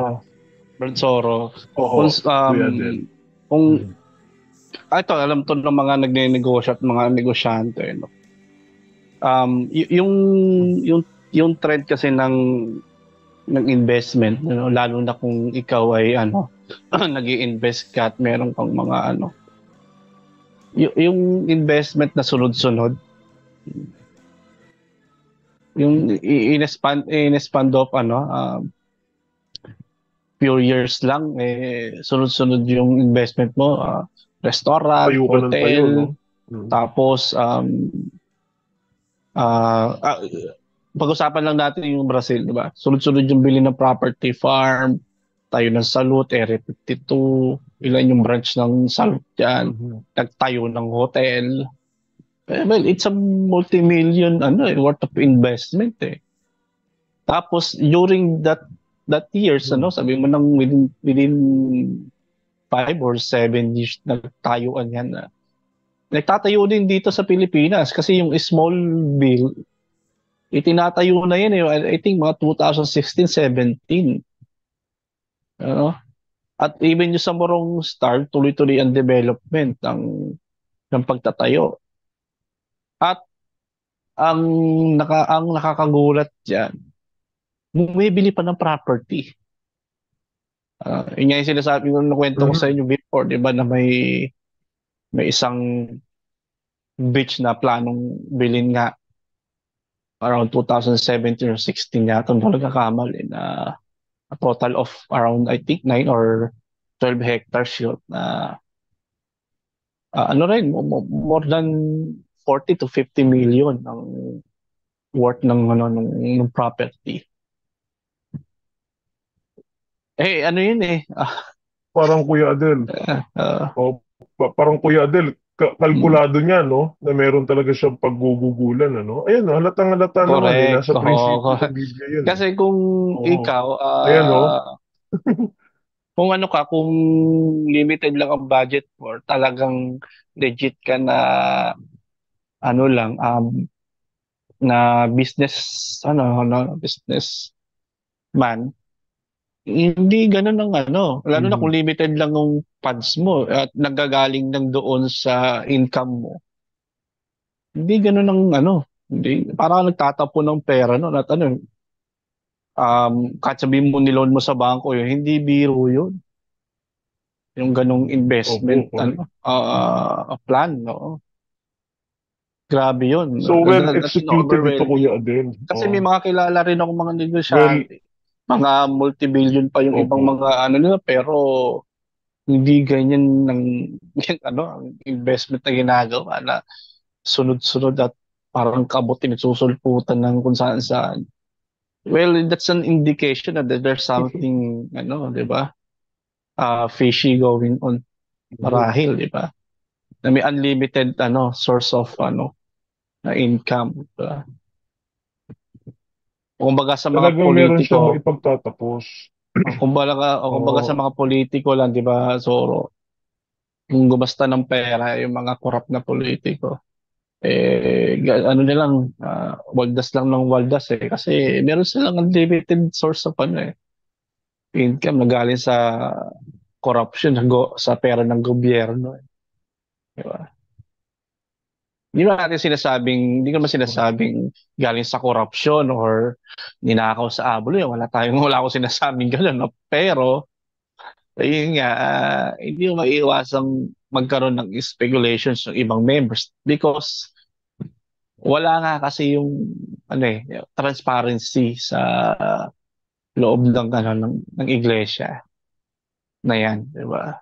Which is yun ang nagiging hinanakit din ng marami dahil nga sa marami dyan lumaban ng ubusan, di ba? Na-compromise yung kanilang pang mga pamilya, yung pag-aaral ng ilang kanilang mga anak, di ba? At yung, even yung kanilang mga personal ano um tinipid nila. Tapos makikita mo ngayon yung mga elite family kung gumasta, eh ganun-ganun na lang. Yung mga investment nila, hindi mo na maipaliwanag kung saan nanggaling. So, even yung mga investment sa Brazil, ano na ba nangyari doon? Wala man lang balita. Saan ba napunta yun? Kreto dyan, Adel, Ah, matuto kang magtanong. Diyan pumapasok ang problema ng mga miyembro ng MCGI. So, for me lang ha, be open to different perspective. Sa lahat ng mga nandito, dyan, sa mga North Am, let's say, halimbawa, may mga closeted members pa na nandyan, be open to other views and opinion. Listen to other perspective. Gaya yan, makinig kayo sa mga nandirito. Show humility to learn from others. Diyan bumabagsak ang MCGI. Sa MCGI, lagi mong maririnig, marunong ka pa sa honor. So ano na, magtatanong ka pa? Kung yun ang ibubulada sa'yo? Sa MCGI, ikakahon ka sa dapat mong paniwalaan. Wala kang freedom to ask question. Mind you, ang katotohanan maluwag na tumatanggap ng tanong. Ang katotohanan hindi takot sa tanong. Ang katotohanan, pag lagi mong inuurirat, lalo kanyang sasagutin. Kaya huwag kang matakot magtanong. Dahil kung ang tatanungin mo may dalang katotohanan, hindi kanyang tatalikuran. Ano, open kayo sa question? Kung ayaw nyo, isa lang ibig sabihin yan. Baka wala na kayong dalang katotohanan. Eh, yun yung mga sign ng ano yun, ng mga court court court leader ano, ah, Kuya um, Dark Knight, yung pagiging ano ah sociopathic ano Talagang ng mga pumipiyok. karis Talaga, talagang Ah. pumipiyok-piyok ka pa eh, no? Dahil baka eh mong nakahiga ka. Dahil nakahiga kasi ako eh. Medyo sumasabit eh. Di, delikado diri sa Mindanao, Adel. Utang na loob. Hindi, yung ano sabi ko, yung mga cult leader na mga ano, yung mga sign nila ng mga para-para sila ng pattern eh, yung, yung sociopathic na personality. Ganyan yun eh. Kumbaga parang mga parang mga ano yan eh, mental health condition ng mga court leader na dinidisregard yung whether you are right or wrong. Ignore nila yun. Bahala, basta importante sila masusunod. Diba? Kaya yung sinasabi mo na yung ah yung rights to question them or what, wala, hindi nila yan papansinin. The fact na ikaw pa magka-question, maano ka pa, mare-red tag ka pa.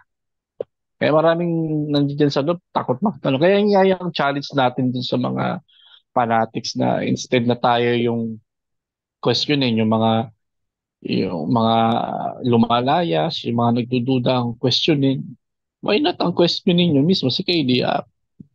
Diba? Siya ang tanong ninyo, yung mga KNP. Oo. I-challenge nyo sila. Diba? Pasagutin nyo mismo. Maganda, kunan nyo pa ng video or ano, audio recorded. Palutan nga lang, pagka ikaw ay nagtanong, eh, tag ka na at may duda. Ang katunod niyan, ibablock ka na. Di ba? Dahil papasukin natin si Irmouth, uh, may gusto yatang sabihin. Sige, sige. Hello? Sige po. po? Narinig ako? Oh, na, na-realize ko kasi, mga kasama, I think this this goes not only for members in North America, pero for, for all of us na naka-exit na. Isa sa mga aha moment ko nung ako ay naka-exit na po ay yung aking retirement strategy. Siguro, si, si, I don't know if yung, kung si Ate Pecha or si Unsatisfied, they are ready for retirement. Kasi when I was studying, uh, nung umalis, umexit ako, tsaka ako nagkaroon ng mulat or worry about my retirement. And na-realize ko, according to studies sa US, you have to have at least $1 million dollars in order for you when you age uh, 60 or 65 when you uh when you want to have a comfortable retirement tatanungin ko kayong lahat ano ang naipon ninyo for retirement sa mga tulungan sa lahat ng mga para sa gawain sa lahat ng mga panggagancho sa atin anong naipon natin? Kaya ako nung exit ako wala. Zero. Kaya ngayon ako nagkakanda ko mahog I'm studying investment sa stocks. I'm studying uh, may nagka, nagkaroon ako ng dalawang property for rental. We have to work on that. Kaya kayong mga kapatid na mga brainwash dyan, sa mga nanonood, nanonood o nakikinig ngayon, you have to work on yourself. Malaki. Tutulungan ba kayo?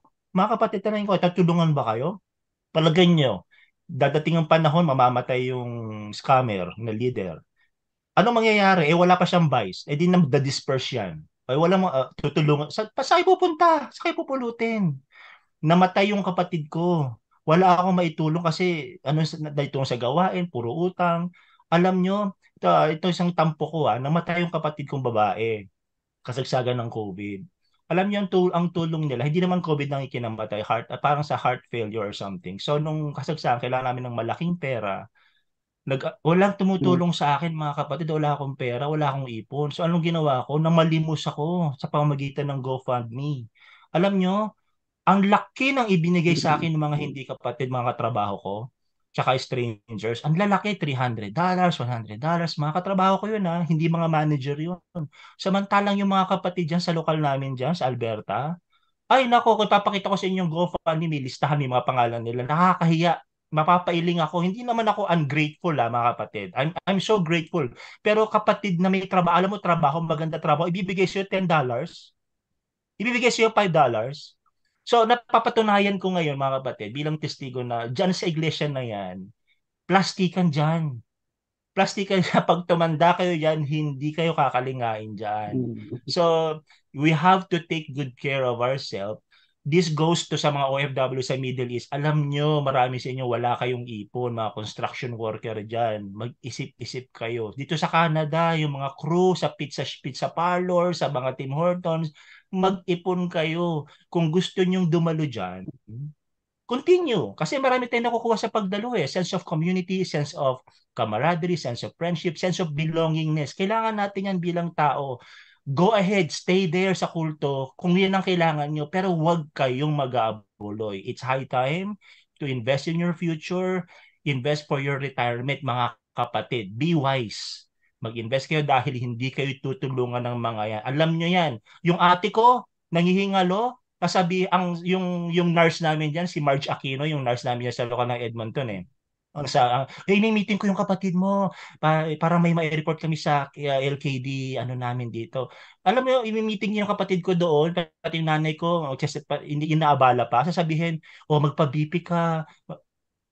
Testing ano advice yan. I-BP, pambihirang tulong yan. Manong bigay niyo ng ano yan, ng, ng ayuda yan. Asan yung mga, tumulong din naman ako dyan sa UNTB ambulance na yan. Meron ako mga tulong sa, asan na yung mga yan? Tapos marinig mo pa sa mga worker, ilapit nyo sa PCSO.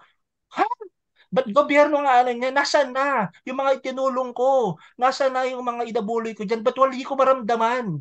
So yan mga kapatid, nagsasama naglalo lang ng sama ng ng aking sama ng loob. Pero yan ang mga bad experience ko diyan sa mga bagong lublob at ang titigas sa ulo nyo. At sa mga gustong lumublob, bahala kayo. Join at your own risk. Yan ang masasabi ko sa inyo.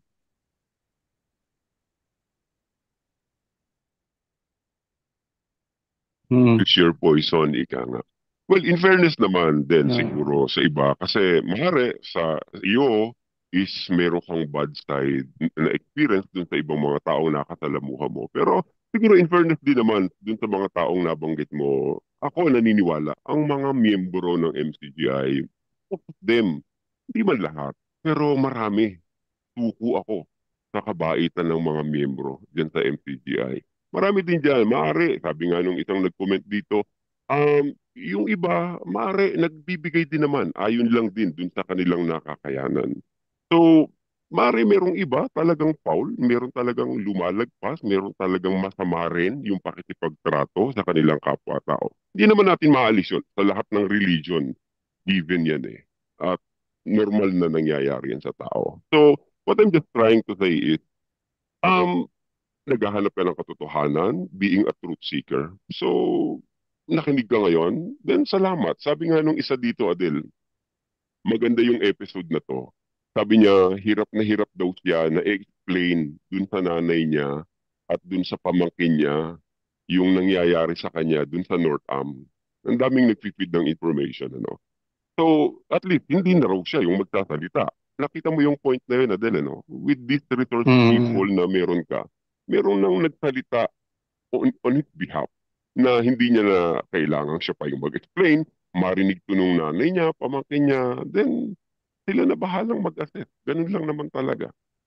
Salamat sa inyo at ah Adel, talaga bang wala kang planong sukuan tong mga to? Mahawa ka naman. Ay, diri sa Mindanao ay mag-aalaw na ng madaling araw, Adel. Hindi, may sasabihin pa ako, nakakalimutan ko tuloy na. Nag-i-introduction Hindi, may nagtatanong kasi kanina na, ano ba to? Pwede naman daw ikaw tumulong, wala lang pilitan. Sabi nung isa, wala lang daw pers- persahan. Okay nga sana kung gano'n, walang persahan. Yung, yung talaga yung essence ng ano, ng kusa. Ah, eh, ang problema nga kasi, walang ano, ah, to, walang pilitan, pero may kulitan. Yun ako. Ang daming, ang daming ganyan. Sabi Walang pa nung isa, pe- walang pilitan pero bawal tumanggi. Oo, may guilt tripping, tsaka may guilt tripping. ganun. Walang pilitan, ah, bawal tumanggi, ah, may guilt tripping, tsaka may kulitan. Ang dami.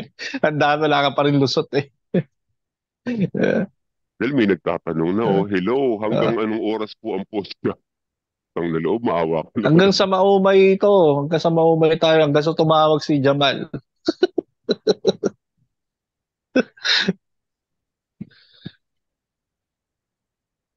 Opo, never nagpapilit pero naka 1 million pesos na po ang utang abuli ko. Ay, palagay ko, marami-raming prospect na iabuloy nito. Pwede ba banggitin ang mga pangalan baga ng mga naririto, Adel? Oo.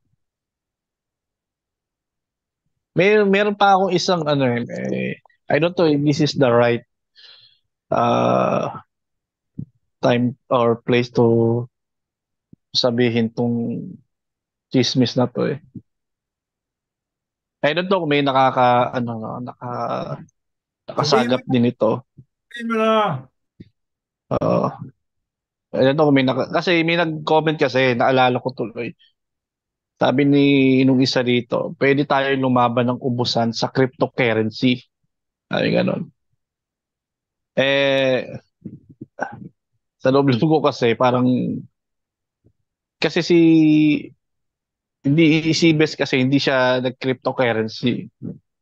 So, ang issue na iparating sa akin anong ating source is nag-Bitcoin si si Bes. Nag-invest sa Bitcoin. At ang unfortunately ay nadali daw ng mga around 18M, 18M. Sometimes 2,000. 18 billion? Oo, mga ganun. sometimes a 2018 man. Allegedly ha, pero kaya nga ano eh um, yung isang source kasi natin nagsabi nito is biktima rin siya kasi marami silang sumali doon sa ano no, doon sa Brazil. Mga workers sumali, mga ano even si Sislus nga din daw yata para nadalit din eh. So and yung yung pinagkatiwalaan ng nag-manage ng Bitcoin, ano na yon admin, I don't know, uh, I don't know kung tawag doon, or admin nila is sinuspend yata dahil nagka-problema doon sa pagmamanage. So, hindi ko alam kung anong, anong, how it works, no, yung about sa Bitcoin, pero parang forex din siya or parang style sugal din to, di ba? Parang nag invest ka and then yet, uh, more investment Pero actually, din. Kuya sa- din, oh, actually yung Bitcoin ngayon, tumaas eh. Ah, 55,000 USD per Bitcoin na siya ngayon eh. Umaangat siya. Kung nag-invest si Epps dyan noon at hindi niya pinull out yung pera niya dyan sa Bitcoin, kumita siya ngayon. Kung mga ilang taon na yan nakakalipas. That, that is a question. Ang Kung masasabi anong natin dyan is, ang masasabi natin dyan, yan ay di umano. At wala tayong ibinibintang na yan ay totoo. Hindi yan, hindi Opo. yan katotohanan. Wala tayong sinasabing yan ay nangyari in reality. Yan lang naman yung sabi nga ni Adele sa bungad niya eh, chismis lang. So, huwag kayong maniniwala sa tabi-tabi. Ang sabi nga nila, ang naniniwala sa tabi, tabi-tabi eh, walang bait sa sarili. So, yun lang naman ang sa atin. Ah, Adele, talagang pasensya na ha, pasintabi na sa lahat ng mga nakikinig, pero kailangan ko ng mamaalam.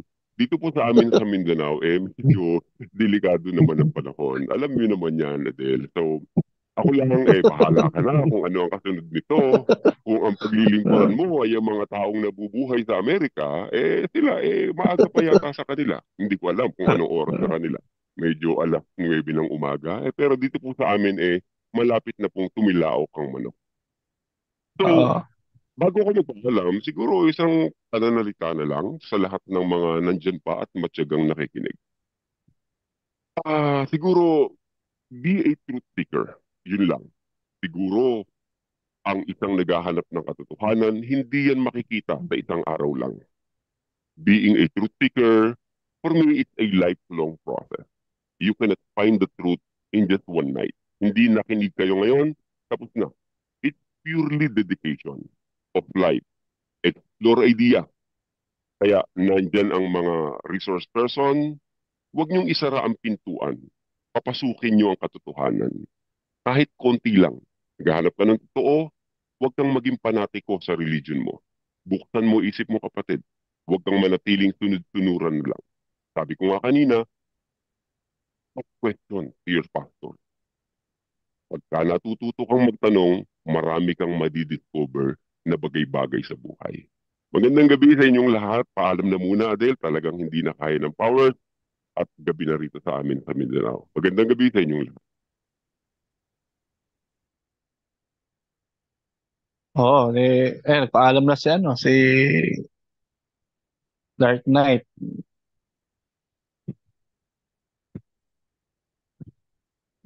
Sa mga ano natin, ano, sa mga listeners and viewers natin sa North America, next time ulit siguro magkakaroon tayo ng ano, ah, siguro baka um, part 2 or second edition itong kagaya nung ginawa natin doon sa Middle East na mga expose. Meron kayong mga iba pang mga informations ano or gustong magsalita with regards din sa experiences nyo sa North America kindly DM lang me dito sa aking FB or si Broccoli kay Adel FB page or Broccoli TV ano uh, you can reach out us pwede nyo kami i-message so, Tsaka Kuya Sige, Del, hanggang muna. Oo, oo. ah, Sige, Soro. Oo. oh, binabati ko yung binabati ko yung mga nakikinig sa abroad at ah, swerte nyo kasi hindi madaling araw dyan. Pero papasok na kayo sa trabaho. Anyways, ah sana po tuloy-tuloy po kayo sa pagsubaybay sa pundahan na ito at mak- makatulong po itong ginagawa po natin na ito para magkaroon tayo ng ng tawag nito ng therapy para sa ating mga kasama na nabiktima rin ng ah, pangguguyo ng magtsuhin na yan na ngayon eh yung pamangkin na ang ah, namiminuno. Sige po, ah, salamat po sa pagdalo at ah, kailan ba next natin, Kuya Adel? Meron ba tayong next na schedule? Mga hopefully next week. Oh. Tingnan natin. ah depende sa mga magiging ano, resource person at mga informations na ano natin ma- magagather. Kaya, kaya natin, baka malay mo, sagutin to ni Jamal. Eh di ba nagmi-meeting Ba- sila ata ngayon? Parang nagimbal yata na bigla nagpa-meeting ang ah, si Jamal at ah, nagsabi na oo, magmi-meeting yata sila. Oo nga, eh, may biglaan patawag eh, nung nalaman na mayroon tayo kasi. Nag-start na ba yung meeting nila? Pa-inform nga kami. Oo. Baka pwede naman kayo magbigay ng link niyan. Naka-Zoom ba yan? Ang mapasok namin.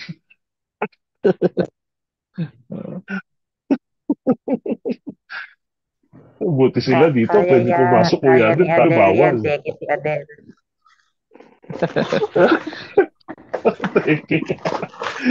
Pwede tayong pasukin natin, Pets, pero sila hindi pwede, di ba? Unfair naman yun. Eh, Sana sagutin nyo kami rito, di ba? Kaya, Eh, kaya pwede ba kami pumasok Deke si Adele. Sige, ano, last ano, parting words, ah, ano, Ate Petch, ah, unsatisfied. Yun nga po, ah, masasabi Ah. ko lang, maging aware kayo sa mga patakaran ng bansa na nandun kayo. Tsaka isipin nyo, tama yung sinabi ni ano kanina, yung mouse, yung tungkol sa future nyo, um, retirement, lalo sa ito sa bansang ito, napaka-importante ng retirement talaga. Um, maging wise kayo sa pag sa mga perang pinaghirapan nyo. Tsaka, ano, um, isipin niyo yung family niyo. Yun muna. Yun lang. Pag-ibig. Pag-ibig. Ano pa? Ah, Ate Petch, sige. Ay, wala na po. Ano, next time na lang po. But ear mouse, oh, may ano ka ba? Last ano. Ah, wala na, napiga na. Siguro ang message ko na lang ay sa ating mga panelists, ano, we're always like looking after sa welfare ng mga tagapakinig. So may time dyan, siguro sila Brock, sila, yung kayo Kuya Adel, you have to take care of your mental health also. You have to balance it, hindi yung puro five-hour pondahan, no? You have to enjoy then life, no? At sa mga nasabi ko, siguro, um, yung mga dala ng emosyon, dala ng passion, dahil na biktima ng kulto, dala lang ng emosyon yon. But I'm so happy to report na I got over it already. I got over it na parang dati hindi ko, hindi ko na iniisip na yung mga, ano, parang I'm so thankful na ngayon na halos, halos araw-araw, walang biro na parang na, na, nasasambit lang ako sa sarili ko, buti nakalaya ako sa MCGI. Buti nakalaya ako. Pag nausap kami ng nanay ko, nanay ko nahila ko palabas eh lagi kami nag-usap ni nanay, oh nay, tamo, but, buti nga ngayon, eh. o, o nga, buti hindi na ako nakikinig dyan dahil 8 hours ako nakaupo dito, nakakatulugan ko. Tamo, di ba? Tama yung desisyon natin. So, na, ang daming benepisyo mga kapatid. So, magkita-kita tayo sa, sa susunod na pundahan. Huwag kayong magsasawa, magtulong-tulong tayo. We have to heal together makinig kayo, magbasa kayo ng Reddit, dadami pa tayo, lalabas tayong lahat. Yung mga matitira, mga brainwash yan. It's not, we're not doing this para sa mga brainwash na ayaw gumising. Gin, ginagawa natin ito para maraming gumising dahil marami pa ang hindi nakakaalam na merong ganito, na, na merong Reddit, na merong Kuya Adel channel sa FB, may Broccoli TV. Lalaganap yan through word of mouth. So mga kapatid, salamat po sa inyo. Hmm. Sino pa ba? Eh, uli na natin si ano. Sino ba gusto magsalita? Well, ano, um, hello, hello? Dinig ako? Hello? Opo. Dinig po, Dinig dinig. ako. Well, ah, sa akin na lang, bago ko bigay si ang ating, ah, si, ano, Song Broccoli.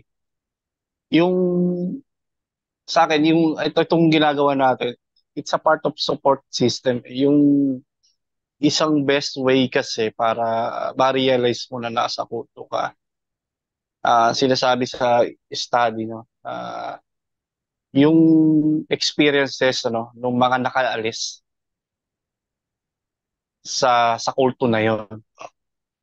Yan ang isa sa mga ano, sa isa sa mga magiging basis mo para ma-realize mo na talagang kulto nga.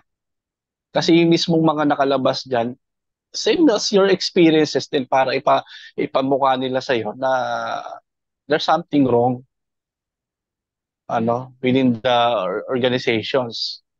And itong mga experience na ito na i-share share po ng mga resource person natin at mga nakaraan pa, eh ano na yun eh, ah, mababalidate mo eh. Agaya nga ng reaction ng isa kanina, di ba, na nalaman niya itong group na ito, nagkaroon siya ng relief sa kanyang sarili na yung iniisip niya for the past 20 years ay hindi pala siya nag-iisa. So, ayun, it's a, it's a, ano eh, it's a validation sa, sa mga doubts and questions na na na naiisip mo noon pa na hindi hindi dahil sa masama ka or demonyo ka dahil naisip mo yon uh, dahil yun ang ini-instill sa atin na pagka meron kang duda, meron ka, mahina ka sa pananampalataya, ay sa demonyo ka na. Masama ka na. Diba? Nag-isip ka ng masama sa mga ngaral, eh, eh dinidemonyo ka na. Eh, yung mga ganyang term kasi, masyado ng ano eh, gas-gas sa atin na laging ano, uh, ini-imply na ikaw yung masama at sila yung mabuti. So, ganun. So, yung mga ganitong ano, support group na ginagawa natin, support system po na makakatulong para ma-realize mo na tama yung mga ano mo, questions at duda mo. Uh, hindi ka nag-iisa. So, pag-aralan po ninyo, no? yung mga bagong viewers and listeners dito. So, bisitahin niyo po yung Reddit para makakita niyo po kung totoo hindi. Pick upin mo lang naman yung tingin mo tama at at ano at ideal talaga ng mga uh, criticism sa loob ng MCGI. Then, pagtimbang-timbangin mo kung tama ba o hindi kasi sinasabi lahat na yung mga lumalabas na mga um, uh, mga opinion at criticism against MCGI ay, ay valid na lahat ano dahil marami din kasing gumagawa ng mga fake news talaga eh. Ganun. Kaya as much as possible, even do sa page ko, sa page ni Broccoli, hindi kami naglalabas ng mga ano, mga fake news. As much as possible, lahat ng mga inilalabas namin is validated at may evidences. No? Ganun. Sige, um, uh, Broccoli, so, Broccoli, any ano, last word para sa ano, closing. Pwede, wala, wala. Okay na ako. Salamat sa Diyos, guys. Okay ka. Ah. Next time ulit. Okay, sige, sige. Okay, Yeah, salamat. night, Thank you, guys. guys. Good Good night. night. Bye.